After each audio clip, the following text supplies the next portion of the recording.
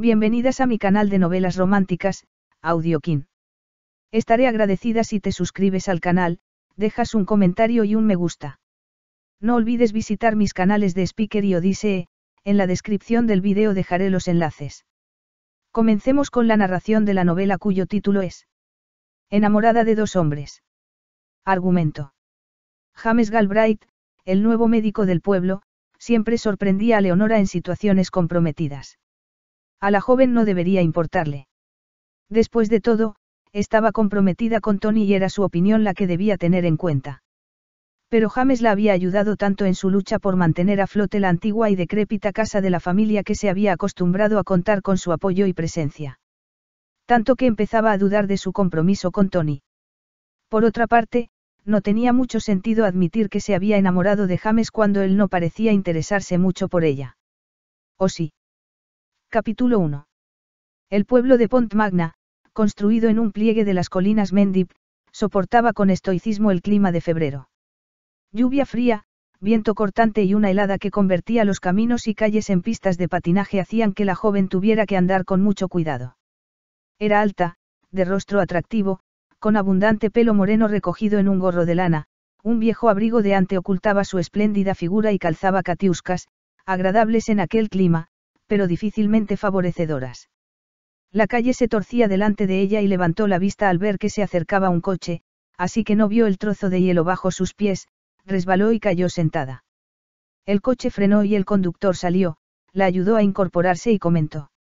Debería mirar por dónde va. Iba mirando, la joven se estiró el abrigo. Usted no tenía por qué doblar la esquina tan de repente.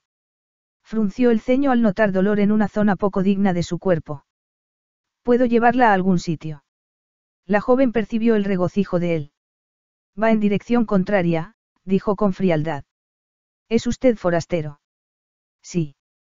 Esperó, pero él no añadió nada más, se limitó a mirarla, así que ella dijo. Bueno, gracias por parar. Adiós. Al ver que no respondía, lo miró y descubrió que sonreía. Era un hombre atractivo, con una nariz recta, boca firme y ojos azules.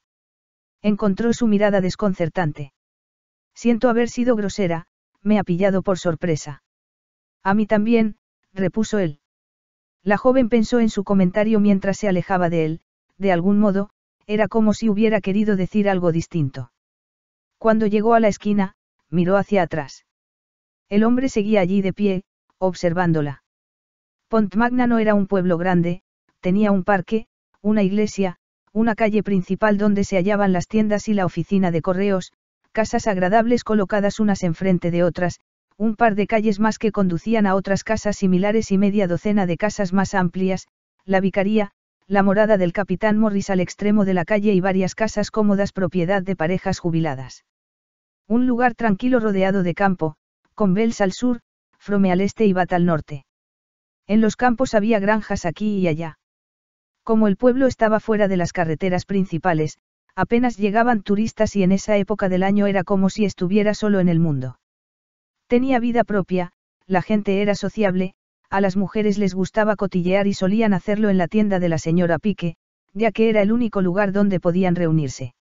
En aquel momento había varias señoras allí, con sus cestas al brazo, escuchando a una mujer gruesa de abundante cabello gris y ojos pequeños y astutos. Una pena exclamó. Ha sido muy repentino.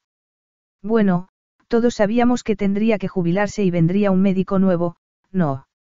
Yo lo vi cuando vino a visitar el pueblo. Y es guapo, sonrió. Tendrá muchas mujeres pacientes. Su coche tampoco está mal. Hizo una pausa para mirar a su audiencia. No lo habría visto de no ser porque volvía de Bels y me detuve a pedirle mis pastillas al doctor Remín. Y allí estaba él, Supongo que ahora que el doctor Fleming ha tenido que ir al hospital, se hará cargo enseguida. Las mujeres repasaron la información mientras hacían las compras, pero al fin salió la última y la señora Pique se dedicó a colocar sus latas de alubias y cajas de galletas. Se volvió al oír que se abría la puerta. Señorita Leonora, ha venido andando. El suelo está muy mal. Podía haber llamado y Jim le hubiera llevado a su casa lo que quisiera. La joven se quitó el gorro y dejó escapar su cabello. Buenos días, señora Pique. Me apetecía andar aunque hace un tiempo horrible.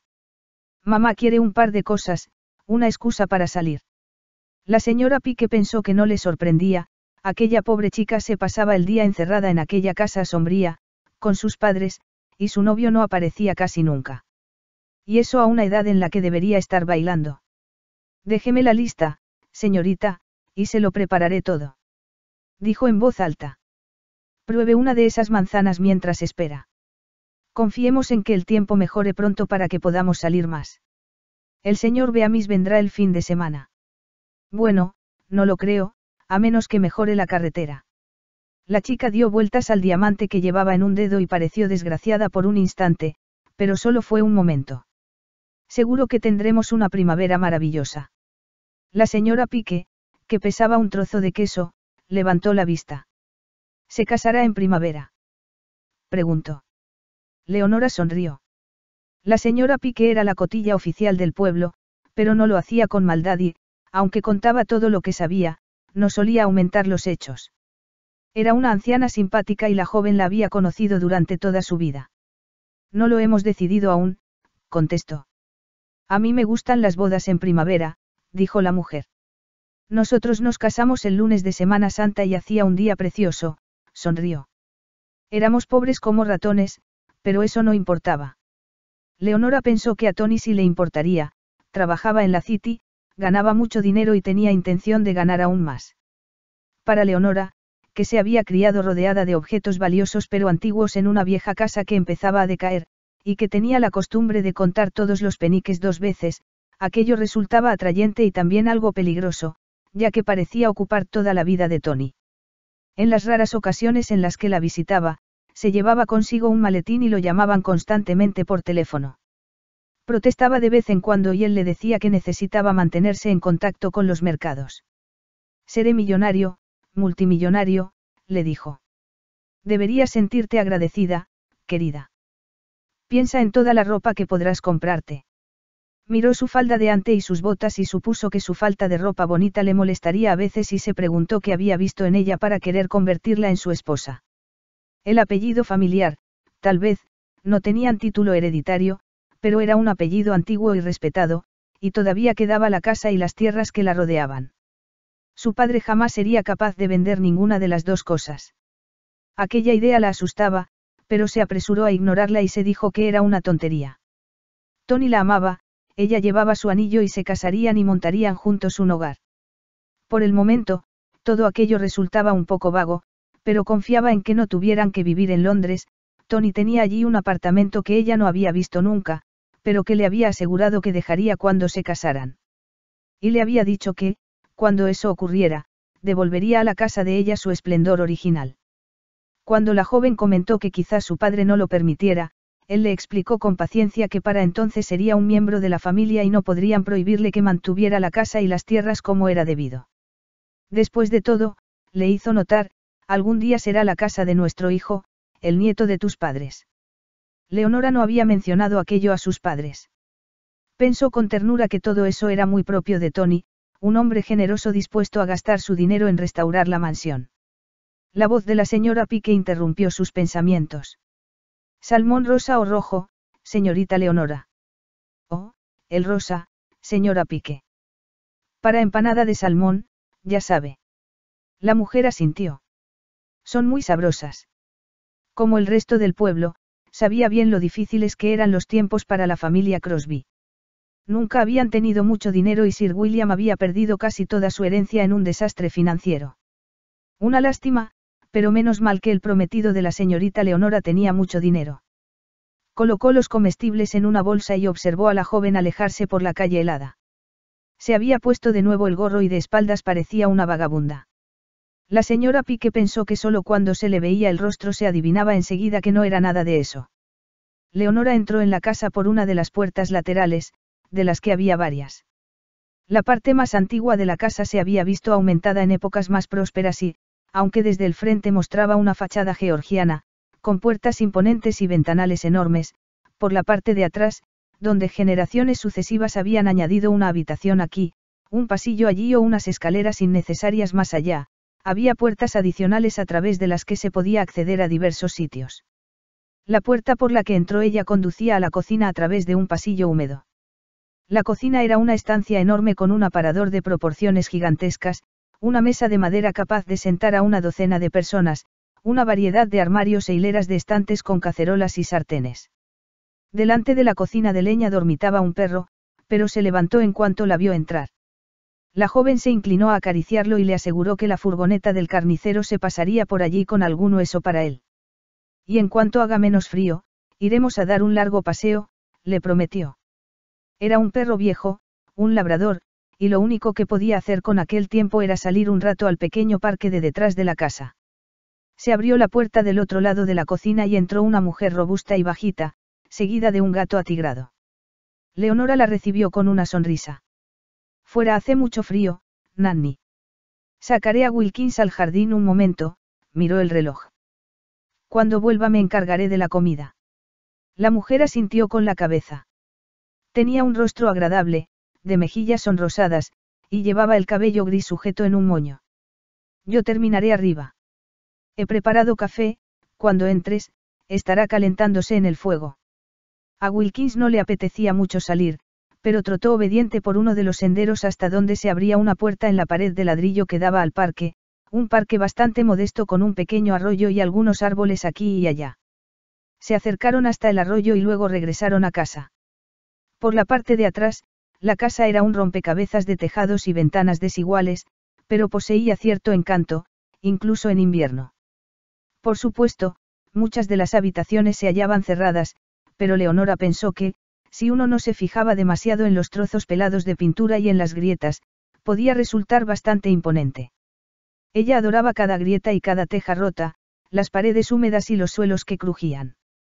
De vuelta en la cocina, Wilkins volvió a instalarse delante del fuego y la joven colgó su abrigo en un gancho cerca de la puerta, cambió las botas por un par de zapatillas gruesas y se dispuso a preparar la comida, sopa, que hervía ya en el fuego, soufflé de queso y galletas con queso. Llevó una bandeja con porcelana y cubiertos al comedor y se estremeció por el pasillo.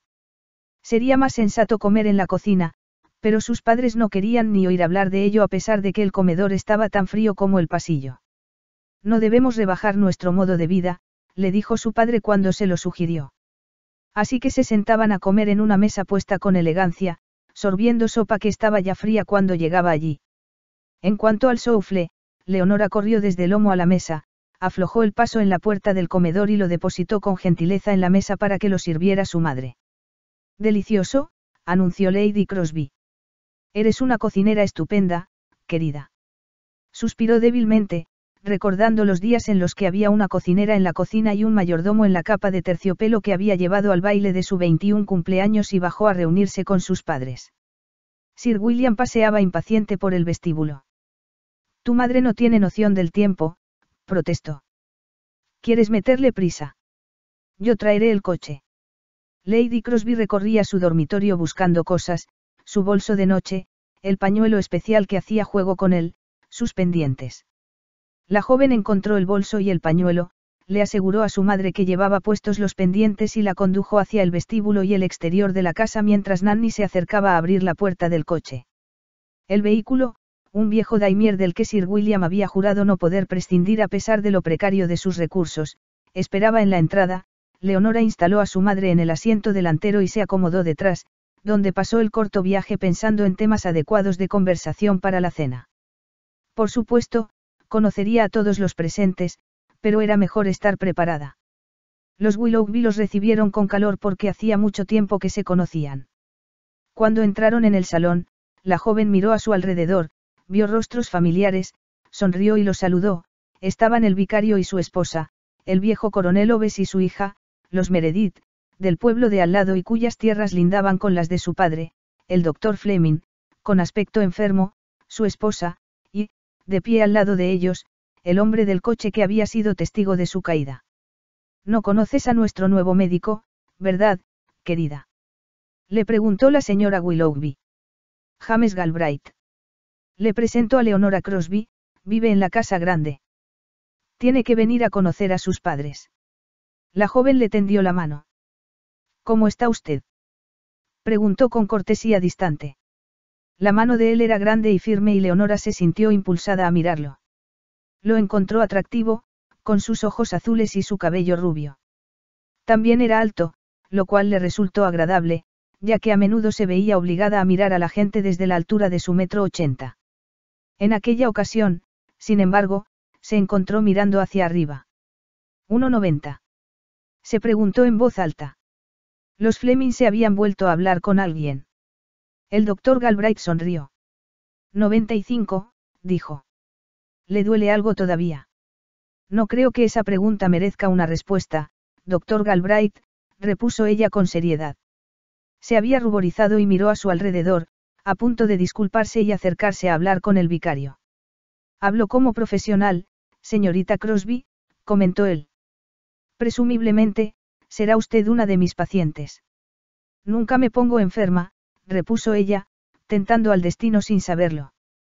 La señora Willoughby se acercó de nuevo a ellos. Aprendiendo a conocerse.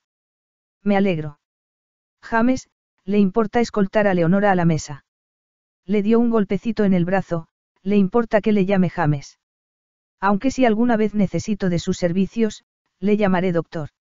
Leonora tenía una copa de jerez en la mano, la dejó sobre una mesa. Tengo que saludar a los demás, musito. Y Nora Ove se muere de ganas de venir a hablar con usted. El hombre pareció divertido. ¿Cómo lo sabe? Intuición femenina. Sonrió, se volvió y él la observó alejarse pensando que una criatura tan espléndida merecía un vestido mejor. La joven no se había equivocado con Nora Oves, ésta apoyó una mano en su manga, echó la cabeza hacia atrás y lo miró con interés. Supuso que era mayor que Leonora, tan delgada como una tabla de lavar y llevaba un vestido que resultaba demasiado elaborado para una cena en el campo. Pero podía ser encantador cuando quería y Nora lo abandonó de mala gana cuando llegó el momento de acercarse a la mesa. El médico se volvió con alivio hacia Leonora mientras servían la sopa. No era una chica que pudiera interesarle, demasiado directa para su gusto, pero al menos no coqueteaba. Era una mesa redonda, así que la conversación, después de un rato, se volvió más o menos general. Al otro lado tenía a la señora Fleming, una mujer callada de edad mediana, mucho más joven que su esposo y claramente preocupada por él. No quería que viniera, le confió, pero ha insistido. No se encuentra bien, mañana irá al hospital. No debe preocuparse demasiado, señora Fleming, repuso él con gentileza. Si lleva una vida tranquila en los próximos meses y sigue el tratamiento, se pondrá mucho mejor. La mujer sonrió. Si me lo hubiera dicho otra persona, pensaría que intentaba engañarme, pero a usted le creo. Gracias. Ojalá todos los pacientes fueran tan confiados.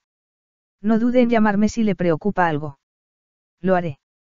Es agradable que vaya a vivir en Buntins, es una casa encantadora que lleva demasiado tiempo vacía. Se volvió hacia su vecino del otro lado y con el tiempo todos regresaron al salón a tomar café y charlar. Era un pueblo pequeño, pero siempre ocurrían cosas. La reunión terminó poco antes de las once y, como hacía frío, nadie se entretuvo a hablar fuera. Sir William abrió la puerta de su coche y miró el Rolls Royce aparcado a su lado. Se preguntó quién sería el afortunado propietario y entonces vio al doctor Fleming subir a él. Santo cielo, Bill. Has heredado una fortuna.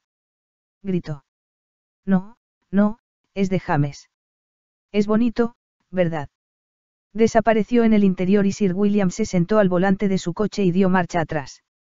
Un diablejo con suerte, comentó a nadie en particular. Le habrá tocado la lotería. Leonora repuso algo con vaguedad. Estaba pensando en Tony. Hacía más de una semana que no lo veía, tal vez apareciera durante el fin de semana.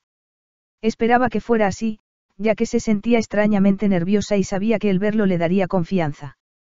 No sabía por qué necesitaba esa confianza, pero eso no importaba, Tony lograría que todo volviera a ser como antes. Apareció el sábado por la tarde al volante de su porche y, si su beso y abrazo carecían del fervor de un hombre enamorado, ella no se dio cuenta ya que se alegró mucho de verlo. Entró en la casa para saludar a sus padres y luego fueron a dar un paseo. La tomó del brazo y le habló de sus planes mientras ella lo escuchaba con alegría. Se casarían, aunque se mostró un poco vago sobre la fecha exacta, y se dedicaría a restaurar la casa de su padre. Conozco a alguien que sabe exactamente lo que hay que hacer. Cuando termine con ella, será una joya. Podremos invitar a amigos los fines de semana. Leonora lo miró sorprendida. Pero Tony, nosotros no viviremos aquí. A mamá y papá no les gustará que venga mucha gente a quedarse el fin de semana. Oh, estaba pensando en ocasiones especiales, se apresuró a aclarar él. Navidades, cumpleaños y esas cosas, es normal que las familias se reúnan en esas fechas, sonrió. Dime, ¿qué ha ocurrido desde la última vez que estuve aquí? No mucho. La cena de los Willoughby ha venido un médico nuevo. El doctor Fleming tuvo un ataque cardíaco, no es grave, pero tiene que jubilarse. Alguien competente, espero. ¿Es de por aquí? No, no lo creo. No sé de dónde es. Ha comprado Buntins, esa casa antigua del otro lado del pueblo. ¿En serio? Debe haberle costado mucho dinero. Casado. No tengo ni idea. Probablemente. La mayoría de los médicos rurales lo están, no. Tony empezó entonces a hablar de sí mismo, de sus negocios, del dinero que había ganado, los hombres importantes de negocios a los que había conocido. Leonora lo escuchó y pensó en la suerte que tenía de ir a casarse con un hombre tan inteligente. A la mañana siguiente fueron a la iglesia y la joven se instaló al lado de Tony en el banco familiar, consciente de que se alegraba de que el nuevo médico también estuviera allí y pudiera ver a su atractivo prometido. El doctor Galbraith también era atractivo, y su altura le hacía parecerlo aún más, pero era pensó un momento en ello. Tal vez fuera su modo de vestir, con ropa elegante y corbatas sobrias, mientras que Tony parecía mucho más joven con sus chalecos y corbatas de brillantes colores y camisas a rayas. Miró al otro lado del pasillo y se encontró con los ojos del médico, se ruborizó como si hubiera expresado sus pensamientos en voz alta y él la hubiera oído. Apartó la vista con rapidez y escuchó con atención el sermón sin oír una palabra, pero cuidando de no volver a mirar al médico. Al terminar el servicio, le resultó imposible eludirlo, estaba de pie en el porche con los Fleming, charlando con el vicario, y no tuvo más remedio que presentarle a Tony. El nuevo médico, observó este. No creo que tenga mucho trabajo aquí. No me importaría tener su empleo, la paz, el silencio del campo y todo eso. No saben la suerte que tienen, yo trabajo en la City. ¿En serio? Preguntó el médico con sequedad. Uno de los desafortunados. Debe alegrarse mucho de poder pasar el fin de semana en este lugar tan pacífico. Tony soltó una carcajada. Ni siquiera el fin de semana. Tengo que volver después de comer y tratar de poner el trabajo al día. Ah, bueno, el viaje hasta la ciudad es agradable. Seguro que volvemos a vemos la próxima vez que venga por aquí. El médico sonrió con amabilidad y se volvió a hablar con la esposa del vicario. Cuando al fin se alejó con los Fleming, se limitó a hacer una inclinación de cabeza a Leonora, quien le lanzó una sonrisa fría. Un poco estirado, ¿verdad? Preguntó Tony, en el paseo de vuelta hacia la casa. Soltó una carcajada. No necesito preocuparme por vosotros dos. Si se trata de una broma, no le veo la gracia, dijo ella. ¿Y por qué tienes que volver después de comer? Querida, es necesario. En el mundo de los negocios no hay domingos. Es vital mantenerse un paso por delante. ¿Vital para qué? Para hacer dinero, por supuesto. No te preocupes por eso, déjamelo a mí. Será siempre así. Quiero decir después de casarnos. Irás siempre corriendo y crees que necesitamos mucho dinero. No ganas lo suficiente para que nos casemos pronto.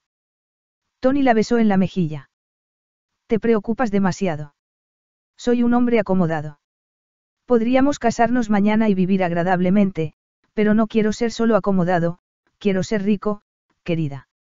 Un piso en la ciudad con buenos muebles, dinero para ir al extranjero cuando nos apetezca, toda la ropa que puedas comprar, cenas, fiestas, teatro. Quiero que tengas lo mejor de todo. Tony, todo eso no me importa. No soy una chica de ciudad, al menos, creo que no lo soy. Me gusta vivir en el campo y no me importa si no tenemos mucho dinero. Después de todo, estoy acostumbrada a eso, añadió pensativa. Quizá te has enamorado de la chica equivocada. El joven le pasó un brazo en tomo a los hombros. Qué tontería, querida. En cuanto te vi en casa de los Willoughby, supe que tú eras lo que buscaba. Lo cual era cierto, era una joven hermosa, estaba dispuesta a enamorarse y era hija única, sin hermanos que complicaran las cosas. Vivía en una casa antigua con muchas tierras que valdrían una fortuna cuando él las tuviera en sus manos. Tendría que avanzar despacio, claro, y naturalmente debía cuidar de no hacer desgraciada a Leonora. Sus padres serían igual de felices en una casa más pequeña en algún lugar cercano, y su esposa y él vivirían en la casa grande. Sería un punto espléndido para reunirse con hombres influyentes y sus esposas, hombres que pudieran ayudarle a trepar por la escalera financiera. Decentemente vestida, la joven sería una gran anfitriona, poseía unos modales exquisitos y una voz encantadora. Era demasiado franca a veces y mucho más inteligente de lo que había esperado, pero estaba seguro de que podía convencerla para que viera las cosas desde su punto de vista. Pasaron un par de días antes de que Leonora viera de nuevo al médico. El tiempo se había suavizado y llovía. Sir William se había resfriado y se sentaba delante de la chimenea mientras su esposa trataba de cuidarlo y Nanny le ofrecía bebidas calientes y aspirinas, lo cual obligó a la joven a ocuparse de la casa y la compra ya que, aunque quería mucho a su padre, veía que dos mujeres ocupándose de él era lo máximo que podía soportar. Hizo, pues, las camas, limpió el polvo, preparó a medias la comida y se fue a la tienda. Se puso una gabardina más vieja aún que el abrigo de ante, un sombrero al que el tiempo había hecho perder la forma, tomó una cesta, anunció que se iba al pueblo y salió acompañada por Wilkins. Al menos no resbalaremos en el hielo, le dijo al perro, que trotaba a su lado. Aunque nos vamos a empapar. La tienda de la señora Pique se hallaba vacía, por lo que permitió a Wilkins que entrara después de colocarle una hoja de periódico en el suelo para que se sentara. Leonora sacó su lista. La señora Pique charló mientras preparaba el bacon, el queso, el pan, la mermelada favorita de Sir William, té, café, azúcar y harina. Contó a la joven las últimas noticias, la señora Ike había tenido otro niño, el joven de los Kempe se había roto un brazo. ¿Qué se puede esperar de los chicos? dijo la mujer. Y el granjero Jenkins no deja de protestar por su cuota de leche. No estoy segura de lo que es eso, señorita Leonora, pero le digo que no sé a dónde va el mundo. Era uno de los comentarios más frecuentes de la señora Pique y solía servir de prólogo a un largo monólogo pesimista, así que fue un alivio que en ese momento entraran dos clientes más y la joven pudiera tomar su compra y partir hacia casa. Seguía lloviendo. El doctor Galbraith, que salía del pueblo al volante de su coche, vio la figura de Leonora ante él con el perro a su lado. Los pasó, se detuvo a un lado de la carretera y abrió la puerta. Suba. Voy a pasar por su casa. Su perro puede sentarse detrás. Buenos días, doctor, repuso ella. Por favor, no se moleste, estamos los dos empapados y le estropearemos el coche. El hombre no contestó, pero salió del vehículo y se acercó a ella. Suba, dijo con amabilidad. Abrió la puerta a Wilkins, quien se mostró encantado de escapar a la lluvia. Oh, de acuerdo, musitó la joven. Ya le he advertido que los dos estamos muy mojados. Eso es cierto y ahora también lo estoy yo, la miró con fijeza. Una pérdida de tiempo, Leonora. ¿Qué es una pérdida de tiempo? Intentar zafarse de mí, estaba ya sentado al volante y se volvió para sonreírle. ¿Cómo están sus padres? Están muy bien. No, no es cierto del todo. Papá está resfriado. Cuando no está bien es un mal paciente y mamá se preocupa mucho. En ese caso, quizá debería ir a verlo. Un antibiótico podría ayudarlo. En esta época del año los resfriados pueden prolongarse mucho. Sí, pero no está usted haciendo su ronda. No. Pasó el coche por la verja, subió hasta la puerta delantera y salió para abrirles la puerta al perro y a ella. Entre y quítese el abrigo, dijo Leonora, recordando sus modales. Voy a buscar a mi madre. Se volvió y vio a Nanny que bajaba por las escaleras. Oh, bien, aquí está Nanny. Este es el doctor Galbraith, nuestro nuevo médico, ha tenido la amabilidad de venir a ver a papá. La mujer lo observó con curiosidad. Eso es una bendición. ¿Cómo está usted, doctor? Ah, no puede negarse que es un joven muy atractivo. Deme el abrigo y se lo secaré mientras la señorita lo acompaña a ver al amo. Volvió su atención a la joven. Y usted también, señorita. Quítese esa gabardina y ese sombrero y yo secaré a Wilkins. Prepararé café para cuando bajen.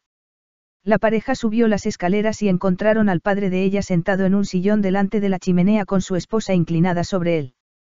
Levantó la vista y suspiró al verlos. Doctor Galbraith, no sabía si debía llamarlo. Se ha encontrado con Leonora. Sí, Lady Crosby, y me ha parecido lo más sensato venir a ver a Sir William ya que pasaba por aquí. Se acercó a examinar a su paciente y la joven descubrió que ya no era un hombre que insistía en enojarla sino un médico impersonal en el que se podía confiar. Bueno, señor, ¿me permite que le eche un vistazo? Preguntó con voz llena de confianza. Capítulo 2. Sir William tosió, se sonó la nariz y volvió a toser. No me pasa nada, es solo un resfriado. La tos me impide dormir y me cansa mucho. Leonora le ayudó a quitarse la bata y siguió a su madre a la puerta. ¿Necesita que me quede? Preguntó antes de salir. Por favor, musitó el médico con aire ausente. La joven lo miró sorprendida y se acercó a la ventana a contemplar el paisaje lluvioso mientras escuchaba las preguntas del médico y las respuestas quejosas de su padre. No se encontraba bien, pensó con preocupación que quizá deberían haber llamado antes al médico. Quería a sus padres y se llevaba bien con ellos, se alegraba de seguir en la casa. Antes de que su padre perdiera el dinero, habían hecho planes para enviarla a Italia con unos amigos y le habían insinuado que debía intentar hacerse una carrera y quizá buscar un apartamento en la ciudad. No lamentaba haber perdido todo eso, aunque a veces deseaba ropa nueva, una visita al teatro o salir a cenar a un restaurante famoso. Esos deseos no eran lo bastante profundos para hacerla desgraciada y ahora que Tony y ella iban a casarse, le parecía que tendría lo mejor de ambos mundos, vivir con él, compartir su vida social y volver a casa siempre que quisiera. La voz del doctor Galbraith la sacó de sus pensamientos. Ya puede ayudar a su padre con la bata. Escribió una receta sin levantar la vista. Puede ir a buscarlo. Es un antibiótico. Y quiero que pase un par de días en la cama. La gripe puede alargarse mucho tiempo si no se trata con prontitud. Le tendió la receta y cerró su maletín. Volveré a verlo mañana, pero si le preocupa algo, no dude en llamarme. Espero no habérsela pasado a mi esposa, dijo Sir William. Como ya he dicho, si le preocupa algo, llámeme. Miró a Leonora. Más vale prevenir que curar. Muy agradecido por su visita, musitó Sir William. Estoy seguro de que habrá café preparado abajo. Está muy ocupado. El doctor, que había pasado la noche levantado con un bebé prematuro, repuso que no. Probablemente es mucho más fácil que practicar en la ciudad, comentó Sir William, olvidando que los pacientes del doctor se extendían durante millas en cualquier dirección. Algunos de los granjeros vivían fuera de las carreteras y los caminos que conducían hasta ellos solían ser bastante malos. Lady Crosby los esperaba en el salón con aire ansioso. Trae el café, Leonora, Nanny lo ha preparado. Venga a sentarse, doctor, y dígame si Sir William está enfermo o es solo un resfriado. Es la gripe, Lady Crosby. Tendrá que guardar cama unos días y tomar el antibiótico que le he recetado. Si lo hace, estará bien en una semana, ya no es tan joven como antes. Le sonrió y la mujer le devolvió la sonrisa. 61, yo soy mucho más joven. A Lady Crosby, que había sido muy hermosa, le gustaba suscitar cierta admiración y su sonrisa invitaba a ello. Sin embargo, se llevó una decepción. Había sido muy mimada durante toda su vida y solo en los últimos años se había visto obligada a renunciar a los lujos y comodidades a los que estaba habituada. Quería a su esposo y a su hija, pero aceptaba sus atenciones como algo debido. El doctor no pronunció el cumplido que esperaba de él. Voy a Bath, dijo. Quizá su hija pueda acompañarme y conseguir la receta. Volveré en menos de una hora y podría traerla de vuelta. Leonora, que entraba en ese momento con el café, oyó sus palabras. No es necesario, puedo llevarme el coche. Tonterías, querida, intervino su madre. ¿Por qué llevarte el coche si puedes ir con él? El doctor Galbraith tiene que volver al pueblo. Y seguro que tendrás tiempo de entrar en esa tienda de telas y ver si consigues mi seda bordada. Sirvió el café. Le has llevado una bandeja a tu padre, querida. Creo que le apetecería tomar algo caliente, sonrió al médico. Lo cuidaremos muy bien, doctor. El hombre pasó la vista de la madre a la hija. Leonora había heredado la belleza de su madre y, probablemente, la naturaleza franca y la fuerza de voluntad de su padre. Pensó que para una joven como ella debía ser difícil vivir con sus padres mayores y probablemente llevar el peso de la casa. Entonces recordó que estaba prometida y presumiblemente se casaría pronto, aunque a él no le había gustado su novio. Cuando Leonora entró en el coche, le alegró ver que llevaba un sombrero decente y sus guantes y bolso eran irreprochables, no era que le importara su aspecto, pero creía que una belleza así merecía la ropa adecuada. Miró su perfil y se propuso mostrarse agradable y conseguir que se relajara. Gradualmente llevó la conversación a temas más frívolos. Voy a aparcar delante del Hospital General. En Milsom Street hay varias farmacias, busque la receta y regrese al coche. Cerca de la abadía hay un restaurante pequeño, espero que se apiade de mí y coma conmigo. Vio que ella se disponía a abrir la boca y la interrumpió. No, no diga que tiene que volver a casa enseguida, de todos modos, Llegaría tarde para comer y le prometo que la llevaré de vuelta antes de una hora, sonrió de repente. Tengo consulta esta tarde. Bien, de acuerdo, gracias. No me gusta estar mucho tiempo fuera de casa porque papá. El médico había parado el coche delante del hospital y salió para abrirle la puerta. Tardaré 15 minutos. Si me retraso, entre y espéreme en el vestíbulo. La observó alejarse. Le resultaba tan agradable mirarla de espaldas como de frente. Cuando entró en el hospital, sonreía para sí. Cuando Leonora volvió, él la esperaba ya. Dejaremos el coche aquí, solo son unos minutos andando. Conoce bien Bat. Dijo. El restaurante era pequeño, tranquilo, y la comida excelente. Leonora saboreó un filete a la plancha y se dijo que debía acordarse de hablarle a Tony del sitio, Hacía mucho tiempo que no salían a cenar fuera, él siempre decía que le gustaba quedarse en casa con ella y ella pasaba horas en la cocina tratando de preparar una comida que le gustara con el mínimo gasto posible. Deseó que estuviera sentado allí con ella en lugar del doctor Galbraith y se despreció por su mezquindad. Después de todo, no tenía por qué haberla invitado a comer y tenía que admitir que era un compañero agradable. De todos modos, no podía evitar la sensación de que, detrás de aquel rostro amable, se ocultaba un hombre al que no le hubiera gustado tener que enfrentarse. Mientras comían, hablaron de Bath, de Pont Magna y sus habitantes y de algunas de sus casas. Yo iba mucho a Buntins de pequeña, dijo la joven. Es una casa encantadora. ¿Le gusta vivir allí? Sí. Es el tipo de lugar en el que uno se siente a gusto enseguida. ¿No le ocurre a usted lo mismo con su casa? Oh, sí. Aunque necesita algunas reparaciones. El año pasado quisieron comprarla unos ricos americanos, pero mi padre no quiere oír hablar de ello. Su familia ha vivido en ella durante mucho tiempo. Le partiría el corazón salir de allí. Eso lo comprendo. Es una casa maravillosa, aunque un poco grande para cuidar de ella. Sí, pero muchas de las habitaciones están cerradas y Nanny y yo podemos hacemos cargo del resto. Frunció el ceño. Nos vamos ya. Debo volver antes de que empiecen a preocuparse por mí. Menos de una hora después, el médico paraba el coche ante su casa y salía a abrirle la puerta. La joven pensó que sus modales eran exquisitos y procuró darle las gracias con calor. Encontró a su madre en el salón. Ya has llegado. Tienes esas pastillas para tu padre. Está muy quejoso, así que he bajado a descansar un poco. Es agotador cuidar a un enfermo. Tomaremos el té pronto, ¿verdad? Quizá Nanny pueda hacer algunos bizcochos. Sí, madre, repuso la joven. Salió hacia la cocina. ¿Ha comido algo, señorita? Preguntó Nanny. El doctor Galbraith me ha invitado a un restaurante muy bueno.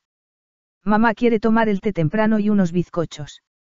Vendré a hacerlos, pero antes tengo que ir a ver a papá. Sir William, que estaba acostado, se alegró de verla. Tengo tus pastillas, le dijo ella animosa. ¿Quieres una taza de té y una rebanada de pan con mantequilla? Se sentó en la cama a su lado. Supongo que no te apetecerán salchichas para cenar. ¿Qué te parece nuevos revueltos, puré de patatas y gelatina de postre? Muy bien, sonrió su padre. No sé qué haremos sin ti cuando te cases, querida, tosió un poco. ¿Estás segura, verdad? Tony es un hombre de éxito y querrá vivir en Londres. La joven negó con la cabeza.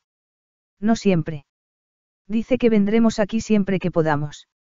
Le encanta esta casa. Es una mina de oro para alguien que tenga dinero para arreglarla, repuso su padre con sequedad. En este momento se está cayendo a pedazos, pero será tuya algún día. Falta mucho para eso, papá, se levantó a por un vaso de agua y le observó tragar su pastilla. Cada cuatro horas, le advirtió. Ahora voy a preparar el té. Lo besó en la frente y bajó a la cocina, donde Nanny preparaba ya los bizcochos. Leonora dispuso la bandeja de su padre y se la subió. De vuelta en el salón con su madre, acercó un sillón a la chimenea. Debo decir que el doctor Galbraith parece un hombre muy agradable. Debemos invitarlo a cenar una noche, Leonora, recuérdame que haga una lista de invitados. Tenemos que pensar en un menú delicioso. Sí, mamá, la joven mordió un trozo de bizcocho. Seguro que papá disfrutaría con eso en cuanto se ponga mejor. Oh, sí, querida, contestó su madre con vaguedad, ¿qué has comido? El doctor ha sido muy amable al invitarte. Leonora se lo dijo. Ah, sí, conozco ese restaurante. La comida es buena pero cara. Supongo que, como es soltero, puede permitirse esos sitios. Me sorprende que no esté casado, pero seguro que está esperando a instalarse en Buntins. Un médico, en especial un médico rural, necesita esposa. Leonora se mostró de acuerdo y se preguntó por qué la necesitaba más que un médico de ciudad. Habría sido un buen pretendiente para ti, prosiguió Lady Crosby, pero, por supuesto, tú ya tienes a Tony. Un joven encantador. La joven pensó en su prometido. Era encantador y divertido. Se reía de ella, le decía que era anticuada y estricta. Te lo perdono, le dijo una vez riendo, cambiarás cuando te lleve a la ciudad. Leonora le contestó que no quería cambiar. No sería yo, le dijo, consciente de haberlo irritado. Sin embargo, al momento siguiente volvía a reírse, quizás ella había interpretado mal su mirada.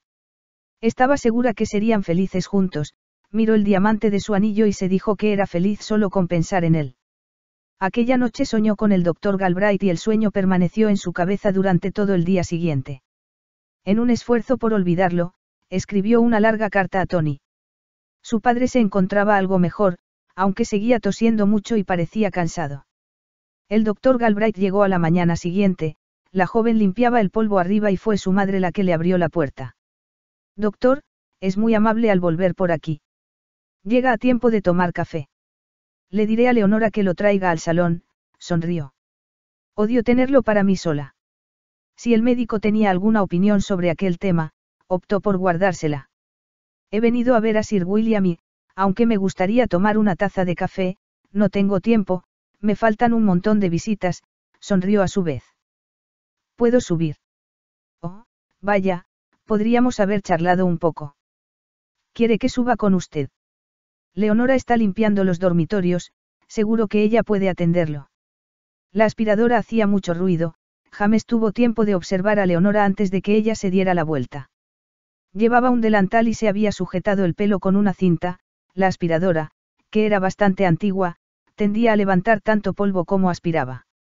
La joven la apagó al verlo, le dio los buenos días y dijo. Quiere ver a papá. Ha pasado buena noche, pero el pecho. Se quitó el delantal y la cinta y lo precedió al cuarto de su padre. El doctor se declaró satisfecho con los progresos de su paciente, pero añadió que debería guardar cama unos días más. Levántese una hora al día si lo desea, pero no salga de la habitación. Volveré dentro de un par de días. Bajó la escalera con la joven. Su padre no está bien todavía, le comentó. Se ha librado de una neumonía por los pelos y se pondrá peor si no descansa, que beba mucho líquido y que duerma todo lo que pueda. No le permita permanecer más de una hora levantado. La joven pensó que hablaba igual que un médico de cabecera, aunque, por supuesto, era un médico de cabecera. Pero, era necesario que se mostrara tan impersonal. Después de todo, habían comido juntos. Su madre salió al vestíbulo y el hombre se despidió de ella, sonrió brevemente a Leonora y se marchó, dejándola vagamente nerviosa. Tony apareció el sábado y explicó que había dejado su trabajo para darles una sorpresa. Tienes aspecto de necesitar ánimos, le dijo a Leonora, que no estaba en su mejor momento después de cuatro días de cuidar a su irascible padre. ¿Cómo está Sir William? Está mejor, pero ha tenido problemas de pecho. Hoy se levantará unas horas, pero no debe salir a la calle hasta que no se le pase la tos. ¿Y dónde está tu encantadora madre? Ha ido a tomar café a casa del coronel Oves, la joven vaciló. Tony, ¿te importa que te deje un rato? Te prepararé café y hay periódicos en el salón. No he terminado los dormitorios y debo preparar tu cama. Te quedarás. Bueno, desde luego, si no es mucha molestia. No, no, claro que no. No tardaré mucho. Iré a charlar con tu padre, sugirió él. Ahora no. Se está afeitando y vistiendo. Bajaremos los dos juntos. Voy a buscarte el café. Has tenido un buen viaje. No ha estado mal, repuso él, ceñudo. Aunque esto está bastante lejos de la ciudad. Mientras preparaba la bandeja, Leonora pensó que debía alegrarse de verlo, pero no pudo evitar desear que hubiera llamado antes por teléfono. Iré a la carnicería a buscar unas chuletas, le dijo a Nanny, que murmuraba algo sobre la gente que aparecía los fines de semana sin avisar. Tenemos huevos de sobra. No, el señor Beamis tendrá que desayunar bacon y algunos de esos champiñones que envió la señora Fleming. Y el pastel casi se ha terminado. Oh, yo prepararé otro. Habrá tiempo antes de la comida. Están llamando al timbre, dijo Nanny. La joven fue a abrir y se encontró con el doctor Galbraith. Miró su rostro tranquilo y sintió un repentino impulso de llorar. He venido a ver a su padre, comentó él, al ver que ella no decía nada. Sí, Claro. Adelante. Estaba haciendo algo urgente. Si la he interrumpido, vuelva a lo suyo, la observó con lentitud. Parece enojada. ¿Qué ocurre? Vio a Tony salir al vestíbulo y murmuró en voz baja. Ah, sí, claro. Buenos días, añadió en voz más alta. Ah, el médico rural. Buenos días. ¿Ha venido a ver al enfermo? Sí, se volvió hacia la joven. Subimos. Lo acompaño, intervino Tony. El viejo se alegrará de verme. Nanny salió al vestíbulo con una bandeja. Voy a dejarle el café en el salón, señor Beamis, tiene que beberlo antes de que se enfríe. Tony, aunque no le gustaba, hizo lo que le decía, se prometió mentalmente que una de las primeras cosas que haría cuando se casara con Leonora sería librarse de Nanny. Al subir las escaleras, el doctor notó que Leonora no ofrecía su mejor aspecto, su cabello iba atado a la espalda y no llevaba maquillaje. Además, vestía una falda vieja y un jersey arremangado. ¿Está Lady Crosby en casa? Preguntó con aire casual. No, lo siento, ha ido a tomar café con los Oves. Ya conoce al coronel y a su hija. El médico había cenado con ellos la noche anterior, pero no lo dijo. Usted no quería ir de visita. Preguntó. Yo. Oh, sí, es agradable estar con gente, pero hoy, bueno, es sábado y no esperaba a Tony, así que tengo más que hacer. Habían llegado a la puerta del cuarto de su padre y el médico no contestó. Sir William se hallaba sentado en su bata, mirando por la ventana. Se volvió al oírlos. Leonora. ¿Me traes ya el café? Son más de las diez. Entonces vio al médico. Buenos días. Ya ve que estoy mucho mejor. Me vestiré y bajaré a comer. ¿Por qué no? Musitó el médico a su lado. La vista desde esta ventana es magnífica incluso en esta época del año. ¿Qué tal la tos? Mucho mejor. Y he tomado esas pastillas que me dio. Mi hija se encarga de ello, ¿verdad, querida? Sí, papá, musitó la joven, admirando el perfil del médico. Una enfermera espléndida, dijo su padre. Tenemos suerte de tener una hija que nos cuida tan bien a los dos. La echarán de menos cuando se case, observó el doctor, tomándole el pulso. Sí, desde luego, aunque a Tony le gusta mucho esta casa, estoy seguro de que nos visitarán a menudo. El médico auscultó el pecho de su paciente, le hizo algunas preguntas y al fin se declaró satisfecho. No salga a la calle en un día o dos más, le advirtió. Y cuando lo haga, abríguese bien. Tony salió del salón cuando llegaron al vestíbulo. Bueno, ¿cuál es el veredicto? No me sorprende que Sir William esté enfermo, esta casa es una belleza, pero muy húmeda. Necesita que inviertan mucho dinero. Sería más sensato que se mudara a algún sitio más pequeño y moderno.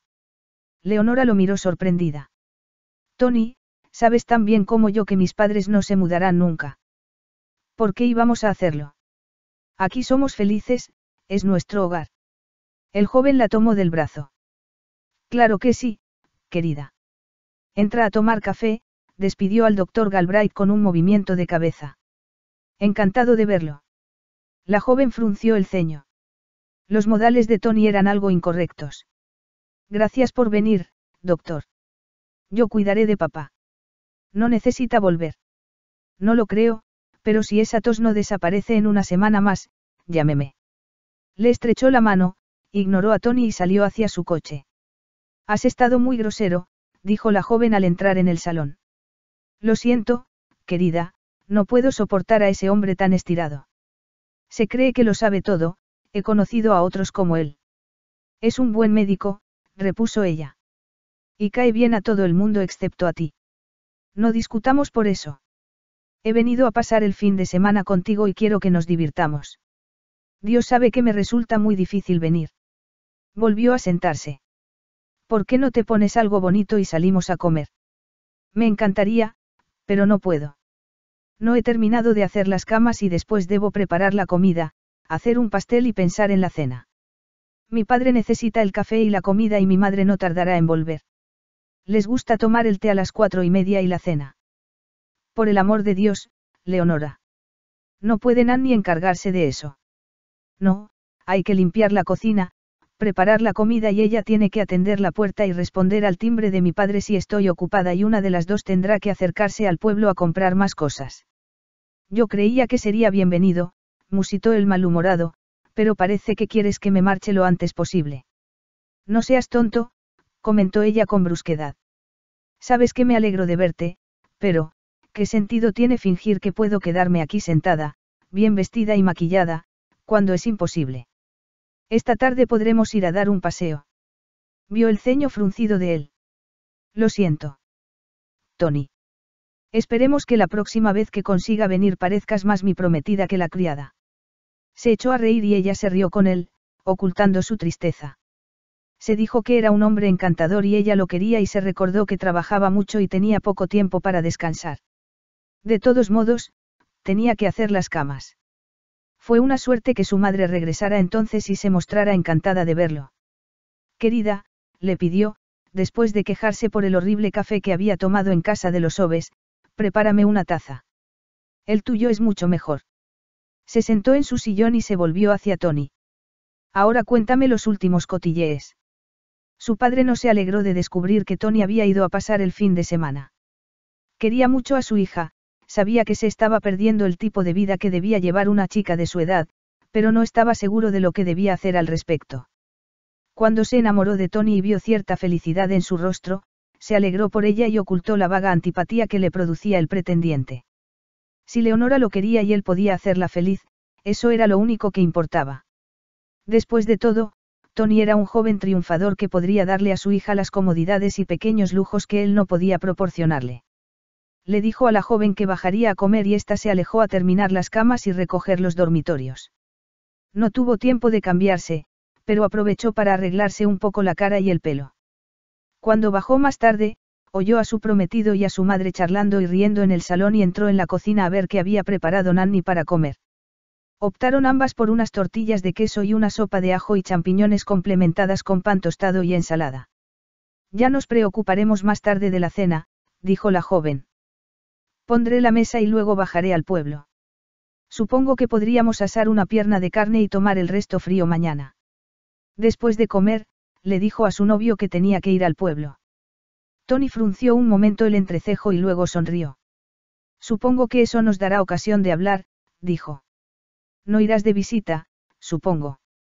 No, no, solo de compras. Así haremos apetito para el té. En el pueblo se encontraron con el vicario y Leonora dejó a Tony hablando con él mientras compraba la carne. Seguían hablando cuando volvió a su lado. Tony le pasó un brazo en tomo a los hombros. Sabemos ya cuándo queremos casamos, querida. Preguntó. Todo depende, claro, pero ya no pasará mucho tiempo. Tal vez en junio. Es decir, si la novia está de acuerdo. El vicario pareció complacido. Hace tiempo que no tenemos ninguna boda, observó. Y junio es un mes espléndido para casarse. Un hombre muy simpático, comentó Tony cuando volvían. Parece muy empeñado en vemos casados, ¿no crees? Hablabas en serio, me refiero a lo de junio. Tony le tomó la mano libre. ¿Por qué no? Será algo apresurado, pero supongo que podríamos tener el lugar arreglado para entonces. ¿Qué lugar? El hombre se detuvo y se volvió hacia ella. Leonora, supongo que comprendes que esa casa es demasiado grande para tus padres. ¿Y si nos mudáramos nosotros allí y les buscáramos algo más pequeño? Hay una casita preciosa a un par de millas de aquí, en la carretera de Bat. Amueblaré de nuevo la casa y será un cuartel general excelente para mí, para nosotros. Podremos invitar a amigos y clientes los fines de semana. Por supuesto, también tendremos un piso en la ciudad y puede que te compre un coche para que vayas y vengas siempre que quieras. Leonora lo miró de hito en hito. No hablarás en serio, ¿verdad? Me refiero a echar, a mis padres de su casa. Ha sido el hogar familiar durante casi 200 años, mi padre se moriría del disgusto, la lleva en su sangre. Mamá tiene aquí todos sus amigos y también adora la casa, vino aquí cuando se casó con papá. Es una broma, ¿verdad? Tony le pasó un brazo por los hombros. Querida, no es una broma, es sentido común. No lo comprendes. La salud de tu padre no es excelente. Supón que muriera, ¿qué haría tu madre? Tratar de mantener sola esa casa. No tiene ni la menor idea de cómo hacerlo. Te olvidas de mí, la joven se soltó de su abrazo, también es mi casa y no la dejaré. Y mi padre ya casi está bien. ¿Ya has oído al doctor Galbraith? ¿Un médico rural? Preguntó él con desdén. Siempre dicen lo que creen que quieren oír sus pacientes. Eso no es cierto. ¿Cómo puedes decir algo tan abominable? Echó a andar y él la alcanzó y la tomó del brazo. Querida, siento haberte contrariado.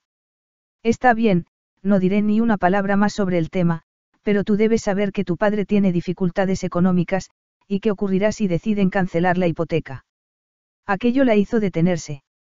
Hipoteca. No sabía. ¿Cómo crees que ha conseguido permanecer aquí tanto tiempo? ¿Cómo lo sabes tú? Me preocupo de saber esas cosas. Además, me preocupaba por ti, Leonora. Oh, se sintió culpable por sospechar de él. Perdona, Tony. No hablemos más de esto. Papá arreglará sus cosas en cuanto se encuentre bien. Por favor, créeme, no hay nada en el mundo que pueda hacer que mis padres se marchen de la casa y eso me incluye también a mí. Tony volvió a tomarla del brazo. Querida, tú vas a casarte conmigo, ¿recuerdas? Sonrió y la joven sonrió a su vez. Siguieron andando y, cuando llegaban a la verja, el doctor Galbraith los adelantó en el coche. Levantó una mano en un gesto de saludo y se preguntó por qué le molestaba tanto ver a Leonora en compañía de Tony. Decidió que era porque no le gustaba aquel sujeto J. se olvidó de ellos. El fin de semana pasó con rapidez para la joven.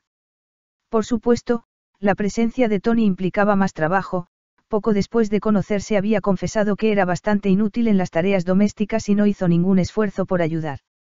La joven no esperaba que se hiciera la cama o fregara los platos, pero le hubiera gustado que no le pidiera a Nanny que le limpiara los zapatos o le planchara los pantalones o que se hubiere molestado en ir a buscar alguna bandeja a la cocina. Pensó que sería mejor cuando se casaran, estaba segura de que, cuando comprendiera que necesitaba si ayuda, no se la regatearía. Se marchó el lunes muy temprano, lo que significaba que Leonora tuvo que madrugar para preparar el desayuno. También utilizó casi toda el agua caliente de la caldera y despertó a todo el mundo. Volveré en cuanto pueda, le prometió a la joven, y cuando lo haga, quiero que salgamos por ahí. Tal vez a Bat. Me gustaría que pudiéramos tomar una comida decente y bailar. La joven asintió, ignorando el comentario sobre comida decente. El domingo habían preparado asado, patatas y verduras del huerto y una tarta de manzana para postre. No era eso una comida decente. Le di un beso de despedida y le pidió que la telefonea cuando tuviera tiempo. O escribe. Escribir. ¿Crees que tengo tiempo de escribir cartas? Le apretó el brazo y sonrió. Sé buena. Sí, Tony, se rió ella. No hay muchas posibilidades de ser otra cosa aquí, ¿verdad? Le gritó él mientras ponía el motor en marcha. Al alejarse, decidió que debía mostrarse muy cuidadoso, no volvería a mencionar que sus padres se marcharan de la casa. Tal vez fuera buena idea esperar hasta después de la boda. No dudaba de que entonces podría convencerla para que hiciera todo lo que le pedía. Unas cuantas semanas de vida cómoda, ropa nueva, rostros nuevos, comidas en restaurantes y, en cuanto probara todas esas cosas, empezaría a pensar como él. Cuanto más veía la casa, más crecía su empeño en hacerse con ella. Leonora, ignorante de sus planes, entró en la casa, aplacó a sus padres con una taza de té, tranquilizó a Nanny y subió al ático para ver si había entrado agua durante la noche. Había entrado. Capítulo 3. Al mismo tiempo que Tony se metía en su coche para volver a Londres, el doctor Galbraith entraba en su casa. Lo habían llamado de madrugada desde una granja a varias millas de distancia, donde un anciano había tenido un ataque y había esperado con él hasta que llegó la ambulancia para trasladarlo a Bath. Lo siguió al hospital, comprobó que su paciente se encontraba en buenas manos y regresó a su casa. No podía volver a la cama, tenía consulta y visitas por la mañana y volvía a tener consulta por la tarde, cruzó el vestíbulo y subió a su habitación, situada en la parte delantera de la casa. Antes de entrar en su cuarto, se abrió otra puerta al final del pasillo y salió un hombre alto y delgado. Era de edad mediana, con un rostro largo y estrecho, pelo moreno entreverado de canas y expresión sombría. Buenos días, señor. Necesitará una taza de café, la traeré enseguida. ¿Le parece bien el desayuno dentro de una hora? Muy bien. Cricket. Estoy hambriento. El mayordomo volvió a su cuarto moviendo la cabeza con desaprobación. Siempre se mostraba así cuando llamaban al doctor en mitad de la noche, pero eso no le impedía esperarlo con una bebida caliente y comida. Llevaba ya unos cuantos años con él y gobernaba su casa a la perfección. El doctor se tomó el café, se dio una ducha, se vistió y bajó a desayunar. Ya era de día y abrió la puerta del jardín antes de entrar en la pequeña sala de estar de la parte trasera donde Cricket le había dejado el desayuno. Era una habitación encantadora, que miraba al sol naciente y estaba cómodamente amueblada con piezas antiguas, resultaba confortable, a diferencia del salón, que parecía más grandioso con su alfombra magnífica, los gabinetes masivos y los sofás enormes colocados a cada lado de la chimenea. Era una estancia que el doctor usaba raramente, para cenas y en las ocasiones en las que recibía la visita de amigos. También había un comedor, al otro lado del vestíbulo, con una mesa de caoba de estilo regencia, sillas y un aparador espléndido, y en la parte trasera del vestíbulo se hallaba su estudio, la habitación donde más tiempo pasaba. Era una casa grande para un soltero, pero él necesitaba espacio. Además, le había gustado aquella casa antigua desde que la viera por primera vez varios años atrás, en el transcurso de una visita que hizo al doctor Fleming, al que conocía desde hacía tiempo. Le pareció un acto providencial que Buntins estuviera a la venta cuando decidió hacerse cargo de los pacientes del anciano. La consulta estaba en el pueblo, en una casa pequeña, pero también recibía pacientes en su casa si era necesario. Aquella mañana había más pacientes que de costumbre, resfriados mal curados que habían terminado por afectar al pecho, ancianos con artritis y reumatismo, un brazo roto, un tobillo torcido. Nada dramático, pero que lo mantuvo ocupado gran parte de la mañana. Era ya tarde cuando empezó la ronda de visitas. Apenas se había alejado una milla del pueblo cuando sonó el teléfono del coche. La señora Crisp, su recepcionista y secretaria, parecía ansiosa. Han llamado de la granja de los Wheeler. La señora Wheeler dice que el conductor del tractor ha tenido un accidente. El señor Wheeler se ha marchado al mercado de ganado. Ha llamado a la granja de los Beckett pero no contesta. No hay nadie más cerca. Dígale que voy hacia allá. Llegaré en 20 minutos. Apretó el acelerador y poco después tuvo que frenar de golpe para eludir a Leonora y Wilkins, que aparecieron en la curva por el medio de la carretera. La joven se echó a un lado, arrastrando al perro consigo, y le gritó que lo sentía. No importa, repuso él con impaciencia. Es usted justo lo que necesito. Conoce la granja de los Wheeler. Ha habido un accidente allí. Voy para allá y parece que la señora Wheeler está bastante sola. Necesitaré ayuda. Suba, por favor. Y Wilkins. Que suba también. Se inclinó a abrir la puerta de atrás y el perro subió sin protestar. Leonora se colocó a su lado. No sé nada de primeros auxilios, comentó, pero soy fuerte. Iba a hacer la compra. ¿Le importa que llame a Nanny? Está esperándola. El doctor le tendió el teléfono sin decir nada y le oyó contarle a Nanny que se retrasaría y que quizá pudiera ir otra persona al pueblo. Wilkins está conmigo y no sé cuándo volveremos.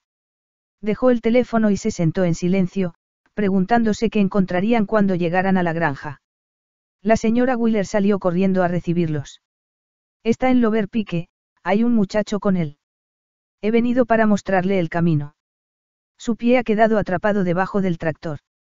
El médico se inclinaba ya sobre el maletero y le pasaba cosas a Leonora. Le echaremos un vistazo, dijo. ¿Cuánto tiempo lleva allí? Está consciente. Ahora sí, doctor, pero al principio no. Se golpeó la cabeza. Cruzaban ya el patio a buen paso en dirección al campo. Leonora, acostumbrada a andar, tuvo que esforzarse para no quedarse atrás. Los siguientes 20 minutos fueron como un sueño desagradable. El tractor había volcado hacia atrás y aunque Ben, su conductor, había conseguido saltar, su pie había quedado atrapado debajo. El doctor se arrodilló a su lado y abrió su maletín. ¿Le duele mucho? preguntó.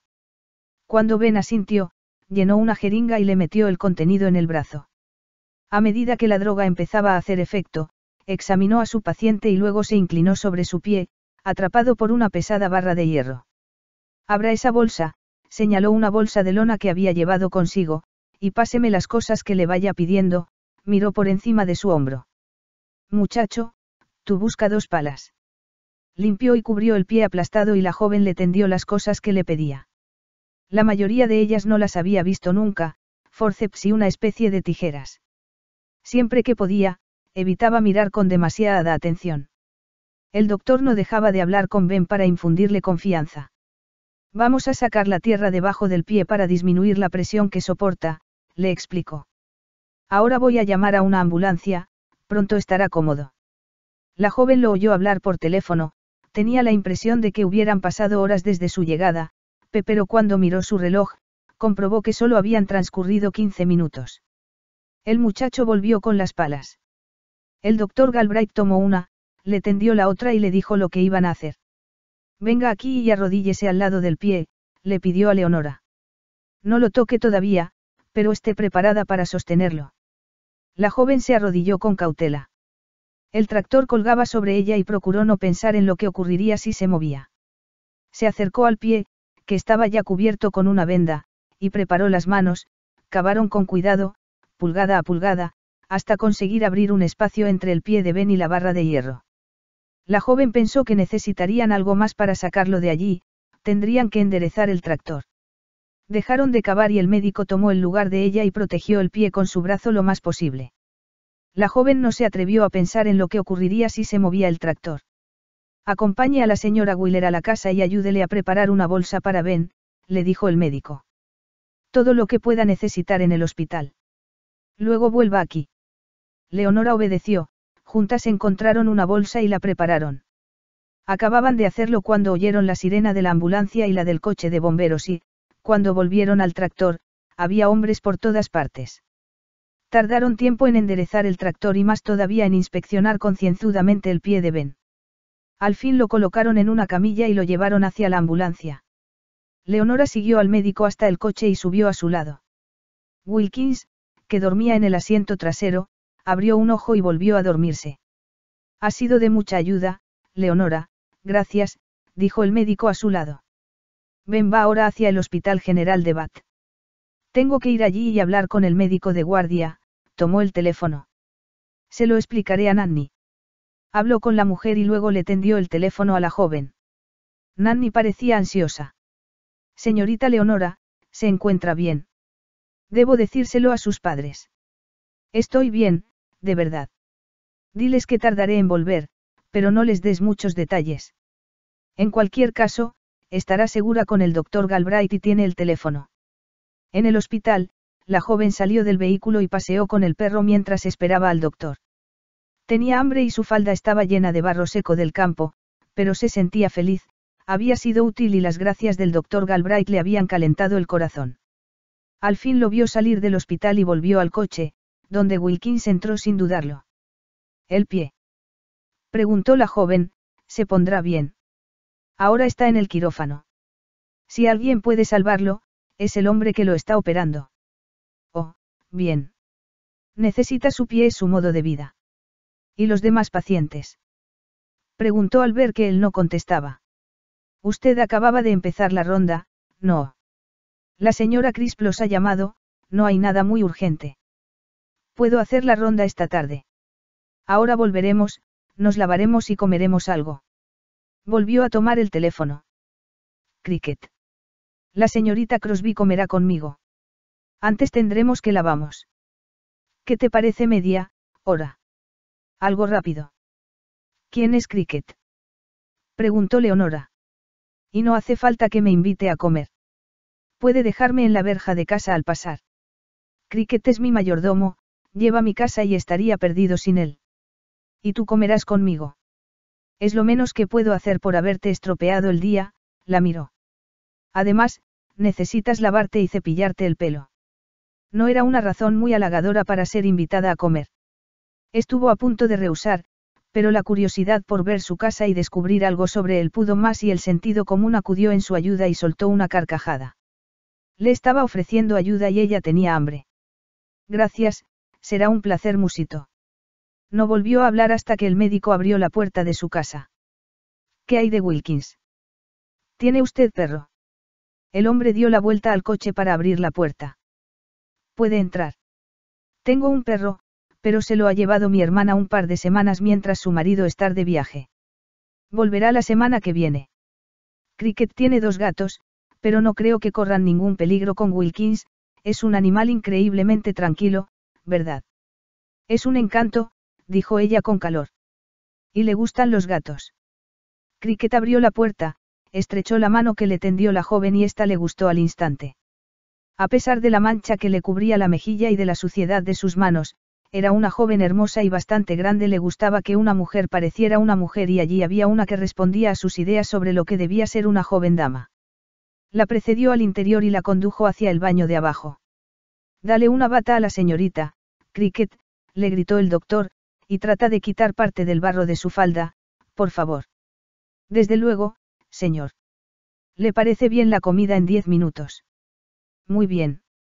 Si no he bajado todavía, lleva a la señorita Crosby a la salita. Gracias. Subió las escaleras de dos en dos y el mayordomo acompañó a Leonora al baño, le pidió un minuto y regresó con un albornoz. Si me da su falda, estará como nueva antes de que se marche, sonrió. Y yo cuidaré de su perro, señorita. La joven le dio las gracias y, una vez a solas, empezó a lavarse. La falda estaba muy sucia y olía a granja. Al fin, con la cara limpia y el pelo recogido en alto, se puso la bata, abrió la puerta y miró al pasillo. Cricket le había dicho que le mostraría dónde debía ir. El doctor Galbraith estaba en el vestíbulo apoyado contra la pared. Wilkins jadeaba feliz a su lado. Sal, la invitó. La comida está lista y tengo que estar en la consulta en menos de una hora. La joven lo siguió hasta la salita que daba al jardín. La comida estaba dispuesta en una mesa redonda cerca de la chimenea y olía de maravilla. Se subió las mangas del albornoz y se sentó a probar la sopa de alcachofas de cricket. El médico no hizo ningún comentario sobre su aspecto, pero sonrió al ver cómo se había recogido las mangas y le gustó su espontaneidad. La sopa fue seguida de un pudín de queso y una ensalada y después el mayordomo les llevó el café. Como no disponían de mucho tiempo y no se trataba de una reunión social, Leonora no se esforzó por mantener una conversación. Voy a ponerme mi ropa, dijo cuando terminó el café. Usted querrá marcharse ya, sonrió. Gracias por la comida, estaba deliciosa. El doctor se levantó a su vez. Estaré en el jardín con Wilkins. La observó recogerse la bata al cruzar el vestíbulo y pensó que era una chica sensata y sin tonterías. Beamis tenía mucha suerte. Frunció el ceño. Leonora era demasiado buena para él. Cricket había hecho maravillas con las manchas de la falda y la había planchado también. La joven pensó que era fantástico tener a alguien que cuidara de uno. No era de extrañar que el doctor no se hubiera casado, debía sentirse muy cómodo en su situación. Se puso la ropa, agradeció al mayordomo su ayuda y subió al coche una vez más. Déjenos en el pueblo, le dijo al doctor. En cualquier parte de la calle principal. Te llevaré a casa. La joven guardó silencio un momento. Has dicho que tenías perro, musitó, decidiéndose a tutearlo al fin. ¿Cómo se llama? Todd. Es un hombre extranjero.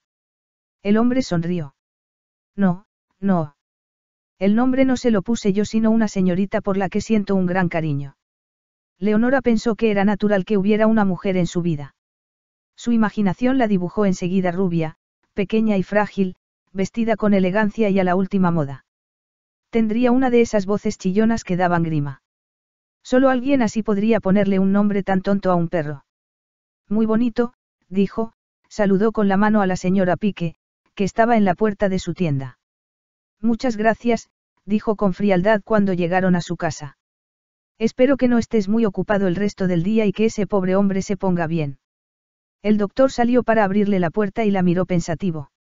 Te contaré lo que ocurra, y gracias por tu ayuda. Esperó a que ella abriera la puerta y Wilkins pasó corriendo a su lado, pensando ya en el calor de la cocina. Adiós, musitó la joven. Sus padres estaban en el salón. Querida, ¿dónde has estado? Nanny ha tenido que dejarlo todo y bajar al pueblo. ¿Para qué te necesitaba el doctor Galbraith? Nanny ha dicho algo de un accidente en la granja de Wheeler. No podía arreglarse sin ti. Leonora abrió la boca para explicárselo, pero su madre continuó. Ha llamado Tony y le ha molestado no encontrarte aquí. Quizá deberías llamarlo y explicárselo. Ha dicho por qué llamaba. No, querida. Hemos charlado un rato y he olvidado preguntárselo.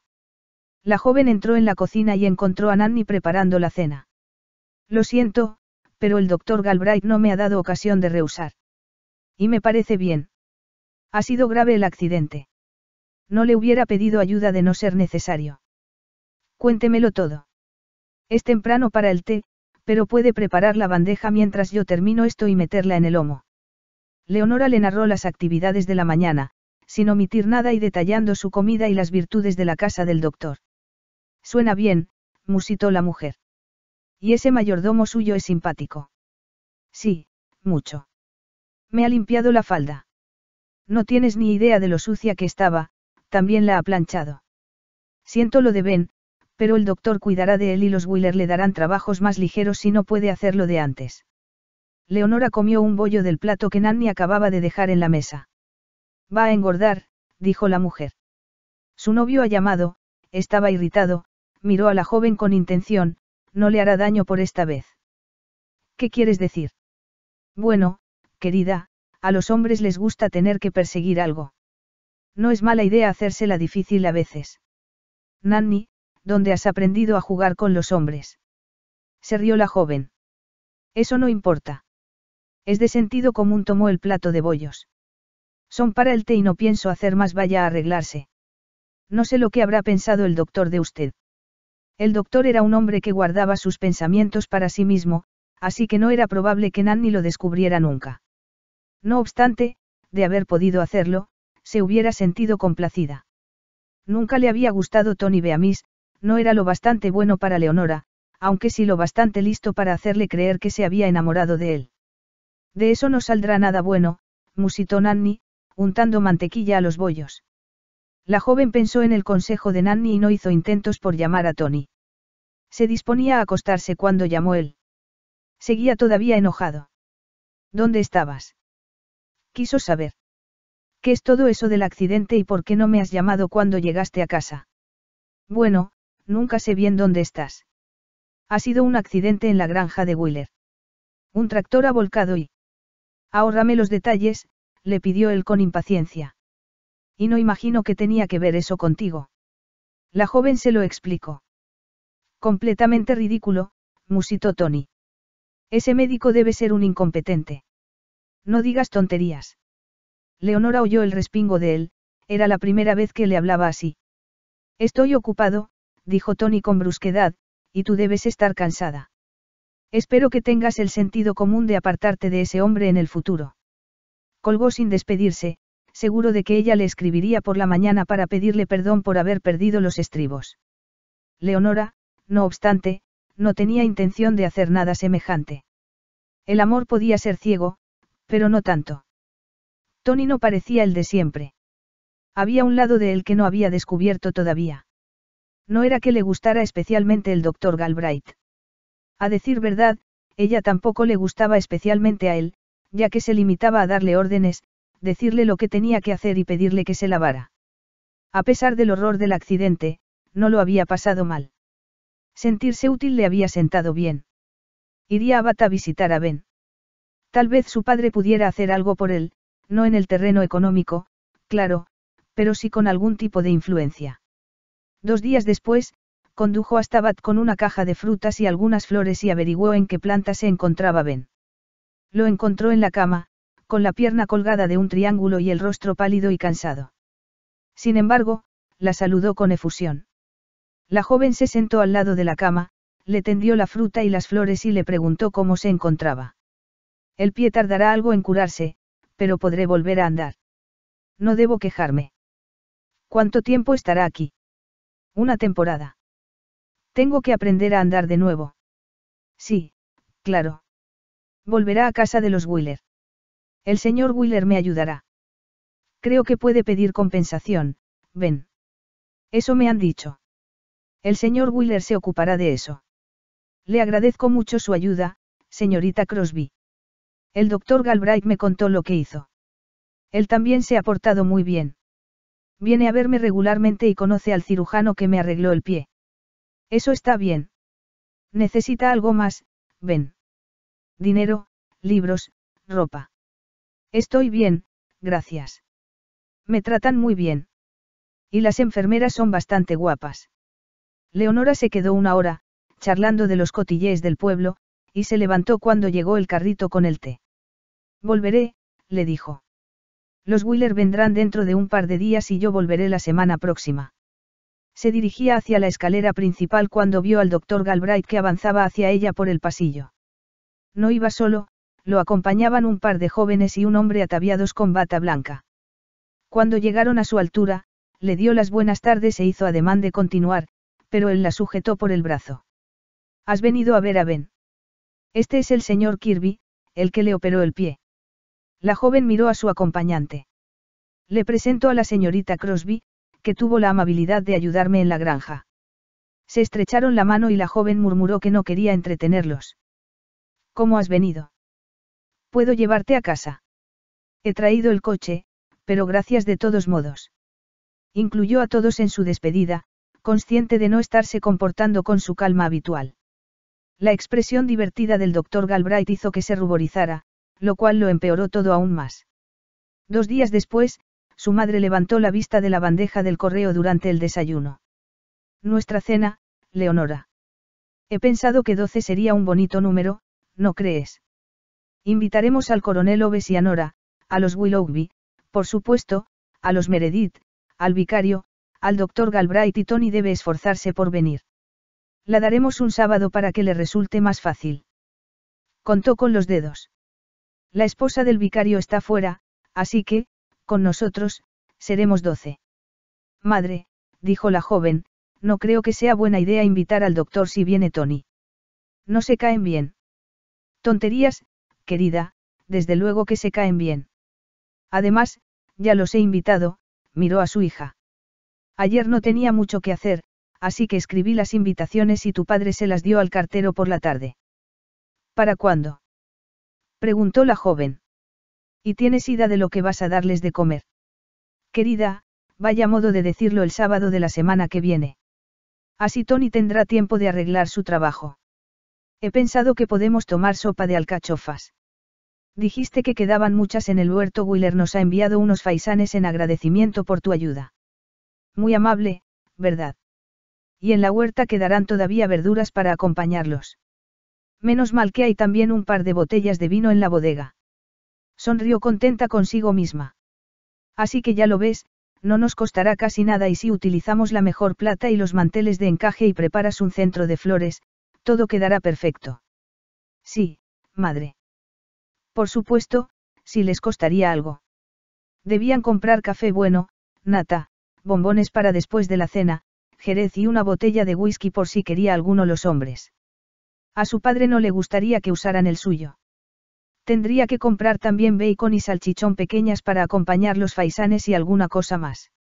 No podían permitírselo, pero era demasiado tarde para decírselo a su madre. La joven recogió las cosas del desayuno y entró en la cocina para fregar los platos y hablar con Nanny de la cena de los invitados. Después de todo, habría doce personas y no tenían por qué hablar si no querían. Debía asegurarse de que en la mesa se sentaran tan lejos el uno del otro como resultara posible. Fue una vez más a ver a Ben, quien andaba ya con muletas y asistía a fisioterapia. Le aseguró que tardaría algo de tiempo, pero quedaría como nuevo antes de salir de allí. Leonora le dejó una bolsa de fruta y unas revistas y volvió a casa. Llegó el sábado y con él una docena de cosas de las que ocuparse. El arreglo floral lo había hecho ya con ramas verdes, algunos tulipanes amarillos y prímulas del descuidado jardín delantero de la casa. Enceró la mesa y colocó el mantel de encaje. La plata era antigua y Leonora la había pulido hasta dejarla brillante, había hecho lo mismo con la cristalería y el servicio de porcelana de China. Todo junto formaba una mesa elegante y su madre suspiró satisfecha. Puede que seamos pobres, observó, pero todavía podemos mostrar un rostro valiente al mundo. Está fantástico, querida. La joven llenó los aleros georgianos y subió arriba a revisar su guardarropa. Sus vestidos eran buenos, ya que habían sido comprados cuando tenían dinero. Todavía tenían buen aspecto, aunque resultaban anticuados. En algún lugar del armario había uno de tercio a batir la nata que acompañaría a la tarta de manzanas del postre. Pensó que la velada sería un éxito. Su madre estaba contenta, su padre se encontraba mejor y Tony asistiría. Había llegado ya. La miraba desde el umbral con el ceño fruncido. La joven levantó la vista y le sonrió. Querida, tienes que pasarte la vida en la cocina. Los invitados llegarán dentro de diez minutos y esperaba encontrarte sentada en el salón. Leonora cometió el error de creer que bromeaba. No seas absurdo, claro que tengo que estar aquí, Nanny no puede arreglársela sola. Ya casi estoy lista, ve a servirte una copa. Mis padres bajarán en cualquier momento. Tony se volvió sin decir palabra y, diez minutos después, ella entró en el salón y descubrió que los invitados estaban ya presentes. Los saludó uno por uno. Me alegro de que hayas podido venir, le dijo al doctor Galbraith. Tu perro todo está ya en casa. Vino ayer. Lo trajo mi hermana, pero tuvo que marcharse enseguida. Su hijo menor tiene el sarampión. Oh, qué mala suerte, pero es mejor pasarlo de pequeño. No. Bueno, debo ir a la cocina. La sopa, sabes. El médico y Nora, que se había acercado, la observaron salir. Es un encanto, comentó la joven. Prácticamente lleva ella sola esta casa. De no ser por Nanny, no podría conseguirlo. La señora Sims, del pueblo, que las ayudaba a veces con la limpieza más dura, esperaba en la cocina dispuesta a servir la sopa, los faisanes estaban preparando, y Nanny se declaró satisfecha con todo.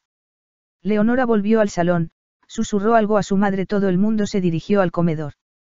La chimenea había estado encendida todo el día y la estancia resultaba cálida y acogedora. La joven se sentó al lado de Tony y observó a la señora Sims colocar la sopera delante de su madre. Hasta el momento, todo iba bien. Capítulo 4. Durante la sopa se conversó animadamente, Leonora escuchó al coronel Oves describir las delicias del curry indio y apenas notó el silencio de Tony al otro lado. Cuando se volvió hacia él, este conversaba con Nora. La joven miró hacia la mesa, el doctor Galbraith se sentaba al lado de su madre, que charlaba sin cesar, y el vicario y su padre conversaban sobre pesca. Retiraron los platos de la sopa y Sir William empezó a trinchar los faisanes, el vino había aflojado las lenguas y todos charlaban relajados. Te quedarás hasta el lunes. Preguntó a Tony. Le sonrió, olvidado ya su mal humor. Probablemente estaba cansado después de toda la semana y odiaba verla trabajar en la casa. No tiene mucho sentido si piensas pasarte el día en la cocina. No lo haré, podemos ir a dar un largo paseo para que descanses de Londres. Londres es encantador en esta época del año, como está tu padre. Creo que parece cansado. ¿En serio? La joven frunció el ceño. Está mucho mejor. Hablaré con su médico antes de irme, quiero asegurarme de que está recibiendo el tratamiento adecuado. Leonora se sirvió unas coles de Bruselas. Eso no será necesario, Tony. Papá está en buenas manos. A mí me parece que ese hombre os ha embrujado a todos. Probablemente es un incompetente. La joven lo miró con ojos fulgurantes. Eso es abominable. Habría sabido tú sacar a un hombre con el pie aplastado por un tractor. Se volvió hacia el coronel Oves y empezó a conversar con él sobre las reformas del ayuntamiento local. El médico, que hablaba con Lady Crosby, se preguntó por qué se habrían peleado Tony y ella. Se mostraban muy discretos, pero no había duda de que estaban peleando. El postre sustituyó a los faisanes a su debido tiempo y, como Lady Crosby se negaba a aceptar las nuevas ideas, las damas se retiraron al salón mientras los hombres bebían una copa de jerez. Leonora llevó al salón una bandeja con café, leche y azúcar. Las tazas estaban ya dispuestas sobre una mesita al lado del sillón de su madre. Cuando los hombres se reunieron con ellas, las mujeres charlaban sobre ropa, el precio de la comida y la dificultad de encontrar jardineros. Al entrar los hombres, hubo algunos cambios de sitio y Leonora les ofreció café, cuando terminó de atenderlos a todos, Tony estaba sentado entre Nora y la señora Willoughby en uno de los sofás. La joven se sentó al lado del vicario y el doctor Galbraith y su padre se les unieron poco después. Venga a mi estudio, invitó Sir William al vicario. Le mostraré la nueva mosca de pesca que acabo de montar. El médico y la joven se quedaron a solas. Una velada agradable, Leonora. Gracias. ¿Por qué discutíais Beamis y tú? Bueno, estaba en la cocina cuando llegó y le molestó no encontrarme en el salón. Comprendo. Debí pensar en ello, pero tenía que batir la nata. No me pareció que fuera importante. Te habría molestado a ti. En esas circunstancias y teniendo en cuenta que el éxito de la cena dependía de que la nata estuviera bien batida, no, dejó su taza de café sobre una mesita, pero había algo más, ¿verdad? Sí. Cree que papá no tiene buen aspecto, se ruborizó, ha dicho que. Duda de mi competencia. Lo siento. Los demás confiamos en ti y creemos que eres un médico estupendo. El hombre reprimió una sonrisa. Gracias. No dejaré que me afecte su opinión. Ha dicho que le gustaría hablar contigo. Espléndido. Y puesto que viene hacia aquí, qué mejor momento. Miró el rostro preocupado de ella. Ve a charlar con otra persona, sugirió con suavidad. Se puso en pie al levantarse ella y Tony, colocada en desventaja por el tamaño y la altura del médico, frunció el entrecejo. ¿Quería hablar conmigo? Preguntó el doctor con amabilidad. Escuche, no estoy muy contento con el aspecto de Sir William. Ya no es un hombre joven. El doctor inclinó la cabeza y lo escuchó con paciencia. No es ridículo que tenga que vivir en esta casa tan grande, prosiguió Tony. Necesita algo más pequeño y moderno donde pueda estar bien atendido. O ya sé que Leonora lo cuida bien, pero tiene ciertas limitaciones, carecen de dinero. Si vendiera esta casa o se la pasara a ella, yo podría restaurarla. Sí. Preguntó el médico con gentileza. ¿Y usted viviría aquí con Leonora? Oh, desde luego. Tendríamos un piso en la ciudad, pero podríamos venir los fines de semana y traer invitados, se detuvo, consciente de estar hablando demasiado. Forzó una sonrisa. Mi querido amigo, estoy seguro de que usted podría convencer a Sir William de que se instalara en algún lugar más acorde con su edad y estilo de vida. No, no podría, repuso el médico. Eso no es asunto mío. Sir William vive aquí y adora esta casa. Si usted quiere restaurarla, no veo motivo para que Lady Crosby y él no vivan aquí. Hay sitio de sobra para todos, no. No creo que eso sea asunto suyo, repuso Tony con rudeza. El vicario se acercó a ellos y el joven se alejó en busca de Leonora. La encontró hablando con Nora y esperó a que ésta se alejara para poder darle su versión de la conversación con el doctor. Bueno, repuso la joven, tiene razón, no hay motivo para que mi padre se vaya de aquí. Es una idea estúpida. Le partiría el corazón y sería poco realista. No tienes ni idea de la cantidad de cosas que hay almacenadas en el ático. Captó la irritación de él y trató de contemporizar. Agradezco tu preocupación. Tony, en serio. Y supongo que yo heredaré la casa a su debido tiempo, Pero no pueden hacerse mientras tus padres sigan aquí. Leonora lo miró confusa y Tony comprendió que había hablado demasiado. La tomó del brazo y sonrió. No nos preocupemos ahora de eso. Como tú has dicho, tus padres son felices aquí. La velada es espléndida y la cena estaba deliciosa. Creo que me voy a sentir muy orgulloso de mi esposa. Sus palabras amortiguaron la sensación de incomodidad de ella. Le habló de los faisanes y de la sopa de alcachofas. Ya lo ves, apenas ha costado nada. Tony le apretó el brazo y rió con ella y el doctor, que los observaba desde el otro lado de la estancia, pensó que era una lástima que una joven tan sensata como Leonora se dejara engañar así por Beamis. Era demasiado buena para él y, cuando se hubiera casado y lo descubriera, mantendría sus votos matrimoniales y sería una esposa leal, lo cual le partiría el corazón. Una lástima que no pudiera intervenir algún hombre decente y casarse con ella antes de que Beamis tuviera ocasión de realizar sus planes. Le pareció extraño que Sir William no hubiera visto lo que ocurría.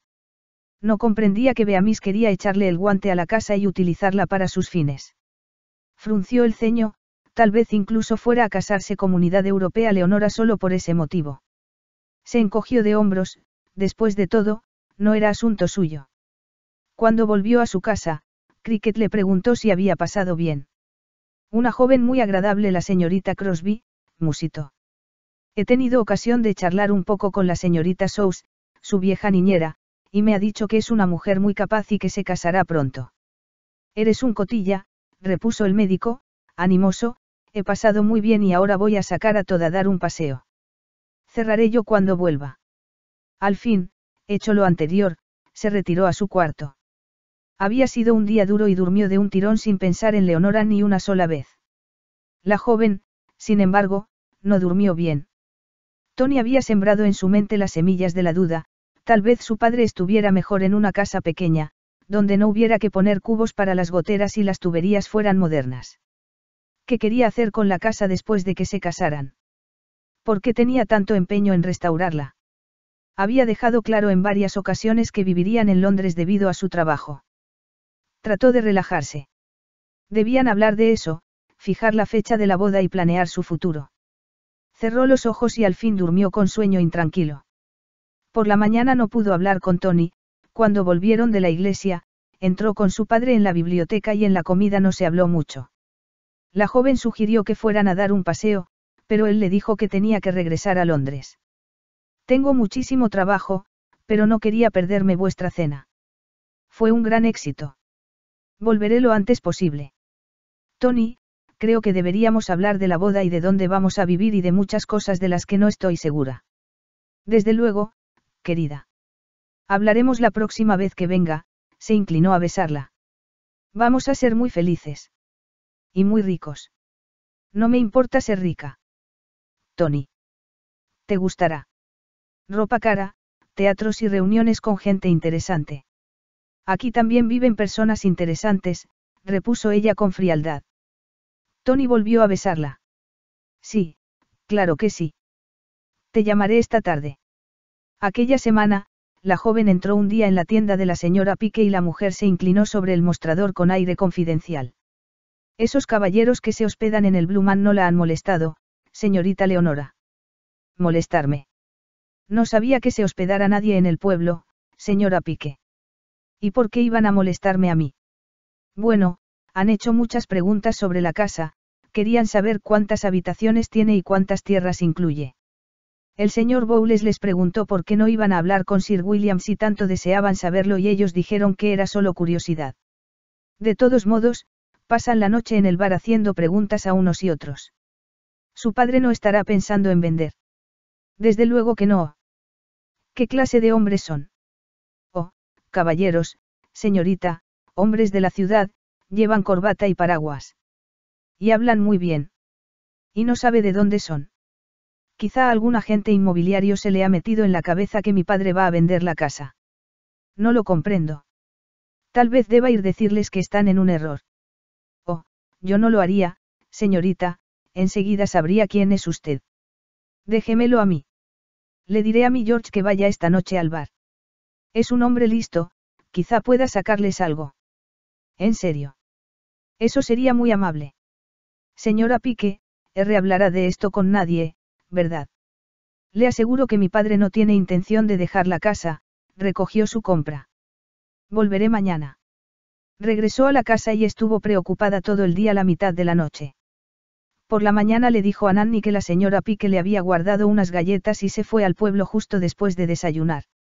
En la tienda había varias personas y, cuando al fin se quedaron solas, la tendera parecía reacia a hablar. El señor Pique descubrió algo. Preguntó la joven. Algo que no quiere decirme. Sí, señorita. Por supuesto, solo son cotillees, en estos tiempos uno no puede creer la mitad de lo que oye. Estoy segura de que debe haber una buena explicación. Leonora sonrió, parecía tan tranquila que la señora Pique decidió contarle la verdad. Bueno, señorita, esos caballeros han venido a ver la casa para ver si vale la pena arreglarla y si el terreno se puede vender para urbanizarlo. Oyó el respingo de la joven e hizo una pausa. La casa se convertiría en una especie de centro para hombres de negocios ricos, miró a Leonora con atención. Odio tener que decirle esto, pero la persona que ha enviado a esos hombres es el señor Beamis. La joven palideció, pero consiguió mantener la compostura. Señora Pique, no sé cómo darle las gracias por su ayuda. Estoy segura de que se trata de un malentendido, pero al menos ahora sé con quién debo hablar. Mi padre no sabe nada de esto, pero iré a ver al señor Beamis. Debe haber una explicación. Sí, señorita, eso es lo que pensamos nosotros. El señor Beamis parece un caballero muy simpático y... Sí. Gracias otra vez. Tengo que irme. Salió de la tienda con fingida calma y echó a andar calle abajo con Wilkins pisándole los talones. Al pasar delante de la consulta, se encontró con el médico que salía. La joven hizo ademán de pasar de largo tras saludarlo, pero él se colocó a su lado. ¿Qué ocurre? preguntó. No, no me lo digas aún. Tengo el coche ahí enfrente, iremos a Buntins. Leonora lo acompañó porque comprendió que, si intentaba hablar en ese momento, se echaría a llorar, subió al coche en silencio. En la casa, el doctor dejó salir al perro y Cricket acercó a la puerta. ¿Puedes traemos café a la salita, por favor? Wilkins puede quedarse en el jardín con Todd. Cricket miró el rostro de Leonora, murmuró algo, entró en la cocina mientras el doctor acompañaba a la joven a la sala. La puerta del jardín estaba abierta y un perro se acercó corriendo al verlos. Era imposible decir de qué raza era, probablemente una mezcla de alsaciano con más cosas, poseía una cabeza noble y ojos marrones líquidos. Todd, dijo el médico, siéntate ahí, Wilkins puede salir al jardín a jugar contigo. Llore si quiere, añadió por encima del hombro. No tengo intención de llorar, repuso Leonora con rigidez. Y comenzó a sollozar. No había llorado así en mucho tiempo.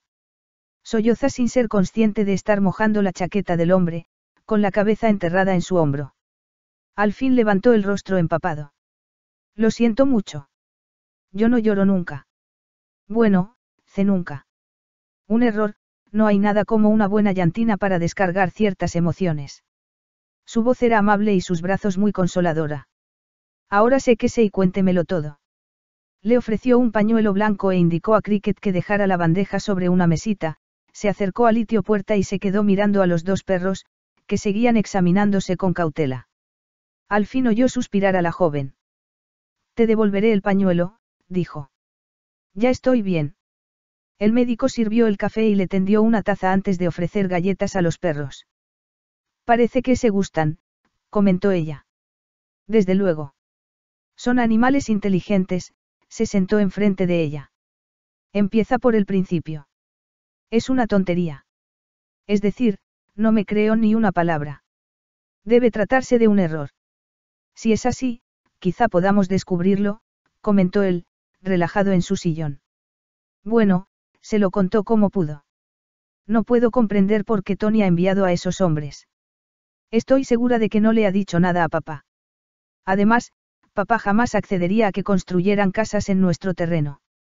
¿Y dónde íbamos a vivir nosotros? No tiene sentido. Para el médico sí lo tenía, pero no se lo dijo. ¿Te gustaría ir a Londres a hablar con Tony y pedirle una explicación? Puede que haya una razón que tú desconoces.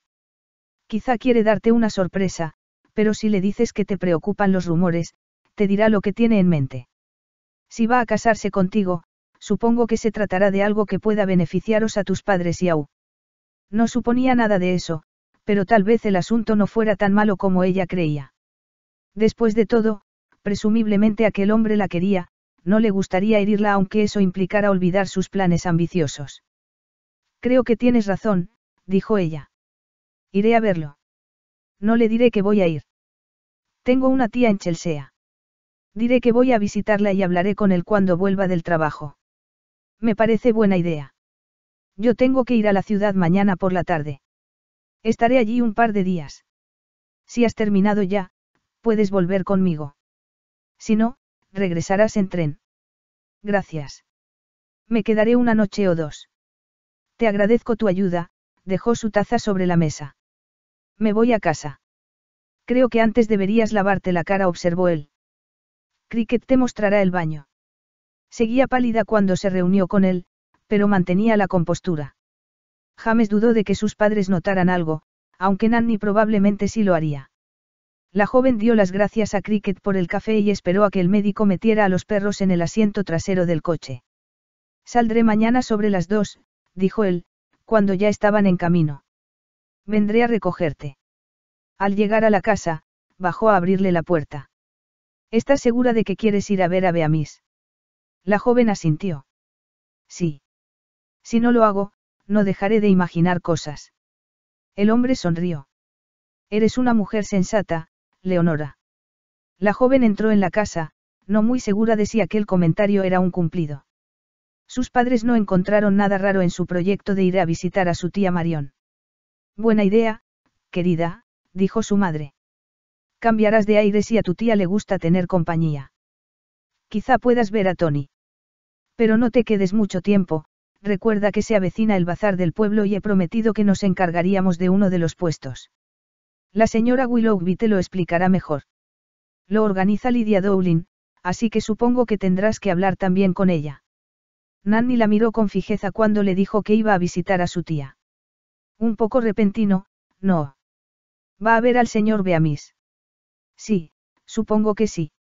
Nanny, ¿por qué no te cae bien? La mujer se inclinó a inspeccionar el contenido de una cacerola.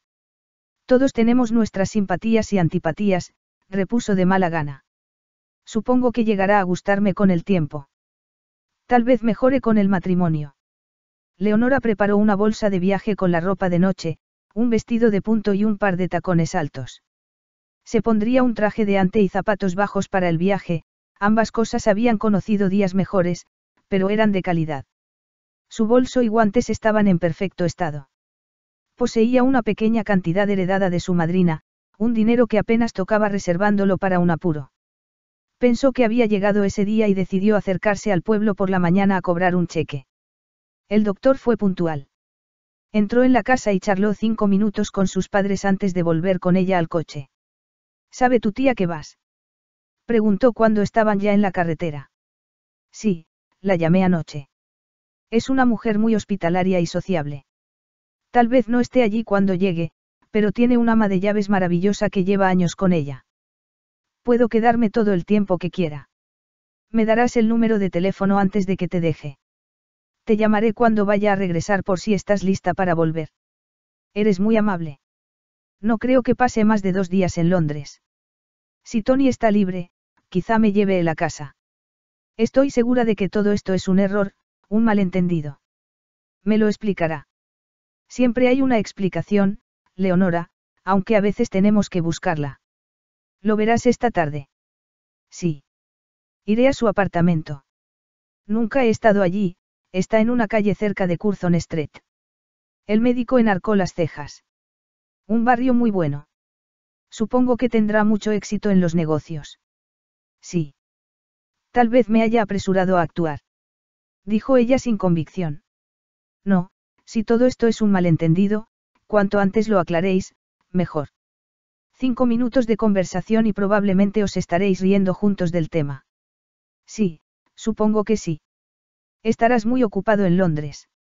Un seminario y un par de conferencias a las que quiero asistir. Tal vez vaya al teatro.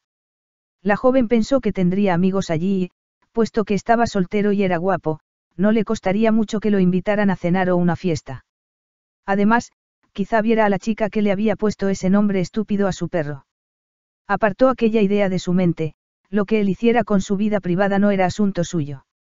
Su tía vivía en una calle estrecha de casas pequeñas pero elegantes, el doctor siguió las indicaciones de la joven y detuvo el coche delante de la puerta. La joven salió, esperó a que él le pasara su bolsa de viaje y le tendió la mano. Muchas gracias. Espero no haberte desviado mucho. No, no. Esperaré hasta que entres. El ama de llaves abrió la puerta y Leonora se volvió a sonreírle y desapareció en la casa. La señora Fletcher, el ama de llaves, la saludó con calor. La señora ha salido. Me ha dicho que la acompañe a su cuarto y le prepare el té. Volverá sobre las seis. Leonora se arregló un poco en la habitación que daba al pequeño jardín y tomó el té en la elegante sala de estar. La tía Marión, una viuda sin hijos, llevaba una vida agradable en su pequeña casa, rodeada de muebles bonitos y haciendo lo que le gustaba, ir de compras, jugar al bridge y asistir al teatro, al tiempo que conservaba un corazón amable y una naturaleza generosa. Sir William era mucho mayor que ella y se veían poco, pero siempre había sido su hermana preferida y seguía siéndolo. Entró en la casa poco después de que Leonora terminara su té, la abrazó con calor y exigió saber por qué había aparecido tan de improviso. No es que no me guste verte, querida, sabes que es un placer, pero no es propio de ti. ¿Ocurre algo en tu casa? La joven le contó lo que ocurría con tono neutral. Ah, sí, desde luego que debéis hablar. A mí me parece una locura, pero ya sé cómo son los pueblos. Alguien lo habrá confundido todo.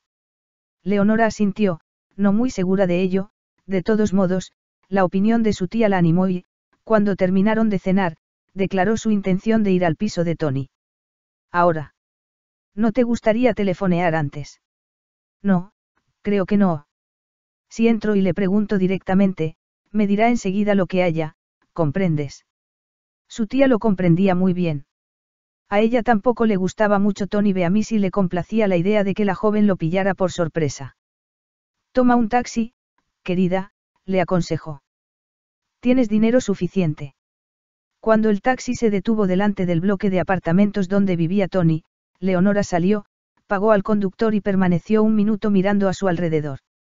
Era una calle elegante, de casas grandes y bloques de pisos con pórticos enormes, mucho cristal y un hombre de uniforme en el interior de la puerta.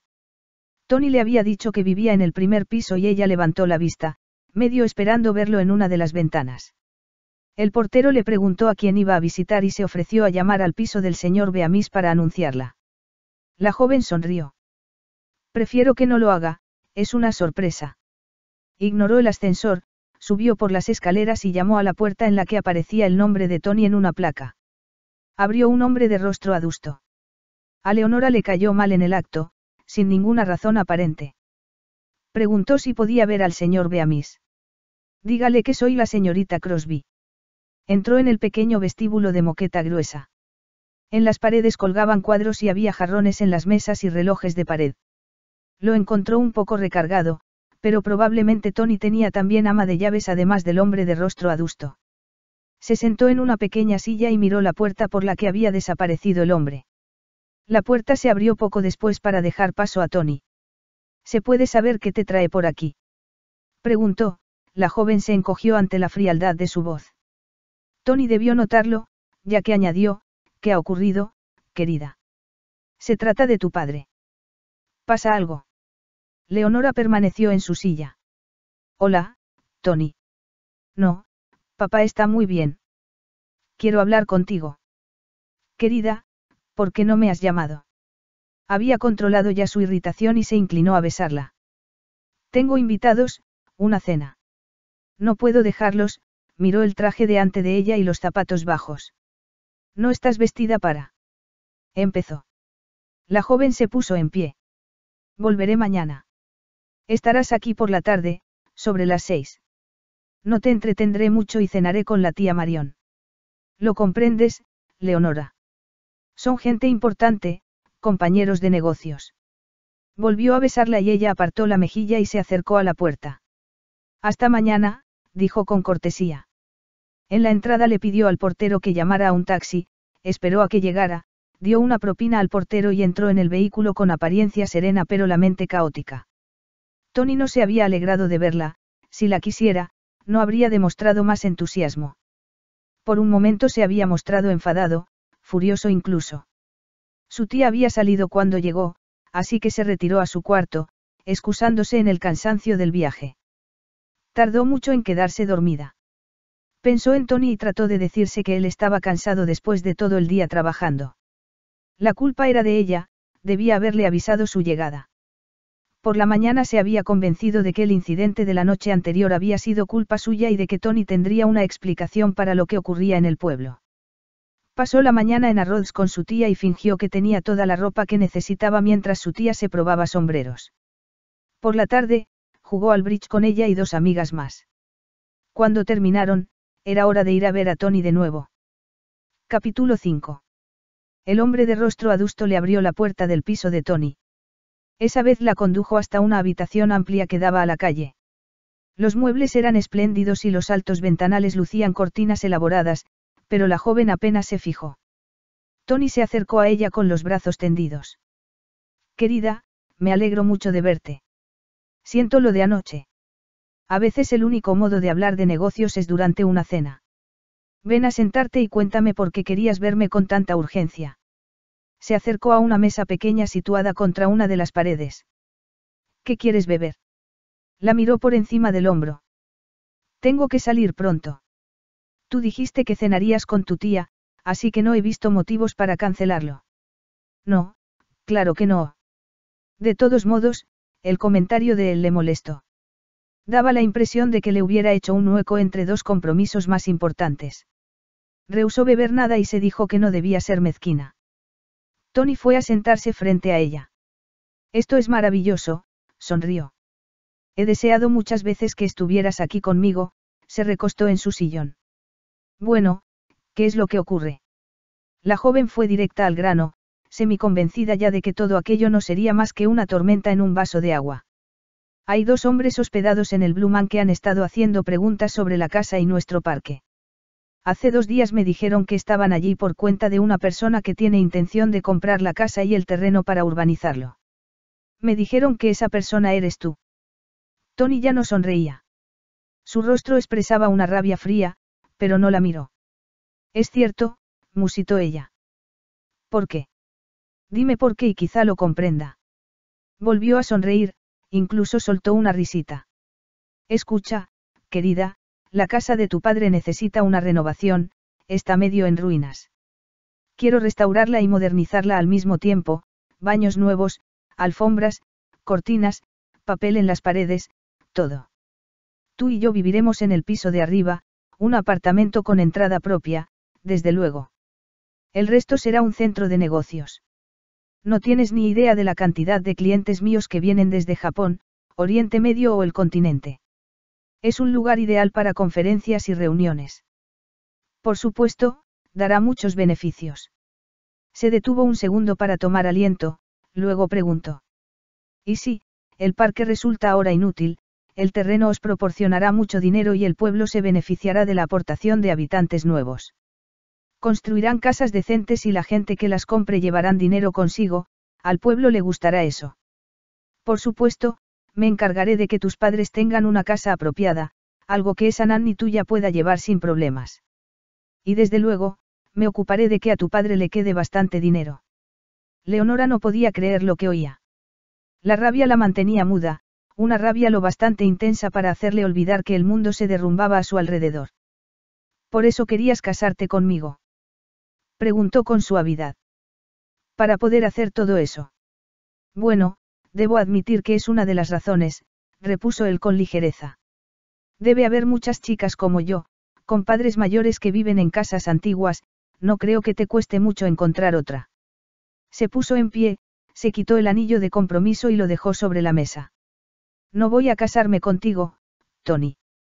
No quiero volver a verte y, si no llamas a esos hombres y abandonas toda esa idea, llevaré el asunto a nuestro abogado, se dirigió hacia la puerta. Eres avaricioso y egoísta, me sorprende no haberlo visto antes. Menos mal que me he dado cuenta a tiempo. Tony cruzó la estancia y la tomó del brazo. Leonora, querida, no puedes irte así. Todo esto te ha pillado por sorpresa. Piensa en ello.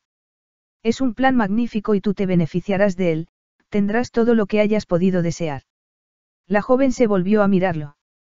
Lo único que deseo es vivir en Pont Magna entre amigos y personas a las que he conocido toda mi vida. Pero tú me quieres.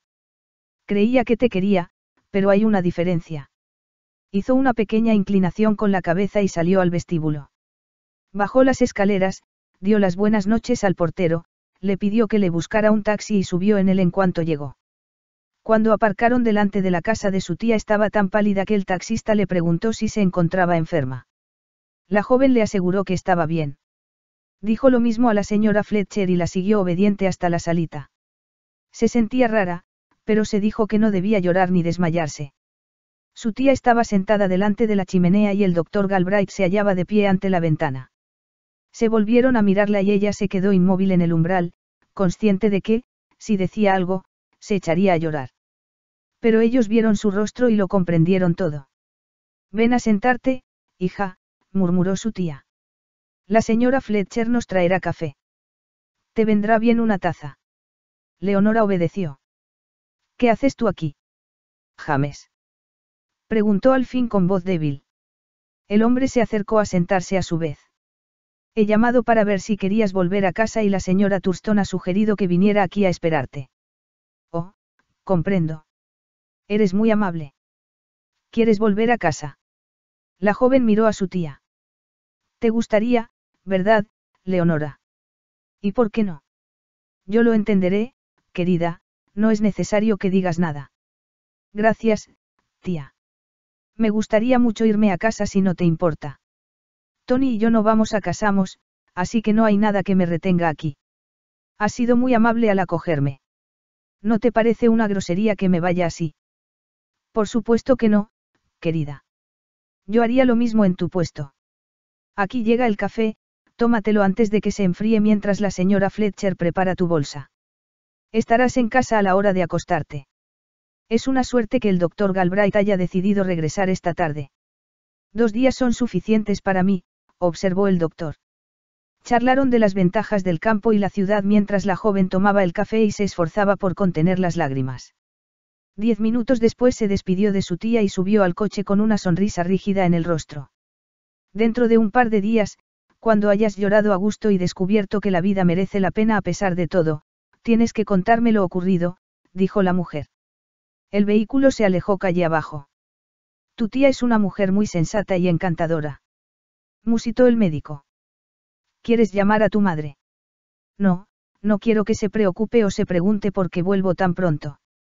Llegaremos a casa antes de la hora de dormir. Pararemos a cenar en algún sitio. No tengo hambre. El doctor ignoró su comentario. Hay un pub muy agradable en uno de los pueblos. Tienes tiempo de llorar antes de que lleguemos y, si no recuerdo mal, no está muy iluminado. Leonora no supo si reír o llorar. ¿Piensas en todo? Preferiría ir directamente a casa. Desde luego que sí, pero piénsalo bien. Te echarías a llorar en cuanto cruzaras la puerta y no conseguirías explicar bien lo ocurrido. La joven respiró hondo. Pareces olvidar que soy una mujer adulta y perfectamente capaz de controlarme. Bueno, tardaremos algo en llegar a ese pub, piensa en ello y dime lo que deseas antes de parar.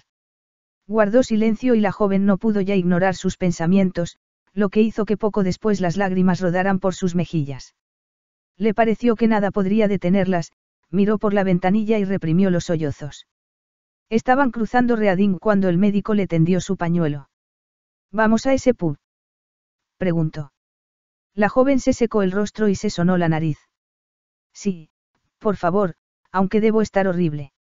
¿Importa eso? Allí no te conoce nadie y a mí no me importa cómo estés. A pesar de su tristeza, a Leonora no le pasó por alto aquel comentario. El pueblo estaba a cuatro millas de distancia de la autopista y constaba de un puñado de casas, una iglesia y el pub, un lugar pequeño con una puerta sólida y ventanas estrechas. El médico tenía razón, la iluminación era tenue y, aunque la barra estaba llena, nadie les prestó atención después de la primera mirada. A un extremo de la barra había unas mesas vacías. James la condujo hasta una situada al lado de la ventana. Traeré algo de beber y preguntaré qué hay de cenar. Si quieres ir al lavabo, está en aquel rincón. Hablaba como un hermano, Con aire casual y consolador. La joven asintió y fue a lavarse la cara. Cuando salió del lavabo, se sentía mucho mejor y encontró al doctor sentado a la mesa leyendo la carta. Se levantó al acercarse ella. Quiero que bebas lo que hay en ese vaso, le dijo. Y nada de protestar. ¿Qué es? Tomó un sorbo. Oh, es coñac, ¿verdad? El hombre asintió. Seguro que habrías preferido una taza de té, pero esa la tomaremos luego. Leonora miró el vaso de él. Eso parece agua. Es agua mineral, tengo que conducir, le pasó la carta, la última vez que estuve aquí tomé patatas asadas con alubias y estaban deliciosas. ¿Quieres antes una sopa? No. Voy a pedir. Se acercó a la barra, intercambió unos comentarios con algunos de los clientes y volvió a la mesa. Tómate el coñac y empieza por el principio, tienes que sacar todo eso al exterior para que puedas pensar con claridad en lo que vas a hacer ahora. Pareces la consejera de una revista femenina, comentó ella malhumorada. Dios no lo quiera, pero tengo cinco hermanas. Me crié entre mujeres, así que puedo dar un consejo amistoso si me lo piden. Siento el comentario anterior, musitó ella. Estoy segura de que debe ser un hermano estupendo. Gracias. Y ahora cuéntame lo que ha ocurrido.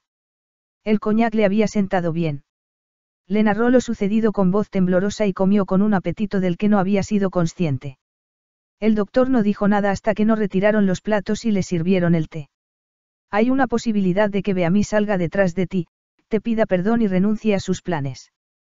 Has pensado que quizás sus intenciones eran buenas. Leonora lo miró con frialdad. Ha dicho que una de las razones para casarse conmigo era poder hacerse con la casa y el terreno, suspiró. Ya no estoy segura de que me haya querido alguna vez. ¿Cómo puedo estarlo? Tal vez lo descubras cuando vuelvas a verlo, musitó el hombre. Vio la mirada dudosa de ella. Oh, lo verás. Y debes dejarte guiar por tu corazón. De vuelta en el coche, Leonora pensó en su consejo. Era sensato e impersonal, pero le gustaría que se hubiera mostrado un poco más compasivo. Por supuesto, no había razones para que lo hiciera, le había dado un consejo igual que se lo daría a cualquier paciente que se lo pidiera. Cuando llegaron a su casa, las luces seguían encendidas. El médico salió a abrirle la puerta. Entraré contigo, dijo. La joven lo miró agradecida. Tengo llave. Abrió la puerta y entraron, encontraron a Nanny en el vestíbulo. Bueno, debo admitir que me sorprende verla. No ha llamado. Hola, Nanny. Siento haberte asustado. El doctor Galbraith se ha ofrecido a traerme. Están mis padres en el salón. La mujer asintió. Supongo que los dos necesitan una taza de café. Se la llevaré allí. Lady Crosby hacía un rompecabezas y Sir William leía un libro. Wilkins se acercó a recibirlos, encantado de verlos. Leonora, no te esperábamos, su madre parecía sorprendida. Hola, doctor Galbraith, frunció el ceño. No está Tony contigo. Tu padre y yo creíamos que te traería de vuelta. Sir William dejó el libro que leía. ¿Ocurre algo? Preguntó. Fui a Londres para ver a Tony sobre algo que me habían contado de él. Hemos decidido que no vamos a casamos, así que ya no estamos prometidos. Estoy seguro de que haya algo más, comentó Sir William. Sí, pero puede esperar hasta mañana, papá. El doctor Galbraith se ha ofrecido a traerme y aquí estoy. Se lo agradezco mucho, dijo su padre. Venga a sentarse, volvió la cabeza. Leonora, dile a Nanny que nos traiga café. Cuando la joven salió, se volvió hacia el médico. Está bien. Sé que ha debido ocurrir algo. Sí, Sir William, pero estoy seguro de que su hija se lo explicará todo más tarde. Ahora está cansada. El hombre asintió. En ese caso, no la molestaremos esta noche. Ha sido muy amable al traerla. Usted conoce lo ocurrido, no. El médico adoptó un aire sombrío. Sí. Entró la joven con la bandeja del café y, después de diez minutos de conversación amable, el doctor se levantó para marcharse. Leonora lo acompañó a la puerta. Gracias de nuevo, le tendió la mano. Y gracias por escucharme. Tenías razón, es mucho más fácil pensar con sensatez ahora que he hablado de ello. No te ha importado. James le sostenía todavía la mano. No, no me ha importado. Y espero que, si alguna vez necesitas un hombro para llorar, pienses en mí. Le dio un golpecito fraternal en el hombro y subió a su coche. La joven volvió al salón. Tu padre dice que debemos esperar a mañana para que nos cuentes lo que ha ocurrido, musitó su madre. Dices que ya no estás prometida con Tony. Supongo que tendrás un buen motivo. Ya es suficiente, querida, intervino su marido. Leonora está cansada. Ahora debería acostarse y mañana nos lo contará todo. La joven se retiró a su cuarto, donde se quedó dormida casi en el acto y se despertó a la mañana siguiente con la impresión de que podía lidiar con la situación y decidida a negarse a ver a Tony si él lo intentaba. Entró en la cocina y dio los buenos días a Nanny. Abrió la puerta a Wilkins y respiró hondo el aire frío de la mañana. ¿Y qué es eso que me ha dicho su madre? Preguntó Nanny. Leonora se sirvió una taza de té. Todavía no se lo he explicado a ellos. Prometo que te lo contaré, pero antes tengo que decírselo a mis padres. Lo hizo mientras desayunaban. Sir William la miró con incredulidad. Esta casa. Mi tierra. El parque. No puedo creerlo. No, ya sé que es difícil, papá, pero es cierto Tony lo tenía todo planeado. Mamá y tú viviríais en una casa más pequeña. Yo no podría vivir en una casa pequeña, observó su madre. ¿Qué iba a hacer con estos sillones y los aparadores? Nuestros muebles jamás entrarían en una casa pequeña. Creo que no es muy considerado por su parte sugerir algo así. ¿Por qué no nos lo dijo? Entonces, Tony envió a esos hombres que había en el pueblo. Preguntó Sir William. Hija, me resulta muy difícil creerlo. A mí también, papá, pero es cierto. Le dije a Tony que debía retirar a esos hombres y que tú no venderías la casa y el terreno bajo ningún concepto. Bien hecho, querida. Espero que todo esto no te haya disgustado mucho. Supongo que estoy tan disgustada como cualquier mujer que cree que va a casarse y descubre que no es así, repuso su hija. Lady Crosby se secó una lágrima. Y yo ya estaba planeado la boda. ¿Qué pensará todo el mundo? No me importa lo que piensen, repuso la joven con brusquedad. Se levantó y se fue a la cocina por miedo a perder la sangre fría y echarse a llorar. Con Nanny sí pudo llorar. Después se sintió mejor y se sentó a la mesa con Wilkins apretado contra ella. La seguirá, dijo la mujer. Si quiere la casa y el terreno, no se rendirá sin volver a intentarlo. Y si de verdad lo quiere, le perdonará lo que ha hecho y conseguirá lo que busca. Hasta Sir William acabaría por ceder una vez que estuvieran casados y Tony le diera una buena razón para que le entregara la casa a usted. No lo escucharé. No quiero volver a verlo nunca. Tendrá que hacerlo, señorita Leonora, no puede salir huyendo si viene. Además, quizá cuando se le pase el enfado, descubra que quiere recuperarlo. La joven tomó un sorbo del té que le había preparado Nanny. ¿Has estado enamorada alguna vez? Preguntó. Desde luego que sí. Era un pescador. Se ahogó hace años. Pero nos amábamos mutuamente. Estar enamorado es una cosa, no dura siempre, pero amar sí. Nanny, no lo sabía. Lo siento. No quisiste casarte nunca después de eso. ¿Para qué? Nunca conocí a un hombre que pudiera compararse con Mined. Se puso en pie. Voy a hacer las camas. Usted irá al pueblo. Sí, necesitamos algunas cosas, ¿verdad? No sé qué hacer ahora. Sir William lo sabrá. Leonora limpió el polvo en el salón mientras escuchaba a su madre. Tony vendrá a pedirte disculpas, dijo Lady Crosby. Después de todo, te quiere, frunció el ceño al ver la expresión de su hija. Bueno, te quiere, no. Creo que quiere esta casa y el terreno y que, como solo puede conseguirlo si yo formo parte del lote, también me quiere un poco a mí. Pero tú lo amas, querida. La joven limpió con cuidado el polvo de una figurita de porcelana. No estoy segura. La tienda de la señora Pique estaba vacía cuando llegó. Entregó su pedido y mordisqueó la galleta que le ofreció la mujer. Se han marchado, dijo la tendera. Los hombres del Bluman. Esta mañana a primera hora. Anoche recibieron una llamada de Londres. Mi esposo estaba en el bar y no pudo evitar oírlo. Dice que se sorprendieron mucho. Leonora terminó la galleta. No me extraña, ayer vi al señor Beamis y ya está todo arreglado. Se quitó un guante para echarse el pelo hacia atrás. Su anillo, señorita Crosby, dijo la señora Pique. Lo ha perdido. La joven se ruborizó. No, no. El señor Beamis y yo ya no estamos prometidos. La mujer le tendió otra galleta. Bueno, vaya y era un diamante soberbio. Sí que lo era, ¿verdad? Descubrió, sorprendida, que no le importaba haberlo perdido. Ni siquiera estaba segura de que le gustaran los diamantes. Cuando volvió a casa, encontró a su padre en el estudio. Los dos hombres se han ido, le informó. Papá, ¿crees que Tony intentará vemos a ti o a mí para explicárnoslo? Sí, querida. No es necesario que te quedes a solas con él a menos que tú lo decidas.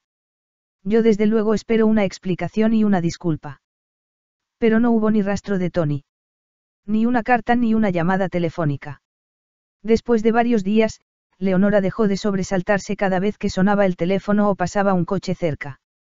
Había llamado a su tía para darle las gracias por su hospitalidad y ésta le informó de que, Tony no se había puesto en contacto con ella. El doctor, al que Cricket mantenía al día de los cotillés del pueblo, sabía que Tony Beamis no era ningún tonto. Esperaría a que Leonora hubiera tenido tiempo de comprender que su futuro no era ya el que había esperado, era un hombre vanidoso y muy seguro de sí mismo, creería que la joven lo echaría de menos y aparecería a su debido tiempo para pedir perdón y convencerla de que todo cambiaría. Si ella lo amaba, acabaría por conseguir lo que buscaba. Por supuesto, él no podía hacer nada al respecto.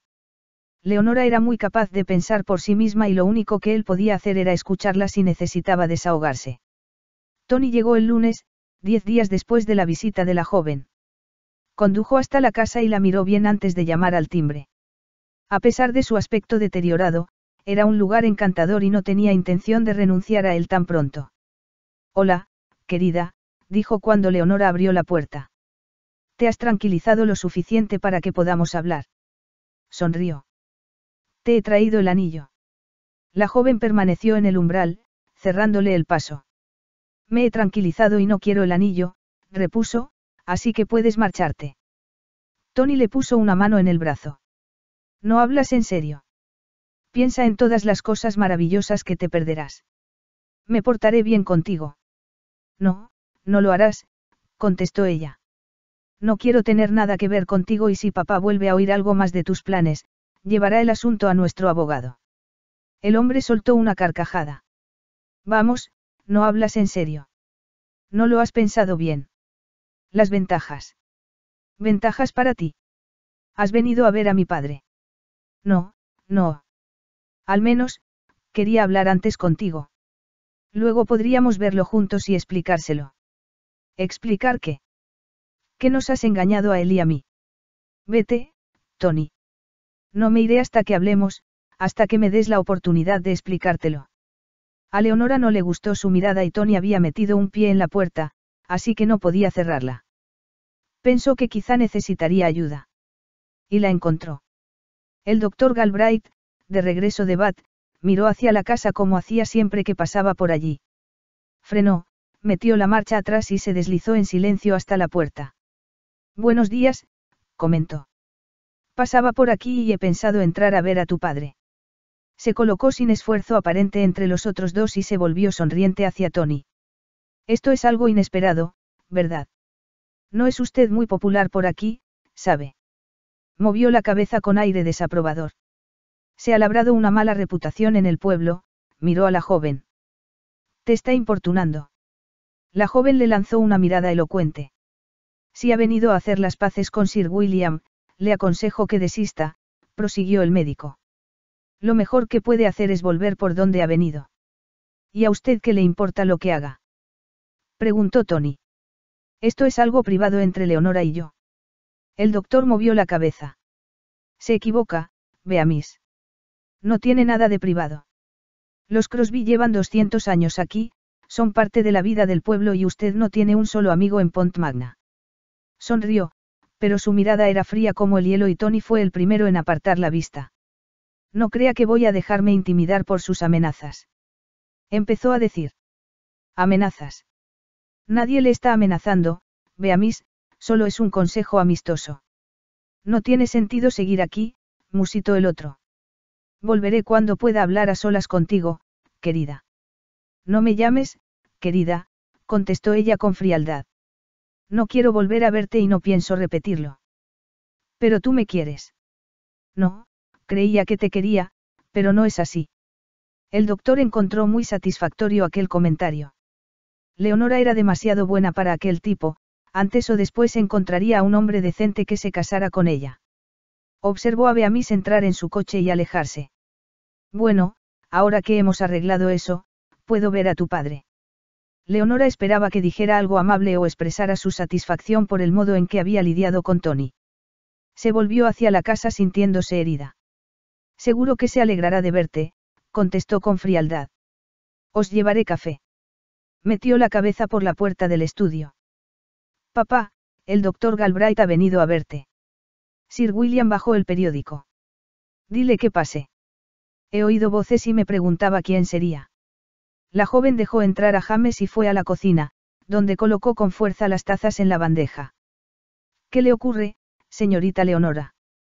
Preguntó Nanny. ¿Quién ha llamado? Era Tony Beamis, repuso la joven, pero ya se ha ido.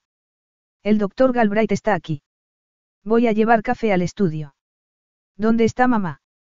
En su cuarto, repasando su guardarropa. Ese Tony le ha causado problemas.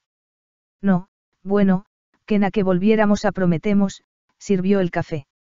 La verdad es que se ha puesto un poco insistente, pero el doctor Galbraith pasaba por la puerta y ha parado. La mujer asintió con satisfacción. Y lo ha echado de aquí. Bueno, sí, pero con bastante amabilidad. Comprendo. Le subirá una taza de café a su madre cuando vuelva. Los dos hombres charlaban cómodamente en el estudio. El doctor se puso en pie y le quitó la bandeja de las manos, pero ella salió sin mirarlo. Su madre, absorta en su ropa, la recibió con aire ausente. Necesito ropa nueva, musitó con voz quejosa. He oído a alguien en el vestíbulo. El doctor Galbraith está con papá en el estudio. Bajaré a verlo, quizá pueda recetarme algo. Necesito un cambio, tal vez unos días con tu tía en la ciudad. La ruptura de tu compromiso ha sido una gran decepción para mí, hija. También lo ha sido para mí. Sí, querida, desde luego, y supongo que Tony se ha portado muy mal. No importa, hay muchos más peces en el mar. A lo mejor no soy buena pescadora, musitó la joven. Volvió a la cocina y seguía allí cuando entró James a despedirse. He hablado con tu madre y está algo baja de moral, le he hecho una receta, puedo dejártela a ti. Observó su rostro. Tu padre está muy bien. ¿Y tú? Yo nunca necesito un médico, repuso ella. No tientes al destino, sonrió el hombre. Capítulo 6. El doctor Galbraith nos ha invitado a cenar, anunció Lady Crosby durante la comida. Es un poco precipitado, pero espera a unos amigos de Londres y cree que nos gustaría conocerlos. El próximo sábado. Leonora recordó cómo había llorado delante de él. Tendré que rehusar, mamá. Hace semanas que le prometí a Maggie que me quedaría con el niño. Gordon y ella van a la ciudad a celebrar su aniversario. Le dije que pasaría la noche allí. Por todos los santos. exclamó su madre con impaciencia. Tienen una niñera, no. Sí, pero es muy joven e inexperta. ¿Has aceptado en mi nombre? Sí, desde luego. Es un hombre muy simpático y bien relacionado. Y me han dicho que tiene dinero. Le escribiré una nota. Escribió un mensaje formal de disculpa que James leyó divertido mientras desayunaba. ¿Por qué habrá hecho eso? Le preguntó al fiel Todd. Podía haberme llamado. Me da la impresión de que volvemos a ser el doctor Galbraith y la señorita Leonora Crosby. Una chica muy rara. Y sin más, se olvidó de ella. Leonora, en cambio, que debía haber estado sufriendo por el traicionero Tony, descubrió que no podía dejar de pensar en el médico. Le caía bien y disfrutaba de su compañía, pero estaba el asunto de esa señorita por la que sentía mucho afecto y, peor aún, su madre no ocultaba que le gustaría que el doctor y ella se vieran más a menudo. Tendría que aprender a evitarlo. Afortunadamente, tenía mucho trabajo organizando la fiesta que se daba todos los años en el parque. Todo el mundo ayudaba haciendo mermelada, pasteles, bordando pequeños cojines inútiles, tejiendo jerseys para bebés o pintando paisajes locales. Leonora, que dibujaba bastante bien, decidió encerrarse a trabajar en uno de los áticos. Cuando no hacía eso, se acercaba a casa de los Dowling y ayudaba a escribir los precios. El sábado por la tarde se acercó a casa de Maggie y Gordon, al final del pueblo, y charló con ellos hasta que se marcharon. La casa era encantadora, desordenada y con muebles cómodos. La joven subió su bolsa al cuarto de invitados, charló con Sadie, la joven niñera, y se dispuso a preparar el biberón para Tom, que acababa de cumplir tres meses. Era un niño tranquilo, que dormía y comía bien. La tarde pasó con rapidez, alimentó y bañó al niño mientras Sadie preparaba la cena de ellas. A las diez se acostaron y durmieron sin interrupciones hasta por la mañana. Hacía un día frío y brillante y Leonora, sentada en el cuarto de Tom con este en los brazos, se sentía contenta. Pensó que sería bonito tener un hijo propio. Si se hubiera casado con Tony. En realidad, no sabía si él quería tener hijos, desde luego, no habría tenido mucho tiempo para ellos. Me gustaría tener un marido que se levantara por la noche si lloraba el niño, le dijo a Tom, y que me trajera una taza de té sin que se lo pidiera y no le importara que los niños le mancharan el hombro de babas. Hizo cosquillas a Tom bajo la barbilla. No tienes por qué escuchar mis tonterías, le advirtió. Iremos a dar un paseo. De camino a su casa, pensó que había sido un día agradable. Sadie había preparado el té y la joven oyó lo que habían hecho Maggie y Gordon antes de despedirse de mala gana de Tom. Se ha portado muy bien, le aseguró a su amiga, me quedaré con él siempre que quieras. Encontró a sus padres en el salón. ¿Te has divertido? Preguntó Sir William. La joven se inclinó a besarle la mejilla. Sí, gracias. El pequeño Tom es encantador. Su madre se volvió hacia ella. Querida, es una lástima que no vinieras ayer con nosotros. Debo decir que el doctor Galbraith tiene una casa encantadora y ese mayordomo suyo, Cricket, es el tipo de servicio con el que una sueña y no encuentra nunca. La cena fue excelente y sus amigos muy simpáticos. Y el señor Ackroyd conoció al cuñado de tu padre, el marido de tía Marion. Es mucho mayor que el doctor, pero tengo entendido que su hija y él son amigos. Por supuesto, debería casarse. Supongo que lo hará cuando lo desee, repuso Leonora. Me alegro de que os divirtierais. Entró en la cocina, charló un rato con Nanny y sacó a Wilkins a dar un paseo. Se había hecho a la idea de casarse con Tony en un futuro no muy lejano y de repente el futuro se extendía ante ella vacío. Parecía que estaba destinada a quedarse en casa, envejecer, vivir con poco dinero y hacer lo que pudiera por conservar el edificio. Saltó el arroyo que recorría el límite del parque y entró en el bosque con Wilkins. El perro se detuvo y empezó a ladrar. ¿Qué ocurre? Conejos. Al fin oyó unos pasos y Wilkins corrió hacia ellos. Leonora se quedó donde estaba, era alguien a quien el perro conocía y quería. Tal vez el doctor Galbraith. Lo era. Se acercó a ella sin apresurarse, con el perro corriendo en círculos a su alrededor. Hola, Leonora, dijo con voz amistosa y casual. He debido traer a Todd. Nanny me ha dicho que te encontraría aquí, echó a andar a su lado. Hay algo sobre lo que quiero hablarte. ¿Qué? La señora Crisp se ha roto un brazo. ¿Te gustaría sustituirla unas semanas? La consulta de la mañana es desde las 8 hasta las 11 y la de la tarde de 5 a 7, a veces más. Los sábados por la tarde y los domingos no hay consulta. La joven lo escuchaba con la boca abierta. No sé mecanografía, dijo. No sé nada. Conoces a todos los habitantes del pueblo y los alrededores. Sabes dónde viven y en qué trabajan. Puedes contestar al teléfono y conservar la calma en una emergencia. Es un trabajo fácil. Si tengo que pedir a alguien a través de una agencia, no sabrá dónde viven los pacientes. Leonora cerró al fin la boca. Pero no puedo. Me ocupo de la casa y de la compra. Te pagaría. No hay nadie en el pueblo que pueda echarle una mano a Nanny. Pero. Trabajarías entre 20 y 30 horas a la semana, añadió al ver que ella vacilaba. Mencionó una suma que hizo que la joven volviera a abrir la boca. ¿Tanto? Preguntó. Hizo una pausa para calcular si crees que sirvo, lo haré. Bien, entonces está arreglado. ¿Por qué no me acompañas y te explico lo que tienes que hacer? De acuerdo. Pero antes llevaré a Wilkins a casa y se lo diré a mamá. El doctor caminó a su lado y no volvió a mencionar el empleo hasta que llegaron a la casa. ¿Quieres que entre contigo? preguntó. La joven pensó un momento. Puede ser buena idea, lo miró, me comprendes. El hombre asintió con la cabeza. Lady Crosby no permitiría que la hija de la casa tuviera un empleo, pero, si se trataba de un favor al médico del pueblo, de una emergencia, sería distinto. Y así fue. Leonora no pudo por menos de admirar el modo en que el doctor convenció a su madre de que trabajar en la consulta con él no era tanto un empleo como un servicio vital a la comunidad y que su hija, bien conocida en el pueblo, era la persona más indicada. Bueno, comprendo que, como miembro de la familia, Leonora tiene ciertos deberes. Llevamos muchos años aquí y estoy segura de que podrá sustituir a la señora Crisp temporalmente. Frunció el ceño de repente. Pero hay un problema. Mi hija lleva esta casa. Yo estoy algo delicada, doctor, mi salud no me permite esforzarme demasiado. Suspiró. Es una lástima, pero no veo cómo vamos a arreglárnosla si Leonora pasa casi todo el día fuera. Tal vez podamos solucionar ese problema. Su hija recibirá un salario, por supuesto. En el pueblo debe haber alguien que venga a ayudar a Nanny. Lady Crosby se animó. Bueno, sí. Dice que recibirá un salario.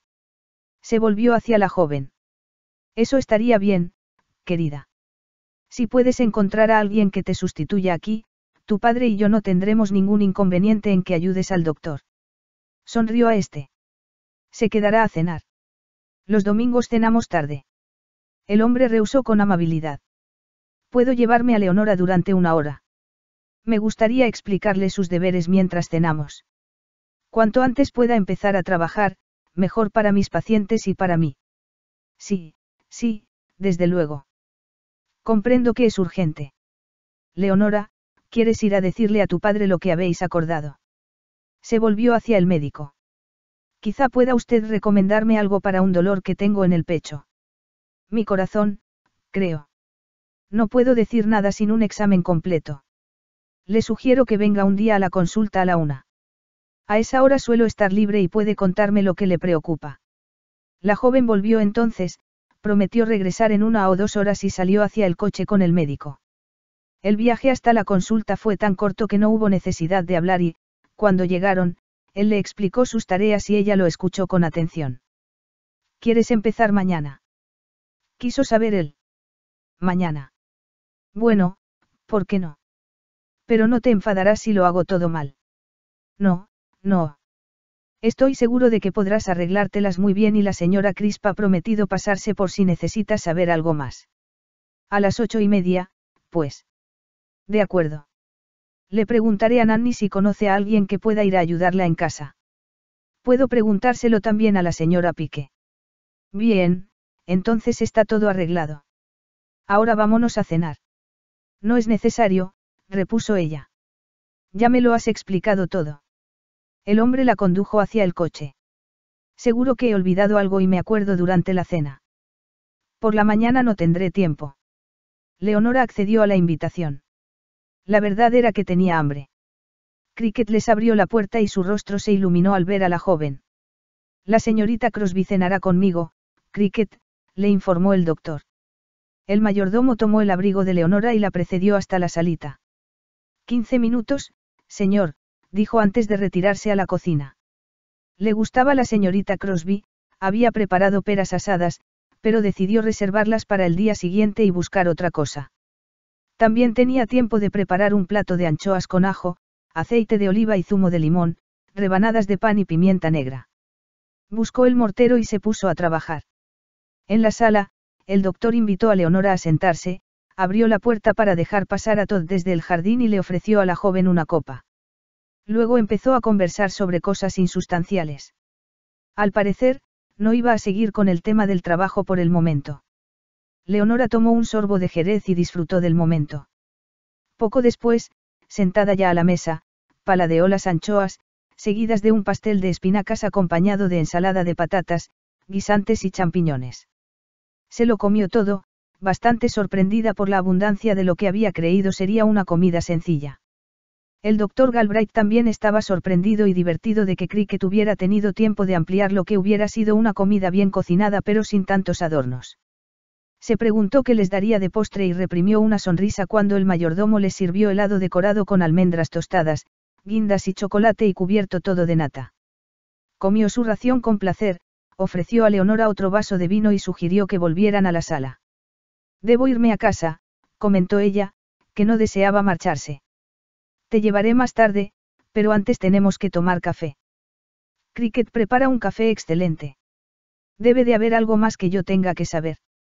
Sugirió Leonora. La comida había sido deliciosa y el vino también. La habitación resultaba muy relajante y el doctor Galbraith era una compañía excelente. Oh, estoy seguro de que ya tienes los datos más importantes. Conoces a la mayoría de los pacientes, lo cual te facilitará mucho las cosas. La llevó a su casa poco después, rehusó su oferta de entrar un rato a ver a sus padres y se alejó despidiéndola con un movimiento de la mano. Encontró a sus padres en el salón. Hola, querida, dijo Lady Crosby. Está todo arreglado.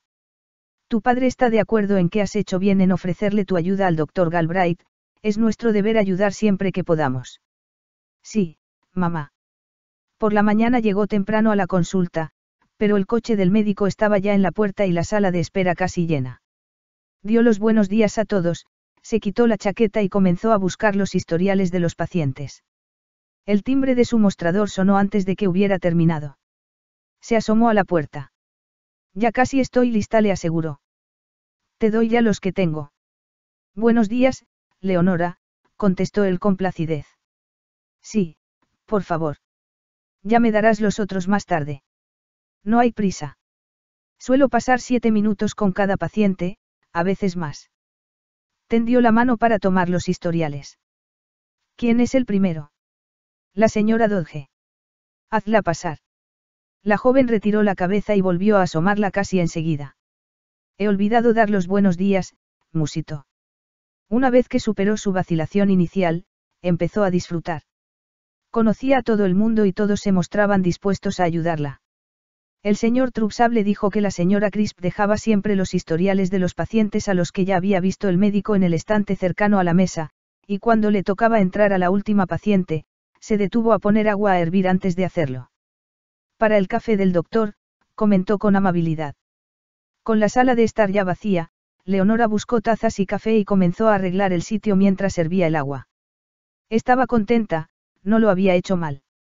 Cuando se abrió la puerta del despacho de él, apagó el gas y lo miró esperando alguna palabra de elogio. Pero se llevó una decepción. El doctor avanzó hacia la puerta sin apenas mirarla.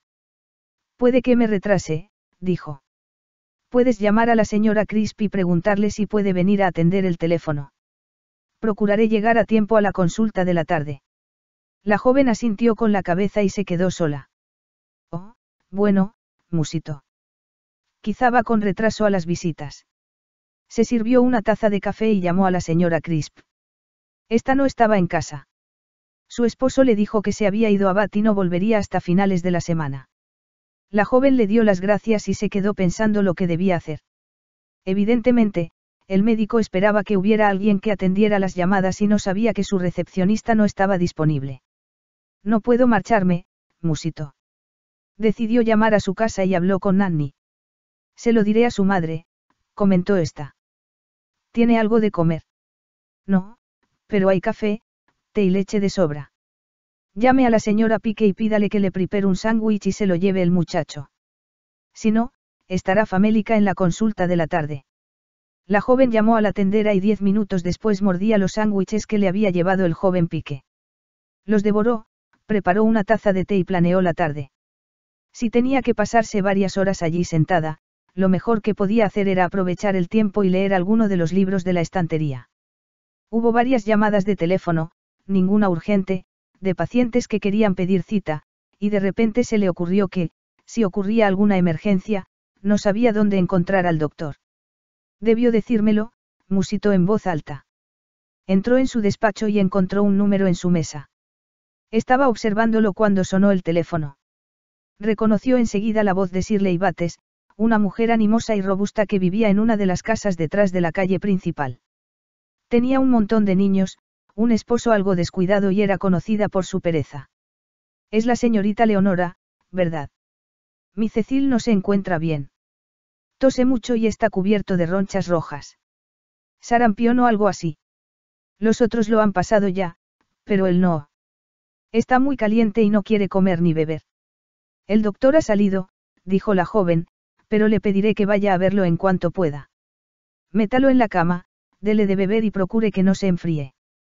Está en la cocina viendo la tele, pero lo acostaré en cuanto haya dado de comer al pequeño. Adiós.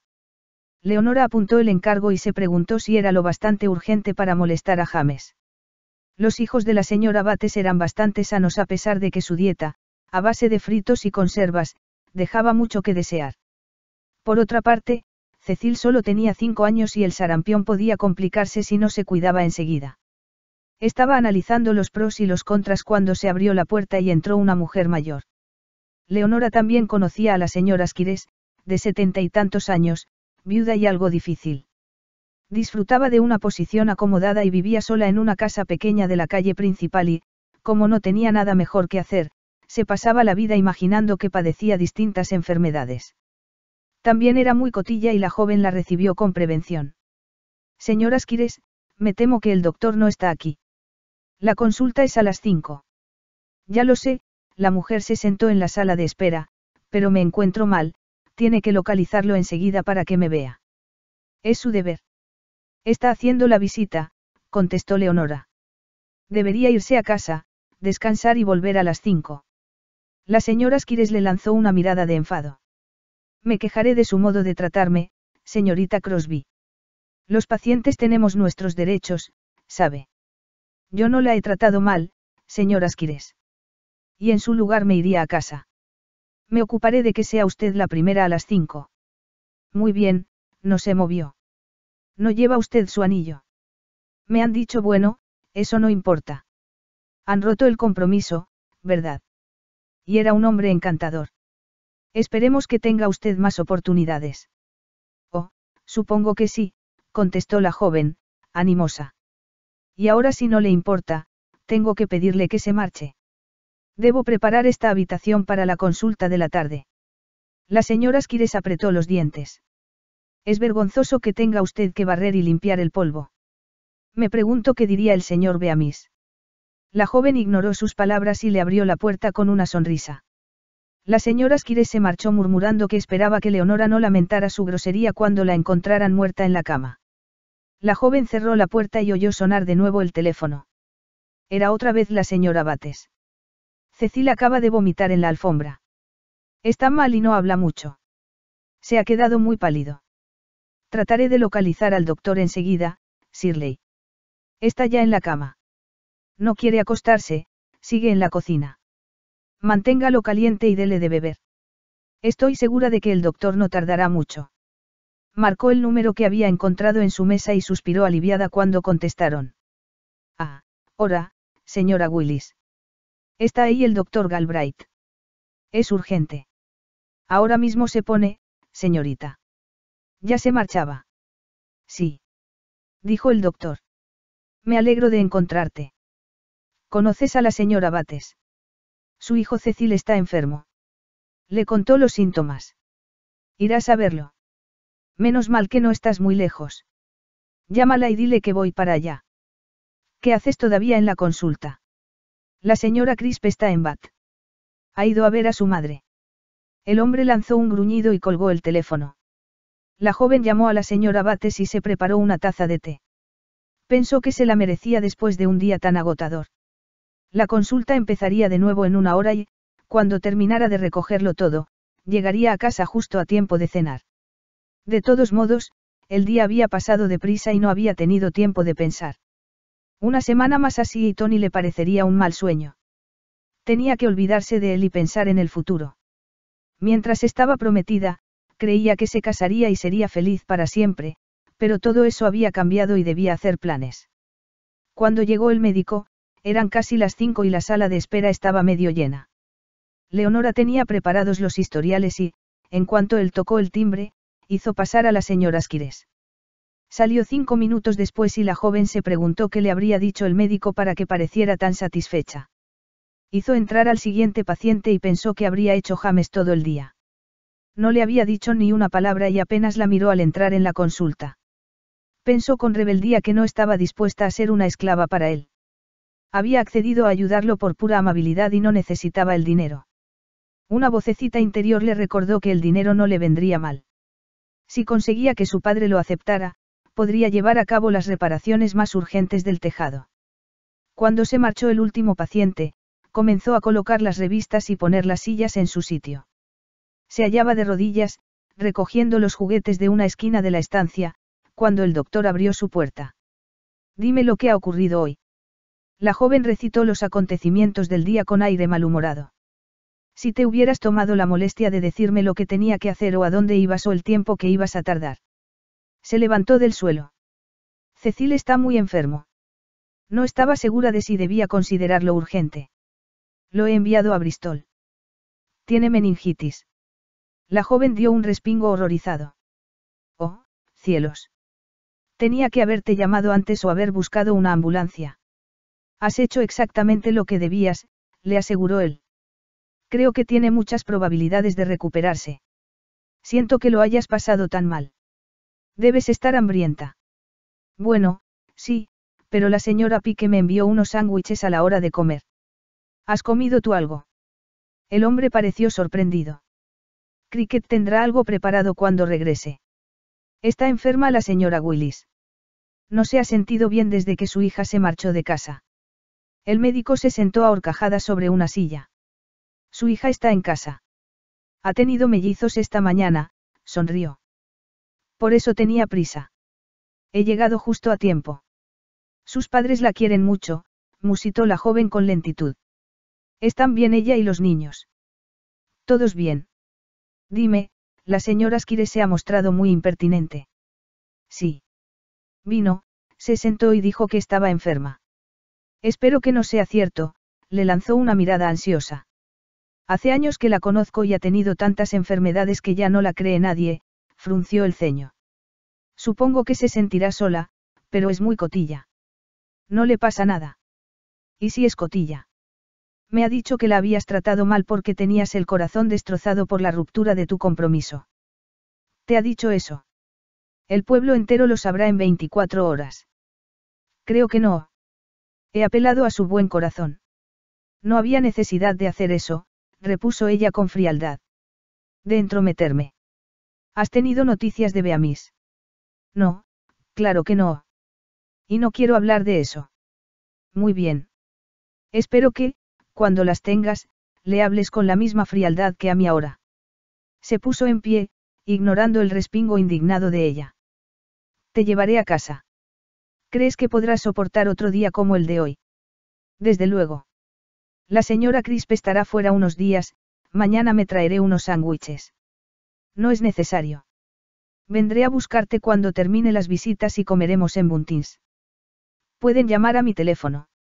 No es necesario. No me importa quedarme aquí. El día ha pasado tan deprisa que no he tenido tiempo de pensar. Me alegro. Empiezas a recuperar tu orgullo y tu coraje. Lo único que te pido es que, cuando veas a Beamis, te aterres a ambas cosas a toda costa. No tengo intención de volver a ver a Tony.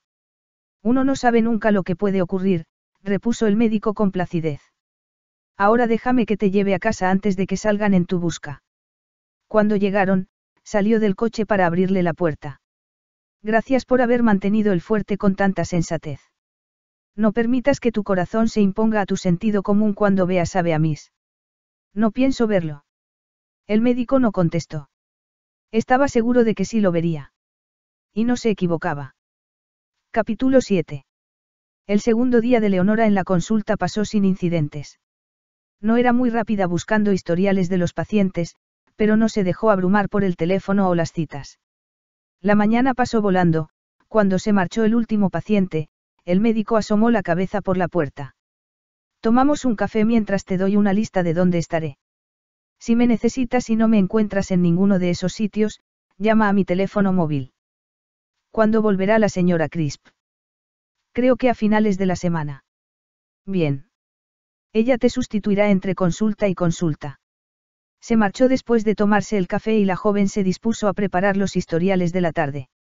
Un hombre de pocas palabras, musitó para sí. Se preguntó cómo sería cuando abandonaba su papel de médico. Se mostraría siempre tan tranquilo y reservado. Alguna vez perdía los estribos o se enfadaba. Lavó las tazas de café, regó las plantas de la sala de espera y luego atendió el teléfono, pero no hubo nada urgente y James volvió antes de la una y fueron juntos a Buntins. Cricket los esperaba y Todd también, así que salieron al jardín y arrojaron palos al perro mientras hablaban de las plantas. Era un jardín bonito, bien cuidado y que daba la impresión de que sus plantas hubieran estado allí desde siempre. Leonora reprimió la envidia.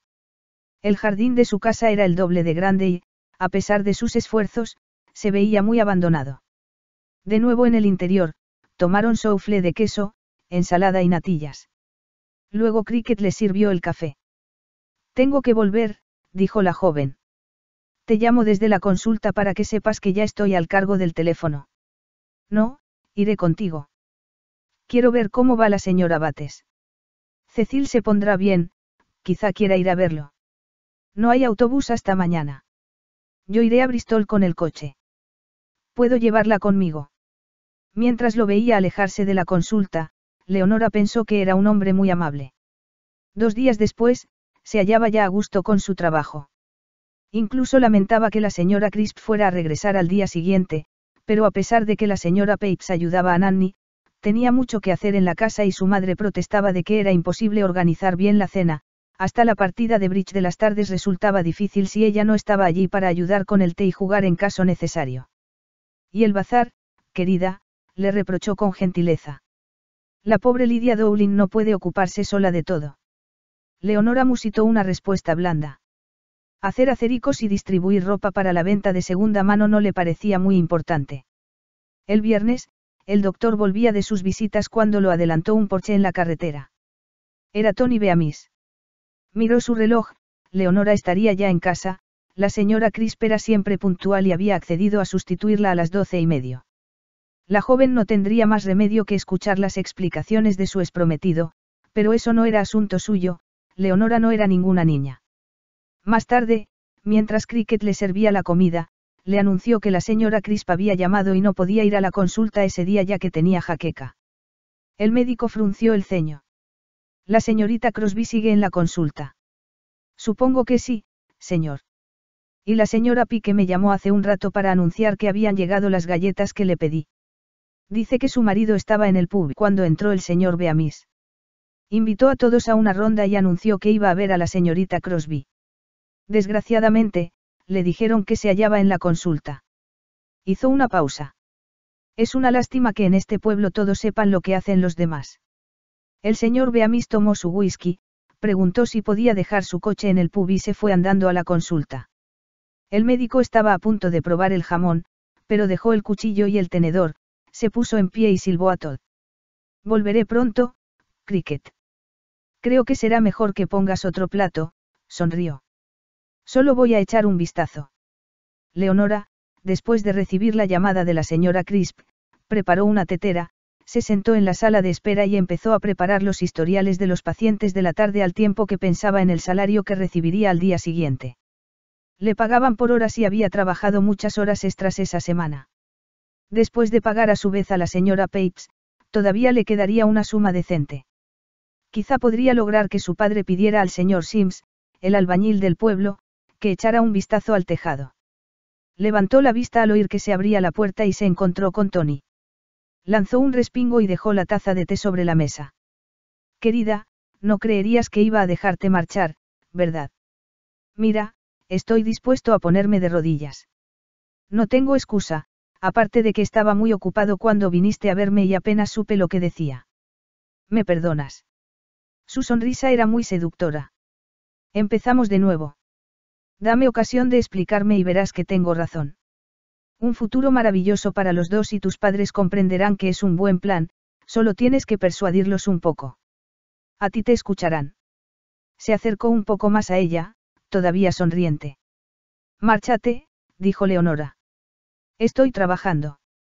Además, no quiero volver a verte y no te perdonaré nunca. Vamos, querida, tú sabes que todavía me quieres, musitó suplicante. No, no es cierto. No puedo ni verte. El hombre se echó a reír. Oh, sabes que no hablas en serio. Si lo hago y, si das un paso más, te tiraré esta taza de té a la cara. Tony volvió a reír, se echó hacia adelante y le quitó la taza justo en el momento en que el médico entraba por la puerta, le golpeó levemente en el codo y el té cayó sobre su camisa y su traje. Unas gotas salpicaron su rostro y se la secó con furia. Se puede saber. Entonces vio quién era. También vio a Todd, que enseñaba los dientes al lado de su dueño. ¿Interrumpo algo? Preguntó el doctor. ¿Te está molestando el señor Beamis, Leonora? Sí, repuso ella. Por favor, dile que se marche.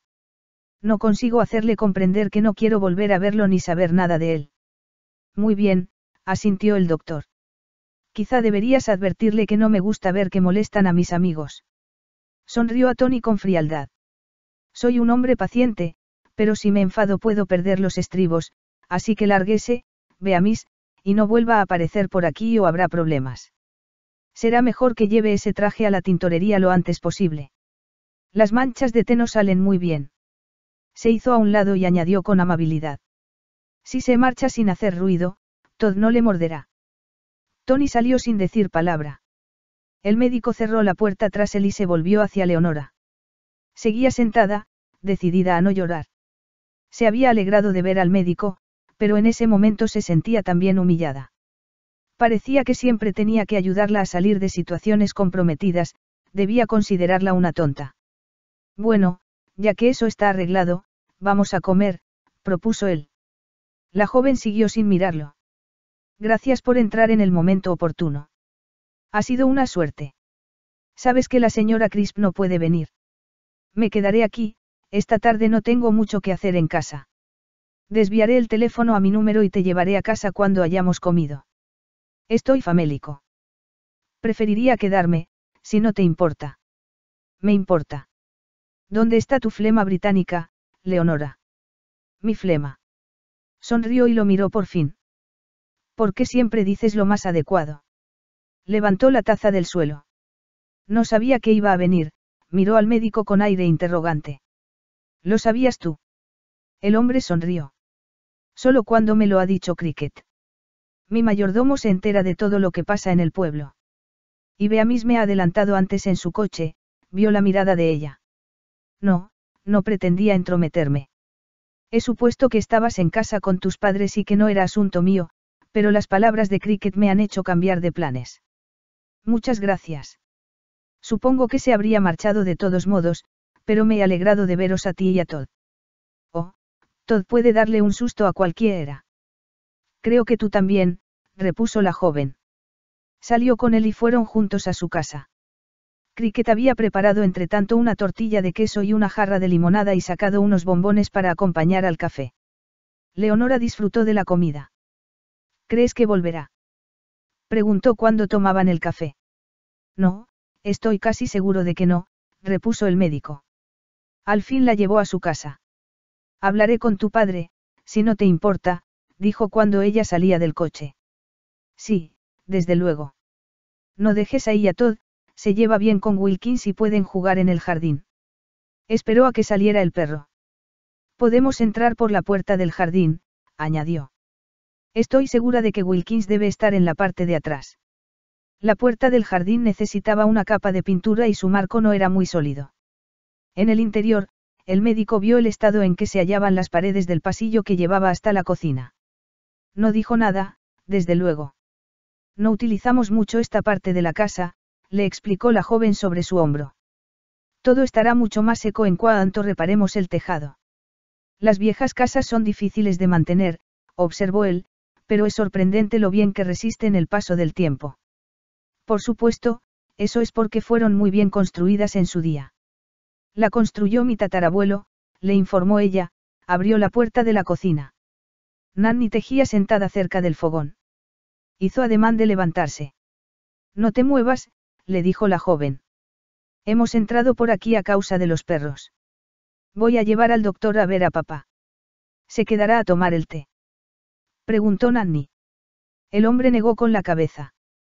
Tengo trabajo pendiente. Otro día.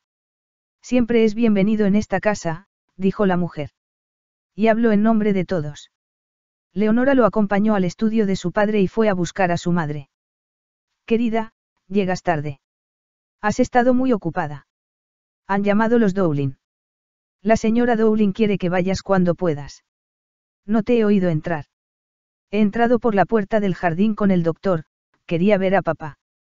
Lady Crosby dejó el libro que estaba leyendo y miró a su hija. ¿Está tu padre enfermo? Nadie me lo ha dicho. No, no, no es nada de eso. Tony Beamis ha venido a la consulta. Creo que el doctor desea hablar con papá sobre él. Oh, querida. Has tenido que verlo a solas. Solo un momento, luego ha llegado el doctor. Preguntó su madre. ¿Ha echado a Tony de allí? Sí. Los dos hombres entraron poco después en la estancia. Siento que te haya molestado el joven Beamis, querida, musitó su padre. El doctor cree que no volveremos a tener noticias suyas, se atusó el bigote con fiereza. Ese villano. Quería echamos de casa y fingía estar enamorado de ti. Debía ser falso, ningún hombre se comportaría así con la mujer con la que quiere casarse. El médico vio que la joven se ruborizaba y pensó que estaba muy hermosa. Tuvo un deseo repentino de verla ataviada con ropa buena y joyas, zafiros y perlas quizá pendientes largos en las orejas y anillos en los dedos.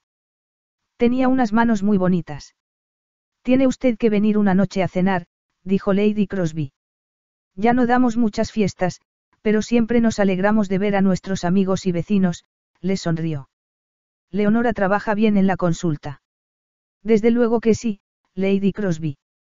Estoy pensando en pedirle que se quede permanentemente, bueno, solo media jornada, compartiendo el trabajo con la señora Crisp cuando ésta vuelva.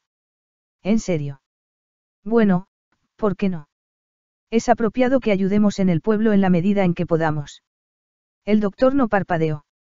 Tiene razón, Lady Crosby, me alegra que esté de acuerdo conmigo, estrechó la mano de su marido y ella. Nos veremos a las cinco, dijo a la joven. Y la siguió hasta el vestíbulo. En la puerta silbó a Todd y entró en su coche consciente de que la joven lo observaba desde los escalones. No puso el motor en marcha sino que volvió a salir y se apoyó contra el vehículo esperando que ella llegara a su altura. ¿Qué es todo eso? Quiso saber la joven. Me has preguntado a mí si quiero seguir trabajando para ti. Supongo que es el procedimiento habitual, añadió con frialdad. Disculpa, no he obrado bien. Pero cuando te hayas calmado, piensa en la oferta quieres. Y dime lo que hayas decidido. Volvió a entrar en el coche y ella metió la cabeza por la ventanilla. Por supuesto que quiero seguir trabajando, dijo. Puesto que me lo has preguntado. Espléndido, se alejó con el coche. ¿Por qué he hecho eso? Preguntó a Todd. El perro no contestó. Tenía los ojos cerrados y se disponía a dormir. Leonora volvió a la casa y encontró a su padre en el estudio. ¿Te gusta la idea de trabajar para el doctor Galbraith? Le preguntó este. Tendrás menos libertad. Papá, no tengo nada que hacer en todo el día. Me gusta mucho. Vaciló. Y papá, la verdad es que me pagan bien y no necesito el dinero. Podríamos arreglar el tejado en la parte de la cocina. Si meto el dinero en el banco, no haré nada con él y las tejas se están cayendo todo el tiempo. Por supuesto, sería un préstamo, vio que Sir William fruncía el ceño. Por favor, papá. El dinero es tuyo, querida, debes gastarlo en ropa o quizá comprarle algo a tu madre. También lo haré. Es demasiado pronto para comprar ropa de verano, pero más adelante me llevaré a mamá a la ciudad de tiendas. Prefiero ocuparme antes del tejado, sonrió. Quedará entre tú y yo. No puedo aceptar dinero de mi hija, dijo Sir William. No te lo regalo, es un préstamo. Además, si no hacemos algunas reparaciones, la casa se caerá a pedazos y no me será de mucha utilidad cuando la herede. En eso tienes razón, claro. Muy bien, querida, pero tienes que prometerme que gastarás dinero en ti en cuanto arreglemos el tejado. Le pediré a Sims que venga a inspeccionarlo. La joven se acercó y lo besó en la frente. No se lo digas a mamá. Sir William sonrió. No lo haré. De todos modos, tu madre no entiende mucho de reparaciones y ese tipo de cosas. Leonora se acercó a la puerta. Voy a preparar un bizcocho para el té. Muy bien, hija. Siento lo de Tony Beamis. Tu futuro. Papá, habría sido un futuro desastroso. Prefiero el que me ha ofrecido el doctor Galbraith y vivir aquí en el pueblo. Habría sido desgraciada en Londres y seguro que con Tony habría tenido que pasar la mayor parte del tiempo allí. Cuando Nanny se enteró de que seguiría trabajando para el doctor, se mostró encantada. Verás a gente, aunque solo sea a la gente de por aquí, y tendrás algo de dinero propio, miró a la joven.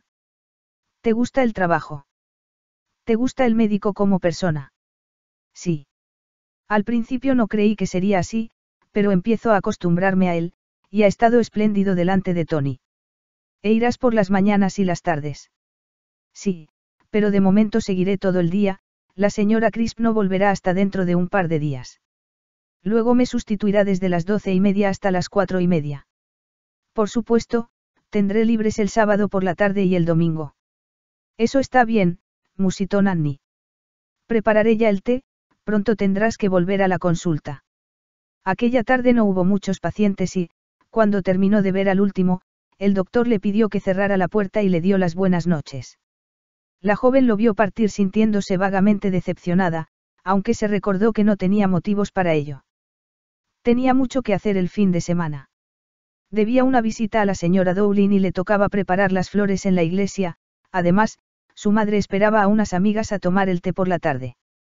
Aún así, pensó mucho en el doctor durante el fin de semana, de hecho, pensó tanto en él que olvidó pensar en Tony.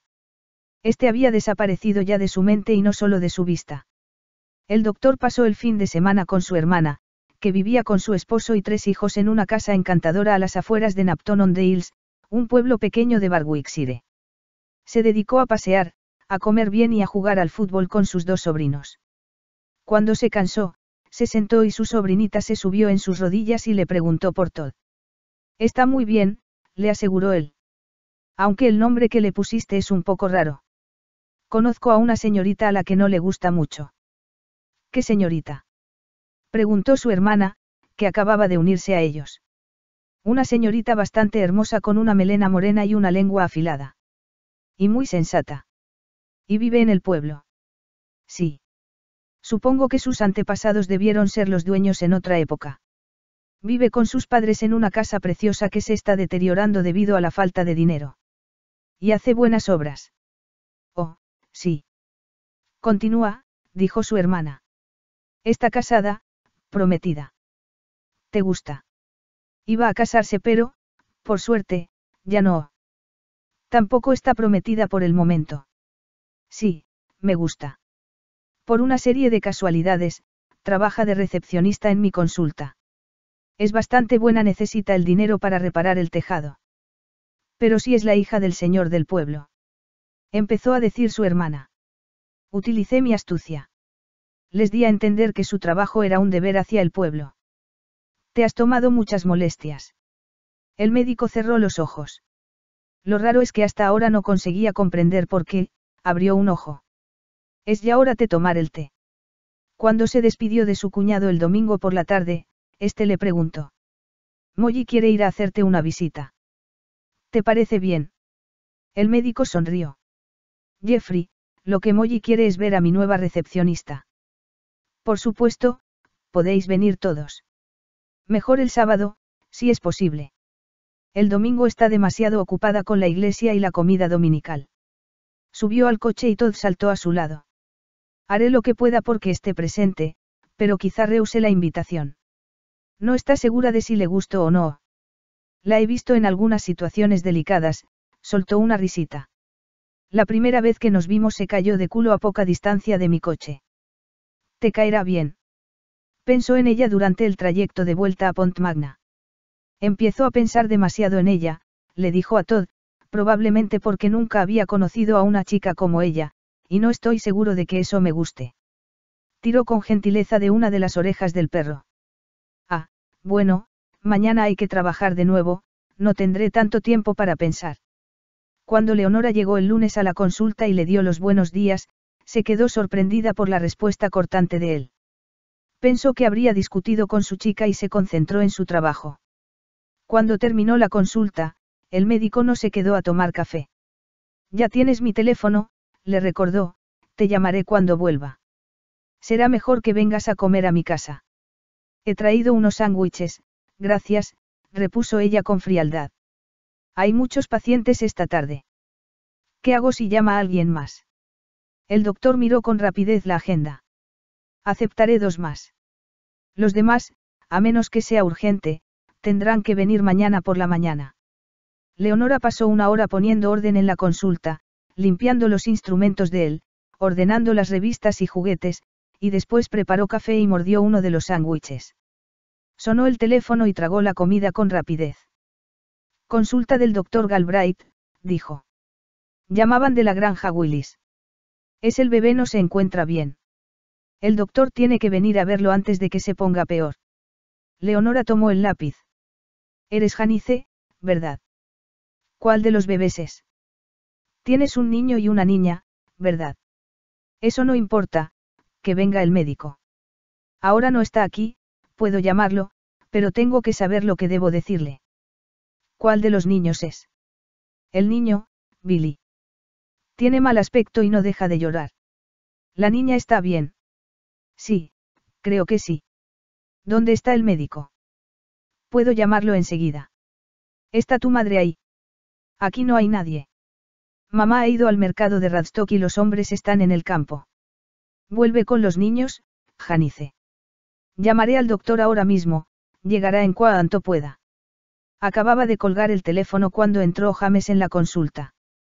Era Janice, dijo Leonora. Dice que uno de los mellizos está enfermo y está sola en la casa. Te ha dicho que le ocurría. Solo que tiene mal aspecto y no deja de llorar. De acuerdo, vamos para allá. Vamos. Leonora no pudo evitar mirar sus sándwiches, pero lo siguió a la puerta y entró con él en el coche. ¿Por qué tengo que ir contigo? Preguntó cuando salían del pueblo. Yo no entiendo mucho de niños. El hombre se volvió a mirarla. No, no, vienes de carabina. De calcio. Se quedó un momento sin habla. ¿Por qué? ¿Has visto a Janice desde que volvió de Londres? No, era una chica callada, no tenía muchos amigos, pero era bastante guapa, con el cabello rizado y... Lo miró con aire interrogante, pero él no volvió a hablar hasta que llegaron a la granja. Una chica los esperaba en la puerta, llevaba el cabello corto y teñido color caoba y tanto maquillaje que resultaba difícil adivinar su aspecto. Se había puesto unos pendientes largos en las orejas, uno pequeño en la nariz, y la minifalda más mini que Leonora había visto jamás. ¿Dónde está el niño? Preguntó el médico con una mezcla de reserva profesional y amabilidad. Dime exactamente cuándo se ha puesto enfermo. Tiene fiebre. Ha vomitado. Pasó al interior de la casa.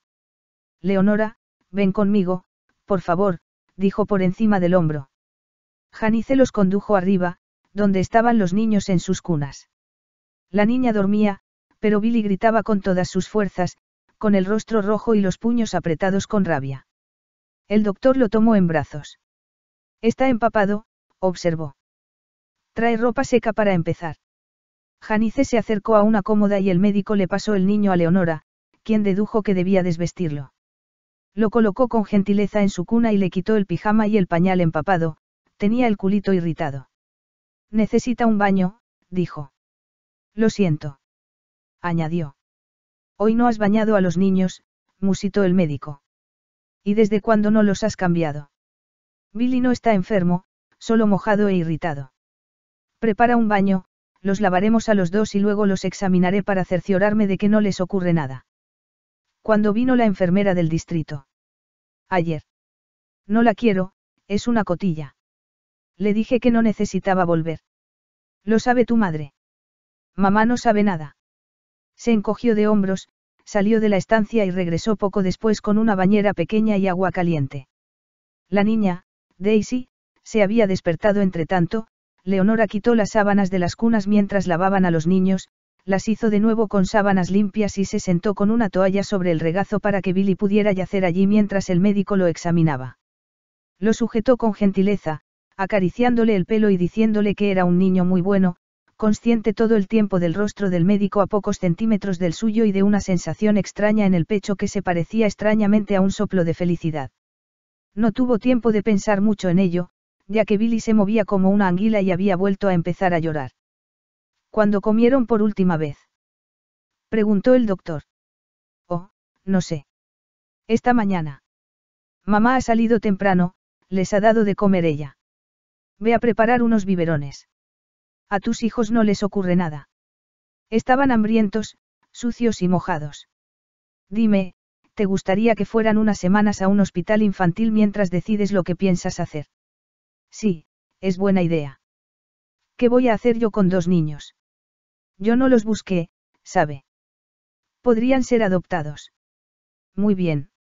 Se alejó a buscar los biberones y el médico sacó su teléfono móvil mientras Leonora dejaba de nuevo a Daisy en la cuna. Billy seguía llorando, así que lo tomó en brazos y lo meció, escuchando vagamente la voz del doctor. Pasó mucho tiempo al teléfono.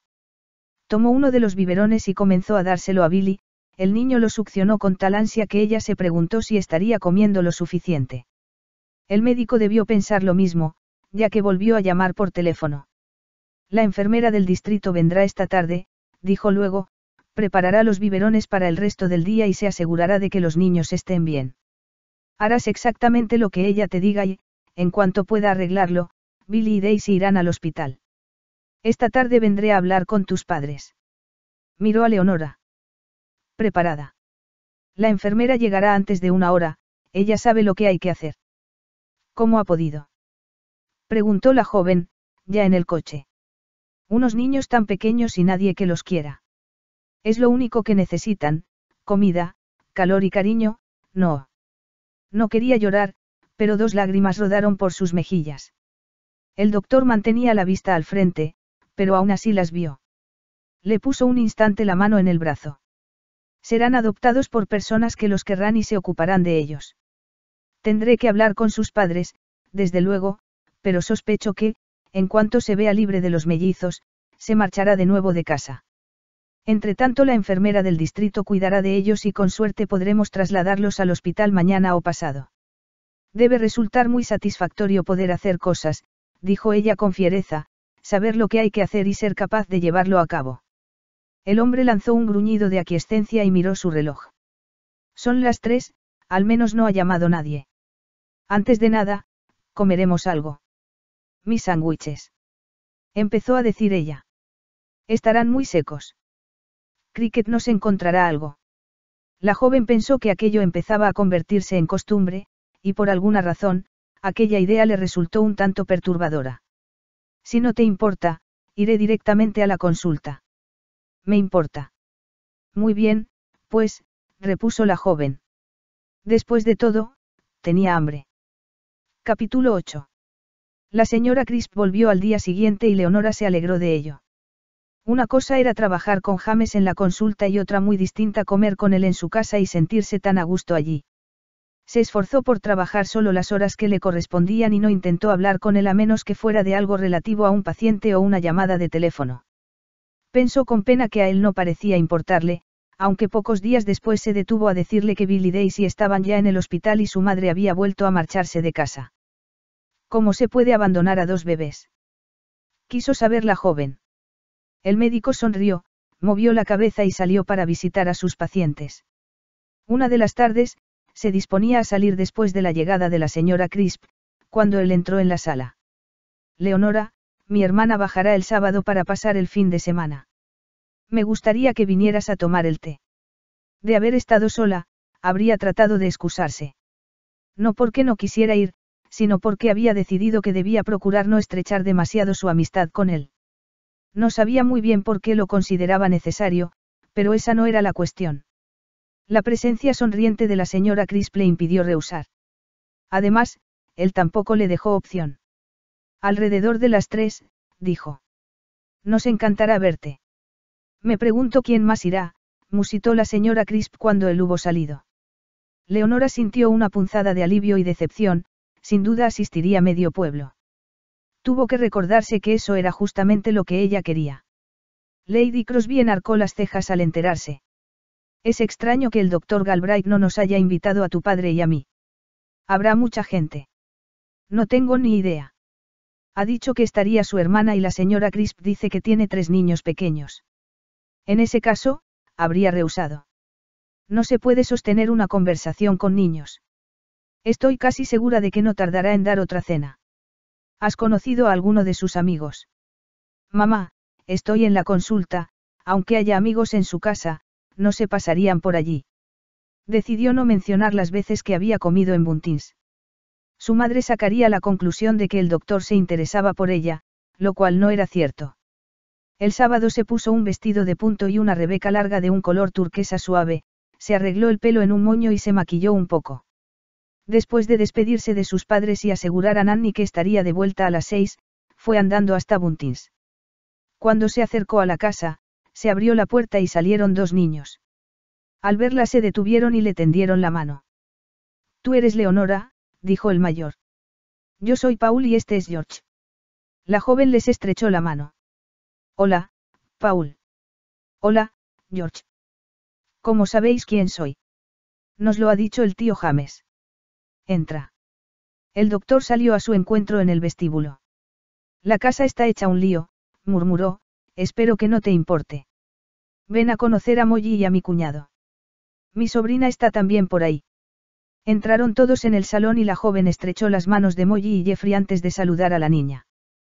Tengo dos años, susurró esta. Enterró el rostro en la falda de su madre y se asomó poco después. Todo es mío y del tío James. Eso está bien, repuso la joven, agachándose. Yo también tengo un perro. Se llama Wilkins. La pequeña le tendió la mano. Te enseñaré a Todd. Salieron todos al jardín, la conversación era agradable y enseguida se sintió a gusto. Admiraron y acariciaron al perro y Molly le habló de sus hijos y de la vida en su granja. Yo no hago nada en el campo, comentó. Jeffrey tiene un capataz, pero es una casa encantadora y hay mucho espacio para los niños. También montamos a caballo, ¿y tú? Antes lo hacía. Algo en su tono de voz hizo que Molly se lanzara a hablar sobre sus hijos. Son terribles. Por supuesto, cuando vienen aquí se portan de maravilla. Adoran a James, es un tío fantástico y Dios sabe que ha tenido bastante práctica. Tenemos cuatro hermanas, ¿sabes? Dos de ellas están casadas y tienen hijos. Aunque viven muy lejos, en Escocia y en Convail. Las otras dos están en Canadá con nuestros padres. Son mellizas y todavía están en la universidad. Son las más jóvenes. Debe ser bonito tener hermanos. Oh, lo es. Todos nos llevamos muy bien. Ahí llega Cricket para decimos que el té está preparado. Fue una merienda muy divertida, se sentaron con los niños a la mesa del comedor y disfrutaron de los pequeños sándwiches, bollos y el pastel de chocolate que había preparado el mayordomo. Había incluso una silla alta para la niña.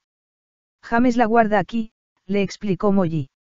Siempre hay alguien que la necesita, en cuanto uno crece lo suficiente para dejarla, llega otro, se echó a reír. Mis padres dicen que ya han perdido la cuenta de los nietos que tienen. No era lo que Leonora había esperado, pero no pudo evitar desear tener una familia grande, la calidez y el placer en la compañía de los demás que se disfrutaba allí era algo que ella no había experimentado nunca, pero no se molestó en lamentarlo. Disfrutó de la merienda, ignorante de que el médico la observaba y enfrascada con los dos niños sentados a cada lado de ella. Después del té todos jugaron al escondite por la casa. A medida que corría por los pasillos y las escaleras, las mejillas de la joven se sonrojaron y unos rizos escaparon de su moño, estaba contenta y algo agitada, así que parecía más guapa que nunca. Subió las escaleras una vez más buscando un escondite y se encontró cara a cara con James al extremo de un pasillo estrecho que conducía a la parte de atrás de la casa. Se miraron un momento. ¿Lo pasas bien? Preguntó él sonriente. Sí. Había olvidado lo divertido que es esto. Tenemos que escondemos. Somos un poco grandes para eso, ¿no crees? Observó él. La joven fue de inmediato consciente de su tamaño. Eres un maleducado, repuso con frialdad, pasó a su lado. James tendió una mano y la detuvo con gentileza. Lo siento. Te sentirías mejor si te dijera que me gustan las mujeres grandes. Se inclinó y le dio un beso rápido. Corre a esconderte. Hay una alacena al final de este pasillo. Leonora quería salir corriendo de la casa, huir de él, pero no podía hacerlo, entró en la alacena y poco después fue descubierta por el niño pequeño, que gritó de placer. Llegó el momento de acostar a los niños. La joven abrazó a los tres portumos, estrechó las manos de Molly y Jeffrey, dio las gracias al doctor por una tarde agradable y se acercó a la puerta. Te acompañaré, dijo James, a su lado. La casa será una locura hasta que los niños estén acostados. La joven no contestó, dio las gracias a Cricket por la merienda y salió por la puerta con dignidad. ¿Por qué te has enfadado? Preguntó James, ¿por qué te he llamado grande o por qué te he besado? Por las dos cosas. Y preferiría ir sola a casa. El médico ignoró su comentario. Pero eres grande, observó con voz razonable. Y muy bien formada, si no te importa que te lo diga. No deberías hablarme así, repuso ella, ruborizándose. Y tampoco he debido besarte. Me ha gustado. Leonora pensó que a ella también, aunque no estaba dispuesta a admitirlo.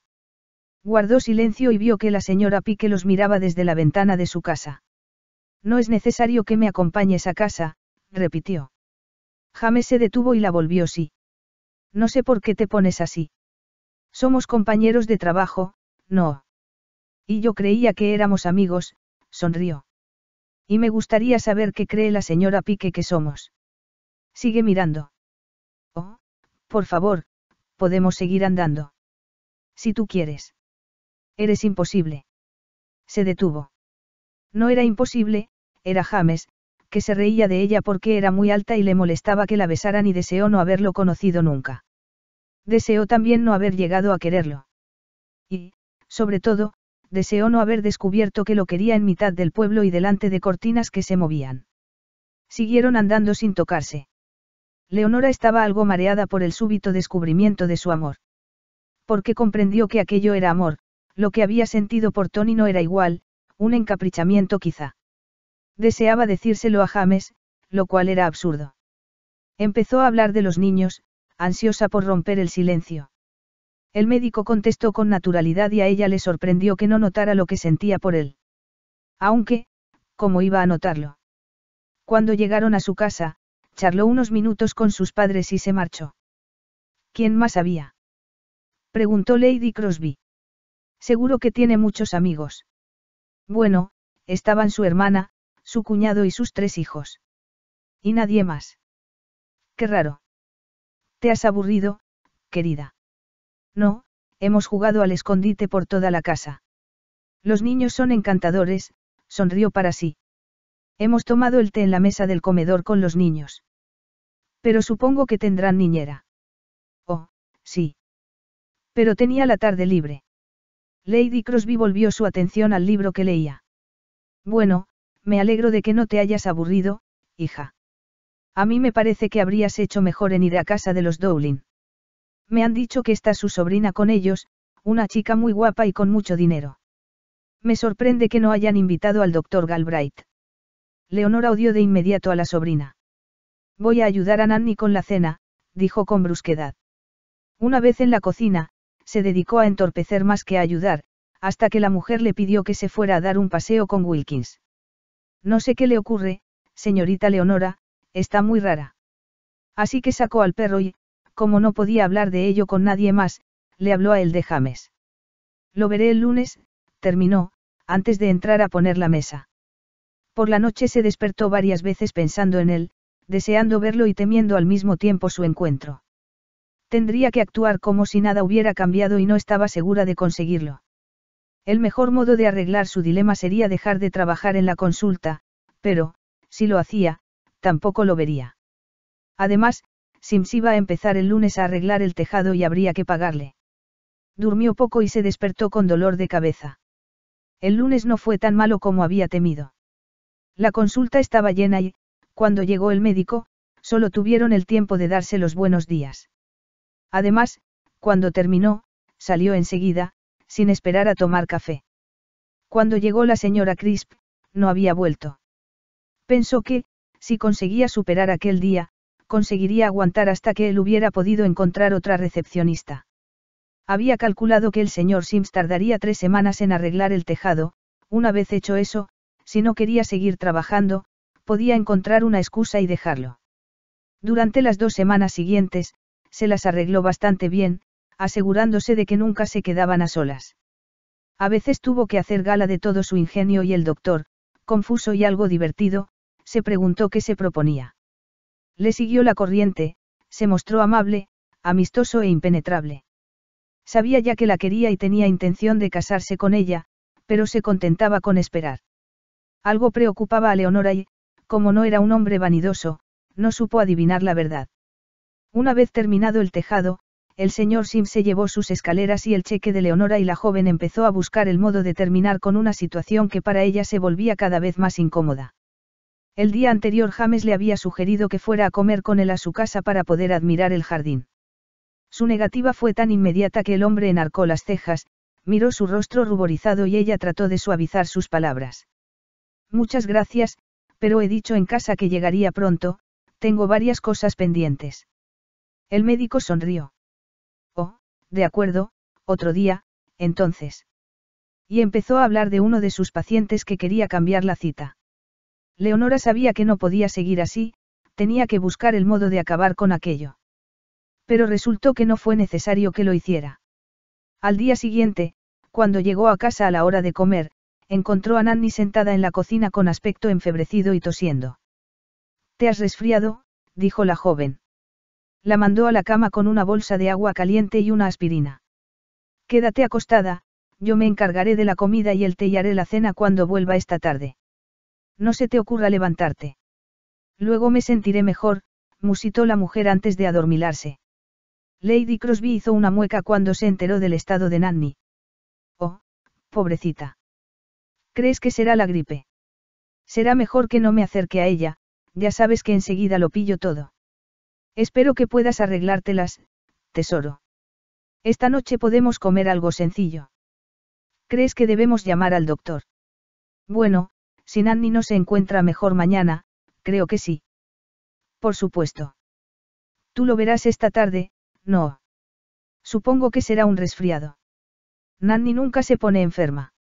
Leonora preparó la comida, echó un vistazo a la enferma, que seguía durmiendo, y fue a preparar el té y examinar el contenido del frigorífico. Encontró un rollo de temerá, verduras y algunas gambas y decidió que serviría un cóctel de gambas de primero y la carne con verduras de segundo. Preparó una jarra de limonada para Nanny antes de marcharse, le arregló la almohada, le lavó el rostro caliente y pidió a su madre que se acercara a verla de vez en cuando. No es necesario que entres en la habitación, solo quiero que te asegures de que está bien. Muy bien, querida. ¿Y si quiere algo o se encuentra peor? Estoy segura de que podrás arreglártelas, mamá. Volveré en un par de horas. Lady Crosby pareció molesta. Y pensar que podrías haberte casado con Tony y tener un futuro acomodado. A la joven se le ocurrieron varias respuestas, pero ninguna de ellas le pareció apropiada. En la consulta había solo un puñado de pacientes y, cuando comenzó a ordenarla, miró el reloj con alivio. El doctor sorprendió su mirada. ¿Vas a salir esta tarde? Preguntó con aire casual. No, no. Nanny está resfriada, así que tengo que preparar la cena. Está en la cama. No suele estar enferma a menudo, ¿verdad? Es una mujer muy vigorosa. Es un encanto, musitó ella con calor. No sé lo que haríamos sin ella. Bueno, no te entretengas. Ya cerraré yo y te veré por la mañana. Si se pone peor, llámame e iré a verla. Sí, gracias. Lo haré. Corrió a casa y encontró a su madre haciendo un solitario en el salón mientras su padre leía. ¿Cómo está Nanny? preguntó. Lady Crosby levantó la vista. Hola, querida, he ido a verla un par de veces y parecía estar bien. Tose un poco, pero ¿qué se puede esperar de un resfriado? Sonrió. ¿Vas a preparar la cena? La joven salió corriendo, pero no a la cocina. Sino a la habitación de la enferma. Nanny estaba despierta y muy sedienta. Ha venido su madre, pero no quería molestarla, comentó al ver que la joven miraba con desagrado la jarra vacía. Voy a lavarte las manos y la cara y a cambiarte la cama y el camisón, dijo la joven. Luego te traeré sopa y una taza de té con una aspirina, tomó la jarra. Vuelvo enseguida. Entró en la cocina, metió en el lomo la carne ya preparada y puso a calentar la sopa. Preparó una jarra de limonada y se la llevó a Nanny antes de lavarla y sentarla en una silla mientras hacía la cama y buscaba más almohadas. Luego la acostó con un chalentomo a los hombros. Eso está mejor, dijo la mujer. Creo que tomaré un poco de sopa. Leonora se la subió y, antes de que empezara a comer, le puso el termómetro. Tenía fiebre, no tanta como para que resultara alarmante, pero sí más de la que esperaba. Decidió que por la mañana le pediría a James que fuera a verla. Entró a visitarla de nuevo antes de acostarse y la encontró dormida. Se despertó poco después de las tres y una vaga sensación de preocupación le hizo saltar de la cama y acercarse a la habitación de la enferma. Nanny murmuraba algo, tosía sin cesar, y estaba más caliente que nunca. ¿Cómo te encuentras? preguntó la joven. La mujer no pareció oírla. Miró más allá de ella y susurró algo. Leonora encendió la lámpara de la mesilla y vio que estaba pálida y jadeaba. Bajó corriendo las escaleras y llamó por teléfono. Al oír la voz del médico, suspiró aliviada. James, se trata de Nanny. Respira muy mal y ni siquiera me reconoce. Abre la puerta principal y vuelve con ella. Llegaré en diez minutos. Cumplió su palabra y entró en la estancia sin hacer ruido. Llevaba pantalones de pana, un jersey grueso y había un rastro de barba en su rostro, pero sus modales eran tan reposados como si estuviera en su consulta. Lanzó una mirada a la joven. Ve a ponerte una bata antes de que te enfríes, puede que pasemos un buen rato aquí. Su tono era impersonal, pero ella se ruborizó de todos modos. Asintió con la cabeza y desapareció en silencio para volver un momento después con una bata gruesa y zapatillas. El doctor se inclinaba sobre Nanny, examinándole el pecho. Neumonía, dijo cuando se incorporó. Le pondré una inyección y veré si puedo encontrarle una cama. Necesita ir al hospital. La joven abrió mucho los ojos. No le gustará. En este momento no sabe ni dónde está, la tranquilizó él. Solo tendrá que quedarse unos días hasta que los antibióticos hagan efecto y podamos traerla aquí. Sacó el teléfono móvil del bolsillo y marcó un número. Hay una cama libre en Bath, informó a la joven. Llamaré a la ambulancia, cuanto antes llegue allí, mejor, la miró. Prepárale una bolsa con algunas cosas. ¿Puedo ir con ella? Por favor. Te llevaré en el coche. La dejaremos bien instalada antes de volver, espero que a tiempo para la consulta de mañana. La joven asintió. Voy a vestirme y a buscar algunas cosas. Te quedarás aquí. El médico dijo que sí con la cabeza. La joven se puso la primera ropa que encontró, se lavó la cara, se peinó con rapidez y se ató el pelo atrás con una cinta antes de preparar una bolsa para Nanny. Guardó en ella un par de camisones, una bata, zapatillas y la bolsa de asco y metió después sus gafas y la Biblia que solía tener en su mesilla de noche. El médico seguía sentado al borde de la cama. ¿Preparo una taza de té? Preguntó ella. Te he sacado de la cama. Buena idea, y tráete lápiz y papel. Tienes que dejarles una nota a tus padres. No quieres despertarlos. Se preocuparían. Quizá los llame desde el hospital. Muy bien. La ambulancia llegará dentro de un cuarto de hora. Leonora entró en la cocina a prepararte. Wilkins, acostado en su cesta al lado del fuego, se alegró de verla, aceptó una galleta y volvió a dormirse. La joven preparó una bandeja con té y galletas y la subió arriba. Mientras bebían el té, escribió una nota a sus padres. Vamos a preparar a Nanny, sugirió el doctor. Empezó a envolver a la mujer en una manta. Está muy enferma. Inquirió la joven. Dime la verdad. Sí, pero espero haber llegado a tiempo. Es una mujer fuerte, escuchó. Ahí llega la ambulancia. Ve a abrirles la puerta y diles que no hagan ruido. Sus padres no se movieron cuando abrió la puerta, dejó la nota en una de las mesillas y volvió a salir. Cuando llegó al vestíbulo, los hombres metían ya la camilla en la ambulancia. El doctor señaló su coche. Sube. Yo cerraré la puerta. Leonora se sentó en silencio, sin perder de vista a la ambulancia. Empezaba a amanecer y sentía una fuerte necesidad de dormir, pero no era un viaje largo y trató de convencerse de que no estaba cansada. ¿Haces esto a menudo levantarte en mitad de la noche? Preguntó. A veces. No necesito dormir mucho, no le dijo que solo llevaba dos horas en la cama cuando llamó ella. ¿Cómo te las arreglarás en casa? Ya veré. Tenemos ayuda del pueblo y no hay mucho que hacer. Por supuesto, aquello no era cierto. Podrás ocuparte de la consulta y de la casa. Supongo que tu madre te ayudará. La respuesta de ella sonó tan dubitativa que el médico no insistió. Leonora siguió la camilla de Nanny por el pasillo del hospital. El médico se había detenido a hablar con un colega suyo y lo vio acercarse a la cama poco después con él y una enfermera, Esta le pidió que esperara fuera. Hay una sala de espera, querida. Ya la llamaremos. Le pareció que pasaba mucho tiempo, pero al fin James acudió en su busca. Ven a ver a Nanny y luego nos iremos. Está en buenas manos y creo que se recuperará. No te reconocerá, pero no te preocupes por eso. Vendremos a verla esta tarde. Nanny parecía muy pequeña recostada contra las almohadas.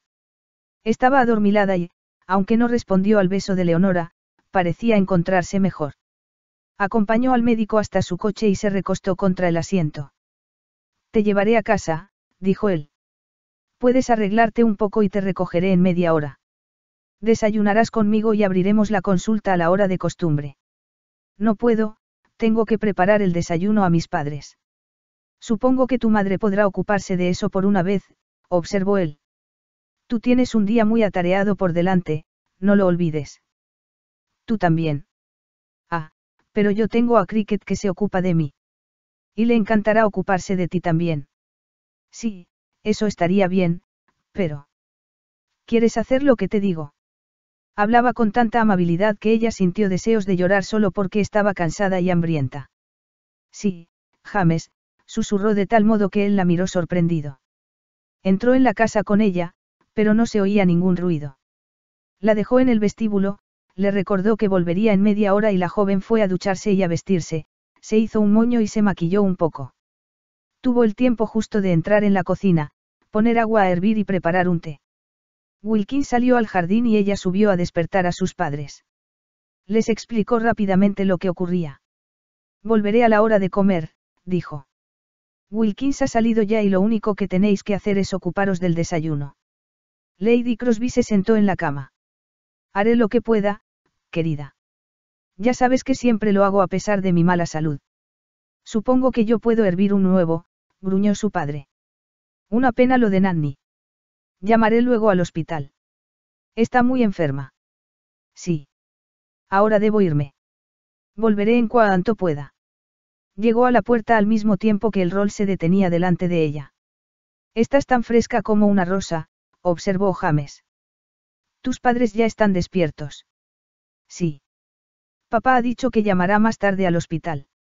Yo iré a verla esta tarde. ¿Quieres acompañarme? Sí, hizo una pausa. ¿A qué hora? Tengo que preparar la cena. Mete algo en el lomo. No tardaremos mucho. Iremos directamente después de la consulta. Cricket les abrió la puerta y entraron al comedor. La joven se sentó, le sirvieron una taza de café y luego, a instancias de su anfitrión, se llenó un plato con bacon, huevos, champiñones y pan frito, a los que añadió más tarde una tostada con mermelada y más café. Le hubiera gustado poder acurrucarse en un sillón y dormir, pero salió de nuevo a la calle acompañada por el médico. Ha sido un desayuno delicioso, dijo a Cricket antes de alejarse. Dio también las gracias a James con una sonrisa y él, que se enorgullecía de su autocontrol, asintió con la cabeza con tal frialdad que la joven sintió que el corazón se le caía a los pies. Entró de nuevo en el coche preguntándose cómo podía haber esperado otra cosa. Capítulo 9. No había muchos pacientes en la consulta, a las once se quedó vacía y Leonora puso agua a hervir y sacó dos tazas y el café instantáneo. El doctor tenía también menos visitas que de costumbre, así que se sintió decepcionada cuando declinó el café y se marchó. La joven tomó su taza, preparó los historiales de la tarde y, cuando llegó la señora Crisp, le explicó lo que ocurría con Nanny. Pobre mujer. Musitó la otra. Ya no es joven y esa casa es muy grande para ustedes dos. No sé cómo consiguen arreglárselas. Si puedo hacer algo, no dude en decírmelo, señorita Leonora. La joven le dio las gracias y se disponía a salir cuando la detuvo la voz de la mujer. Casi lo olvido, supongo que no ha visto el periódico esta mañana. El doctor ha puesto un anuncio pidiendo una recepcionista a media jornada, supongo que querrá usted volver a su casa. Hizo una pausa. Es decir, imagino que a Sir William no le gusta mucho que trabaje en el pueblo. El doctor me dijo que estaba usted temporalmente. Me preguntó si quería trabajar yo todo el día, pero le dije que no tenía tiempo, sonrió. Es todo un caballero, ¿verdad? Espero que encuentre a alguien, respondió Leonora. Tengo que irme, volveré esta tarde. Quizá fue algo bueno que, no tuviera tiempo de pensar cuando llegó a casa. Encontró a su madre en la cocina, abriendo y cerrando cajones y armarios. Querida, no encuentro nada. Puedes preparar una ensalada para comer y quizá un soufflé de queso. ¿Ha llamado papá al hospital? Preguntó la joven. Ha pensado que sería mejor esperar una hora más. Quizá Nanny se encuentre mejor entonces. Leonora volvió al vestíbulo y marcó el número del hospital. Le dijeron que Nanny estaba igual y que podía volver a llamar por la tarde. Regresó a la cocina. ¿Dónde está papá? En su estudio. ¿Qué vamos a hacer con la cena? Lady Crosby se sentó. Oh, querida, estoy muy disgustada. Comieron en la cocina y Lady Crosby anunció que eso le quitaba el apetito. Creo que iré a tumbarme un rato, me duele un poco la cabeza. Sir William ayudó a la joven a recoger la mesa. Esta tarde iré al hospital con el doctor Galbraith. Le dijo esta. Dejaré la cena medio preparada y estoy segura de que mamá podrá arreglársela si no llego a tiempo. Iremos directamente desde la consulta. Sí, desde luego. Yo iré a verla mañana o pasado, cuando se encuentre mejor. Seguro que puedes arreglártelas. Preguntó. Me temo que tu madre no podrá ayudarte mucho. No será mucho tiempo, papá, y puedo arreglármelas. Confiaba en que así fuera, cuando Nanny volviera a casa, estaría muy ocupada. Tal vez la enfermera del distrito pudiera echarle una mano. Pero ya se preocuparía de eso más adelante, por el momento tenía que hacer las camas y preparar la cena. Cuando llegó a la consulta, estaba cansada y con ojeras. El doctor no dijo nada, pero se preguntó cómo podría ayudarla. Le hubiera gustado poder llevársela a Buntins y cuidar de ella, pero no era factible. Además, no había nada que indicara que la joven accedería. Era un problema que no tenía tiempo de resolver en ese momento. Más tarde, cuando pasaban delante de su casa, la joven lanzó una mirada de culpabilidad a las ventanas iluminadas. Sus padres harían lo que pudieran, pero ella debería estar allí para cuidar de ellos. James sorprendió su mirada. Se las arreglarán, comentó. Serán solo unos días y tus padres están muy sanos para su edad, y no son muy viejos. ¿Viejos? Preguntó ella, sorprendida. Mi madre tiene poco más de 50 años. Se casó muy joven. Ya lo ves, cambió de tema hasta que llegaron al hospital.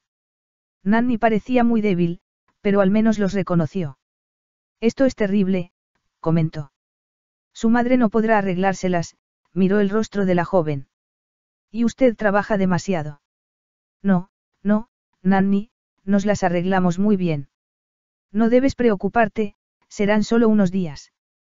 Pronto volverás a casa. El médico, de pie a su lado, no dijo nada. Al fin se alejó para hablar con el doctor que la atendía.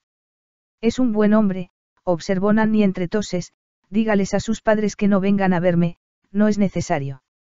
Las enfermeras son muy simpáticas, miró las flores que le había llevado Leonora.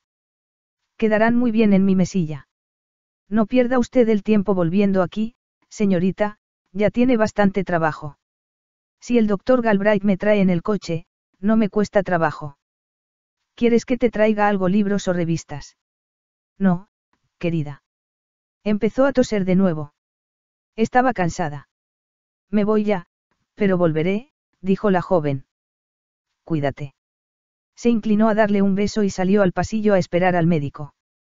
He hablado con el doctor que cuida a Nanny, dijo este. Ya ha empezado a mejorar, todavía no ha pasado la gravedad, pero se ha alegrado de verte. Sí, aunque parece muy enferma. Lo está, pero los análisis son bastante satisfactorios, en cuanto los antibióticos hagan su trabajo, quedará como nueva. La joven lo creyó y se acercó al coche más animada, dispuesta a lidiar con todo lo que fuera necesario. Una vez en su casa, invitó a entrar a James, pero este rehusó y le dijo que iba a cenar fuera. Te veré por la mañana, dijo. No te preocupes por Nanny, se pondrá bien. Leonora entró en la casa después de darle las gracias y desearle una velada agradable, algo que no esperaba tener ella. Cuando volvió de la cena, el doctor fue en busca de... Cricket. Necesito tu ayuda, dijo.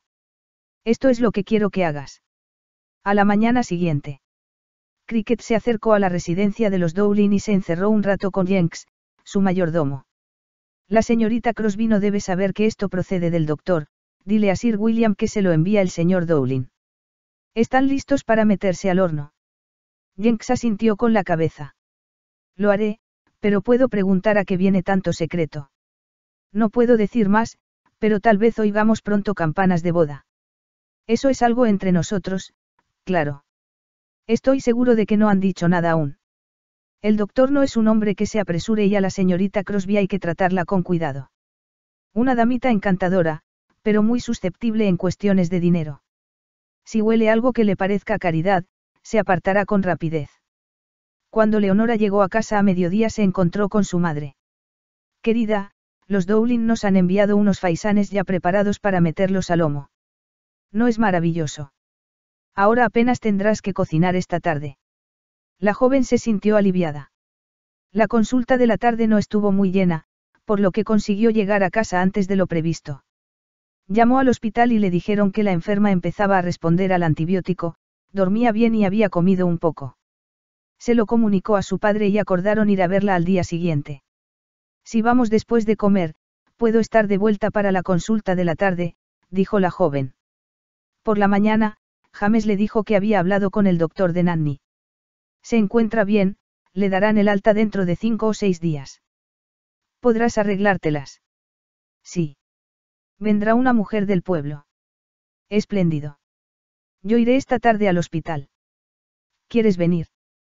Iré con papá después de comer. Gracias por tu oferta, musitó ella con más frialdad de la que era su intención. Más tarde, sentado en su estudio con todo tumbado a los pies, James se preguntó a qué venía aquella frialdad. Había hecho algo de lo que no era consciente. Seguro que no había descubierto lo de los faisanes o se lo habría dicho claramente. No había duda de que lo eludía y, aunque estaba cansada y preocupada, su distanciamiento se debía a algo más, algo que la hacía desgraciada. Seguiría enamorada de Beamis. Deseaba hablarle de su amor por ella, pero si lo hacía demasiado pronto, lo estropearía todo. A medida que pasaban los días, resultó tan claro que la joven evitaba su compañía que él se esforzó a su vez por pasar el mínimo tiempo posible con ella. El brote de varicela lo mantuvo ocupado dentro y fuera de la consulta y, aunque la llevó una tarde a ver a Nanny, procuró mantener una distancia amistosa.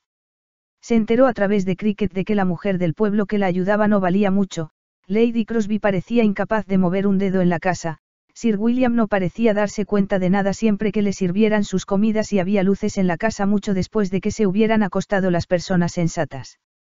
Nanny saldría del hospital dos días después, la neumonía había desaparecido, pero todavía necesitaba descanso, buena comida y cuidados. Leonora recibió la noticia con rostro animoso y tranquilizó a Nanny. Al oírla, cualquiera hubiera pensado que contaba con toda la ayuda del mundo, el doctor no dijo nada hasta que no estuvieron de vuelta en el coche. Pediré a la enfermera que vaya todos los días a levantar y vestir a Nanny y vuelva por las tardes para acostarla. No es necesario. Debo recordarte que soy el médico de Nanny, Leonora. Oh, bueno, sí. Gracias. ¿Cuánto tiempo tardará en ponerse bien del todo? Diez días, dos semanas tal vez.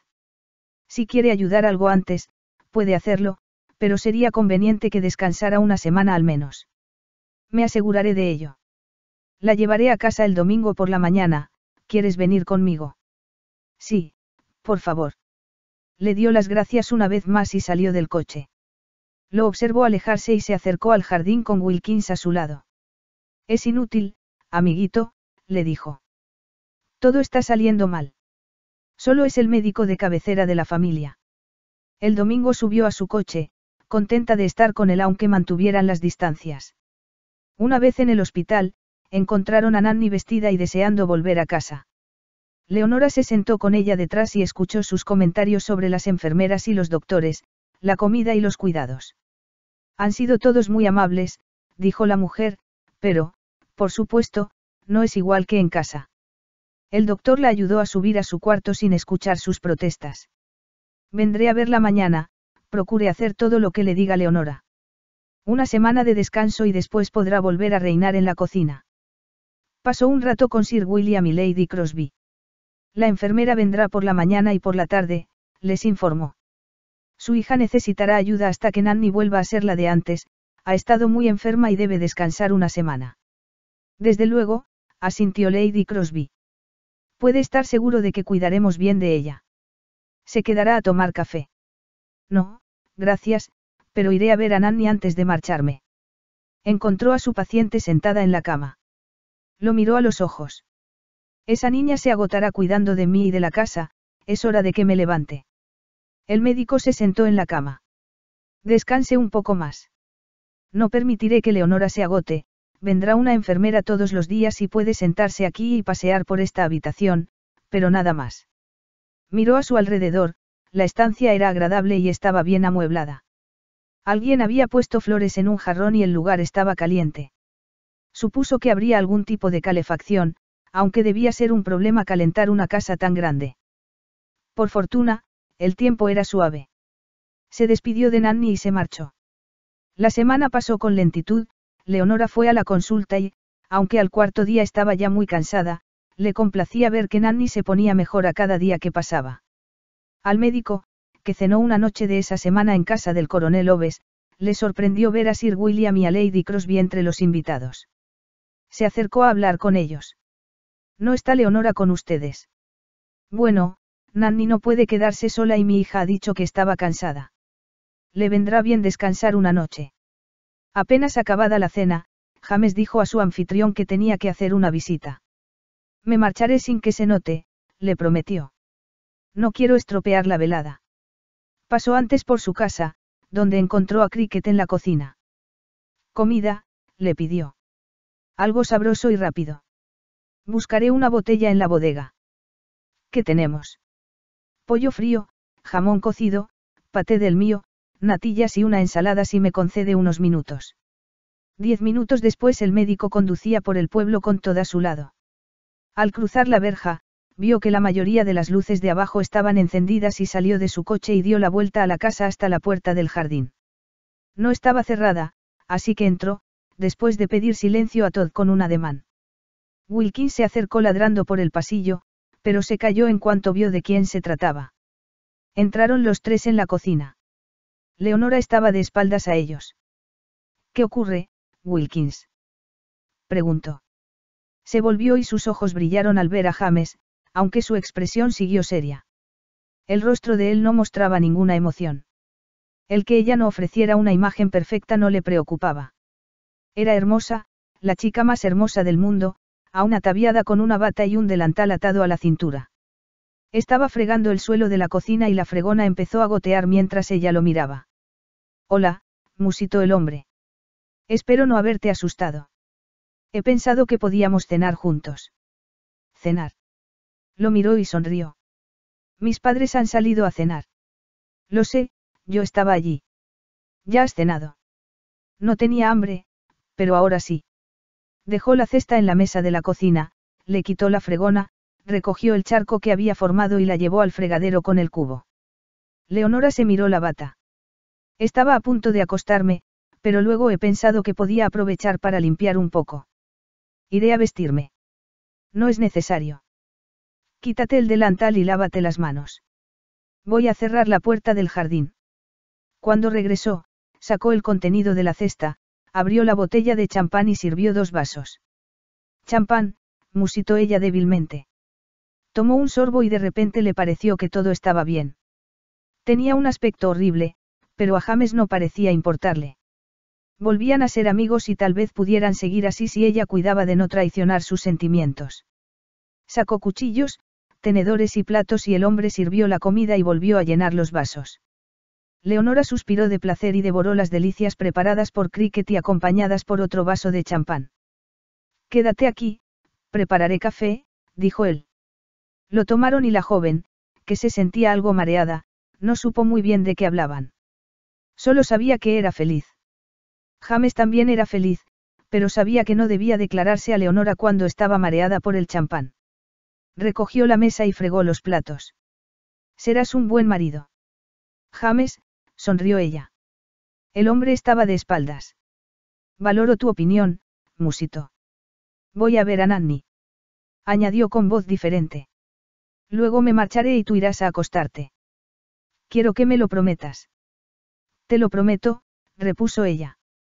Nanny está bien, comentó él cuando volvió. Ven conmigo a la puerta y ciérrala cuando salga. En la puerta, la joven se agachó a acariciar a Todd. Gracias por una cena encantadora y, por favor, dale también las gracias a Cricket. Sonrió y él se inclinó y le dio un beso rápido que la dejó sin aliento. Luego se alejó. Leonora cerró la puerta y volvió a la cocina a apagar las luces sintiéndose muy feliz. Una vez arriba, entró un momento en el cuarto de Nanny. La mujer la observó pensativa. ¿Le he dicho alguna vez que ese hombre sería un buen marido para usted? Preguntó. Acuéstese y sueñe con él, querida. Leonora obedeció. A la mañana siguiente fue a trabajar envuelta todavía en una nube de felicidad y el médico suspiró aliviado al ver su cara. Su chica se había dignado al fin mostrar sus sentimientos. Había muchos pacientes, pero ninguno grave, terminaron pronto y Leonora puso agua a hervir y se volvió hacia James con una sonrisa. Una mañana tranquila, observó él. Nanny está bien. Sí. Está deseando entrar en la cocina. Me pregunto qué hace cuando yo no estoy allí. Hablaba en broma, pero él contestó en serio. Eso tiene fácil arreglo. El lunes vendrá otra recepcionista, así que ya no necesitas venir a la consulta. La joven palideció. ¿Quieres decir que vas a despedirme? Sí. Ya no me quieres aquí. Oh, tu trabajo ha sido excelente. No sé lo que habría hecho sin ti, pero tú sabías que esto era algo temporal, sonrió. No quería decírtelo aquí, pero quizá puedas venir a Buntins a comer conmigo y tengamos tiempo de hablar. ¿De qué? preguntó ella. No, me temo que no puedo, dijo antes de que él pudiera contestar.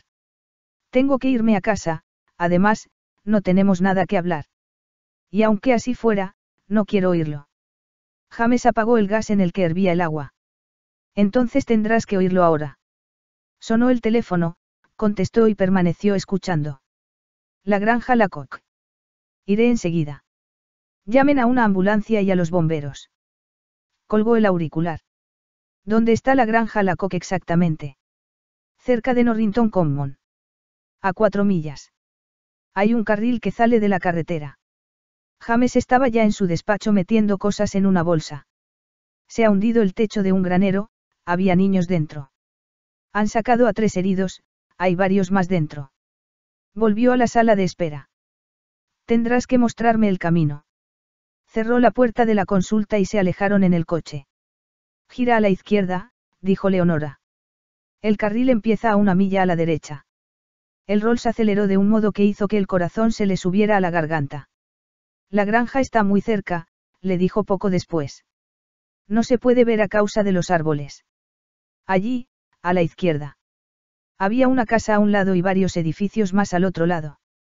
Detrás de la casa, estaba el granero con el techo derrumbado en un montón de ladrillos y madera y las paredes tambaleándose todavía. El médico salió del coche, tomó su bolsa y corrió hacia allí. Había varias personas, una mujer lloraba con una niña en los brazos, dos hombres y un muchacho buscaban entre los escombros. La mujer fue la primera en verlos. Señorita Crosby. Doctor.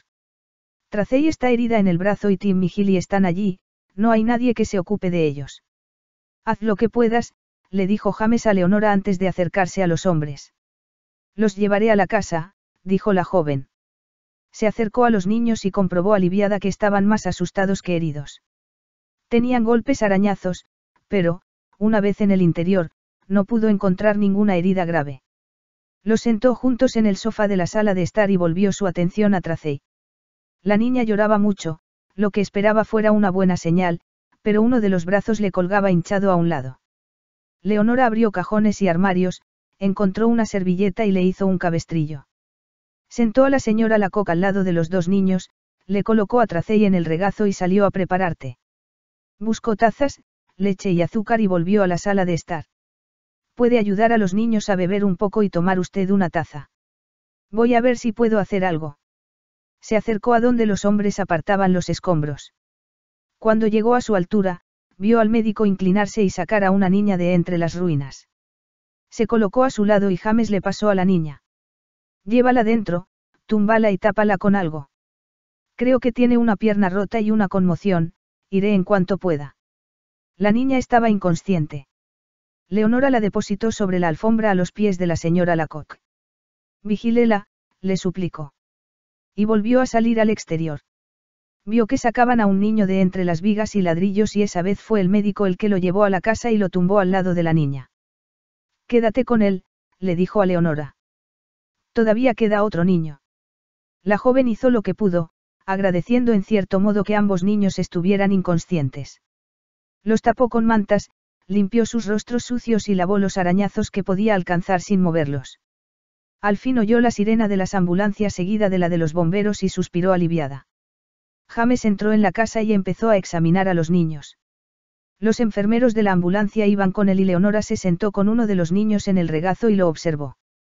Olvidó por el momento que ella no le interesaba, era el hombre al que quería, un hombre que no se dejaba amilanar por los desastres, que sabía lo que había que hacer y jamás levantaba la voz. Lo observó examinar al niño y la niña inconscientes y, cuando se los llevaron a la ambulancia, un grito anunció que acababan de rescatar al último. Era un niño cubierto de polvo y sangre. Pasó bastante tiempo antes de que James decidiera que estaba lo bastante bien para ser trasladado al hospital. Les tocó entonces el turno a los tres niños que acompañaban a la señora Lacock, después de examinarlos con atención, los metió en la tercera ambulancia y los envió también al hospital. Entretanto había llegado la policía y James salió a hablar con ellos. Al fin regresó. ¿Estás bien? Quiso saber. Hablaba con gentileza. La joven estaba cubierta de polvo, barro y sangre y se le habían caído casi todas las horquillas del pelo. Pensó que nunca la había visto tan hermosa. Iremos a mi casa a lavamos y comer, le dijo. La joven se puso en pie y lo siguió hasta el coche, donde él llamó a Cricket. Dile a Lady Crosby que Leonora volverá conmigo. Necesitamos lavamos y comer. No, repuso la joven. Quiero ir a casa, entonces lo recordó todo. Y no quiero volver a la consulta ni a tu casa nunca más, añadió. Gracias. James puso el coche en marcha. Ah, sí. Nos han interrumpido, ¿verdad? Espero que al menos me escuches antes de arruinar nuestras vidas para siempre. No esperes que diga nada más por el momento, este carril infernal requiere de toda mi paciencia. Quiero ir a casa, repitió ella cuando llegaron al pueblo. El médico se dirigió hacia Buntín sin decir nada. Esta es tu casa, o lo será pronto. La joven se quedó inmóvil, sin atreverse a mirarlo. ¿Me has despedido esta mañana? Claro que sí, tontita. Salió y la metió en la casa. Cricket salió a su encuentro y movió la cabeza al ver su estado. Lleva a la señorita a una habitación, por favor. Y dale una bata mientras alguien va a su casa a buscar ropa suya. La joven fue conducida escaleras arriba, hasta una habitación encantadora con baño. Tome un baño caliente, señorita, dijo Cricket. Enviaré a alguien a buscar su ropa y dejaré una bata sobre la cama. Cuando esté lista, baje a comer. Leonora lo miró de pie en mitad de la estancia. Si él supiera lo agradable que era tener a alguien que la cuidara. Reprimió las lágrimas y sonrió. Gracias, Cricket. No tardaré mucho. Había sales de baño, jabones, esponjas y un estante lleno de lociones. No tenía tiempo de lavarse el pelo, pero lo cepilló bien y se puso el albornoz. Le colgaba hasta el suelo y tuvo que arremangarse las mangas. Bajó y encontró al médico correctamente vestido, con un traje gris oscuro y una corbata clara. Comeremos primero y hablaremos luego, dijo él. Todd se acercó y ella lo acarició antes de sentarse. La deliciosa comida consiguió ayudarla a recuperar un tanto la calma. La habían despedido, pero eso era de esperar, no había motivos para pensar en otra cosa. Además, la señora Crisp había dicho ya lo del anuncio. Se preguntó cómo sería la recepcionista. Joven y lista, sin duda, eficaz y bonita. No me estás escuchando, dijo James. Vamos a la salita, a ver si conseguimos hablar. Tengo que ir a casa. Has olvidado lo que acabo de decirte.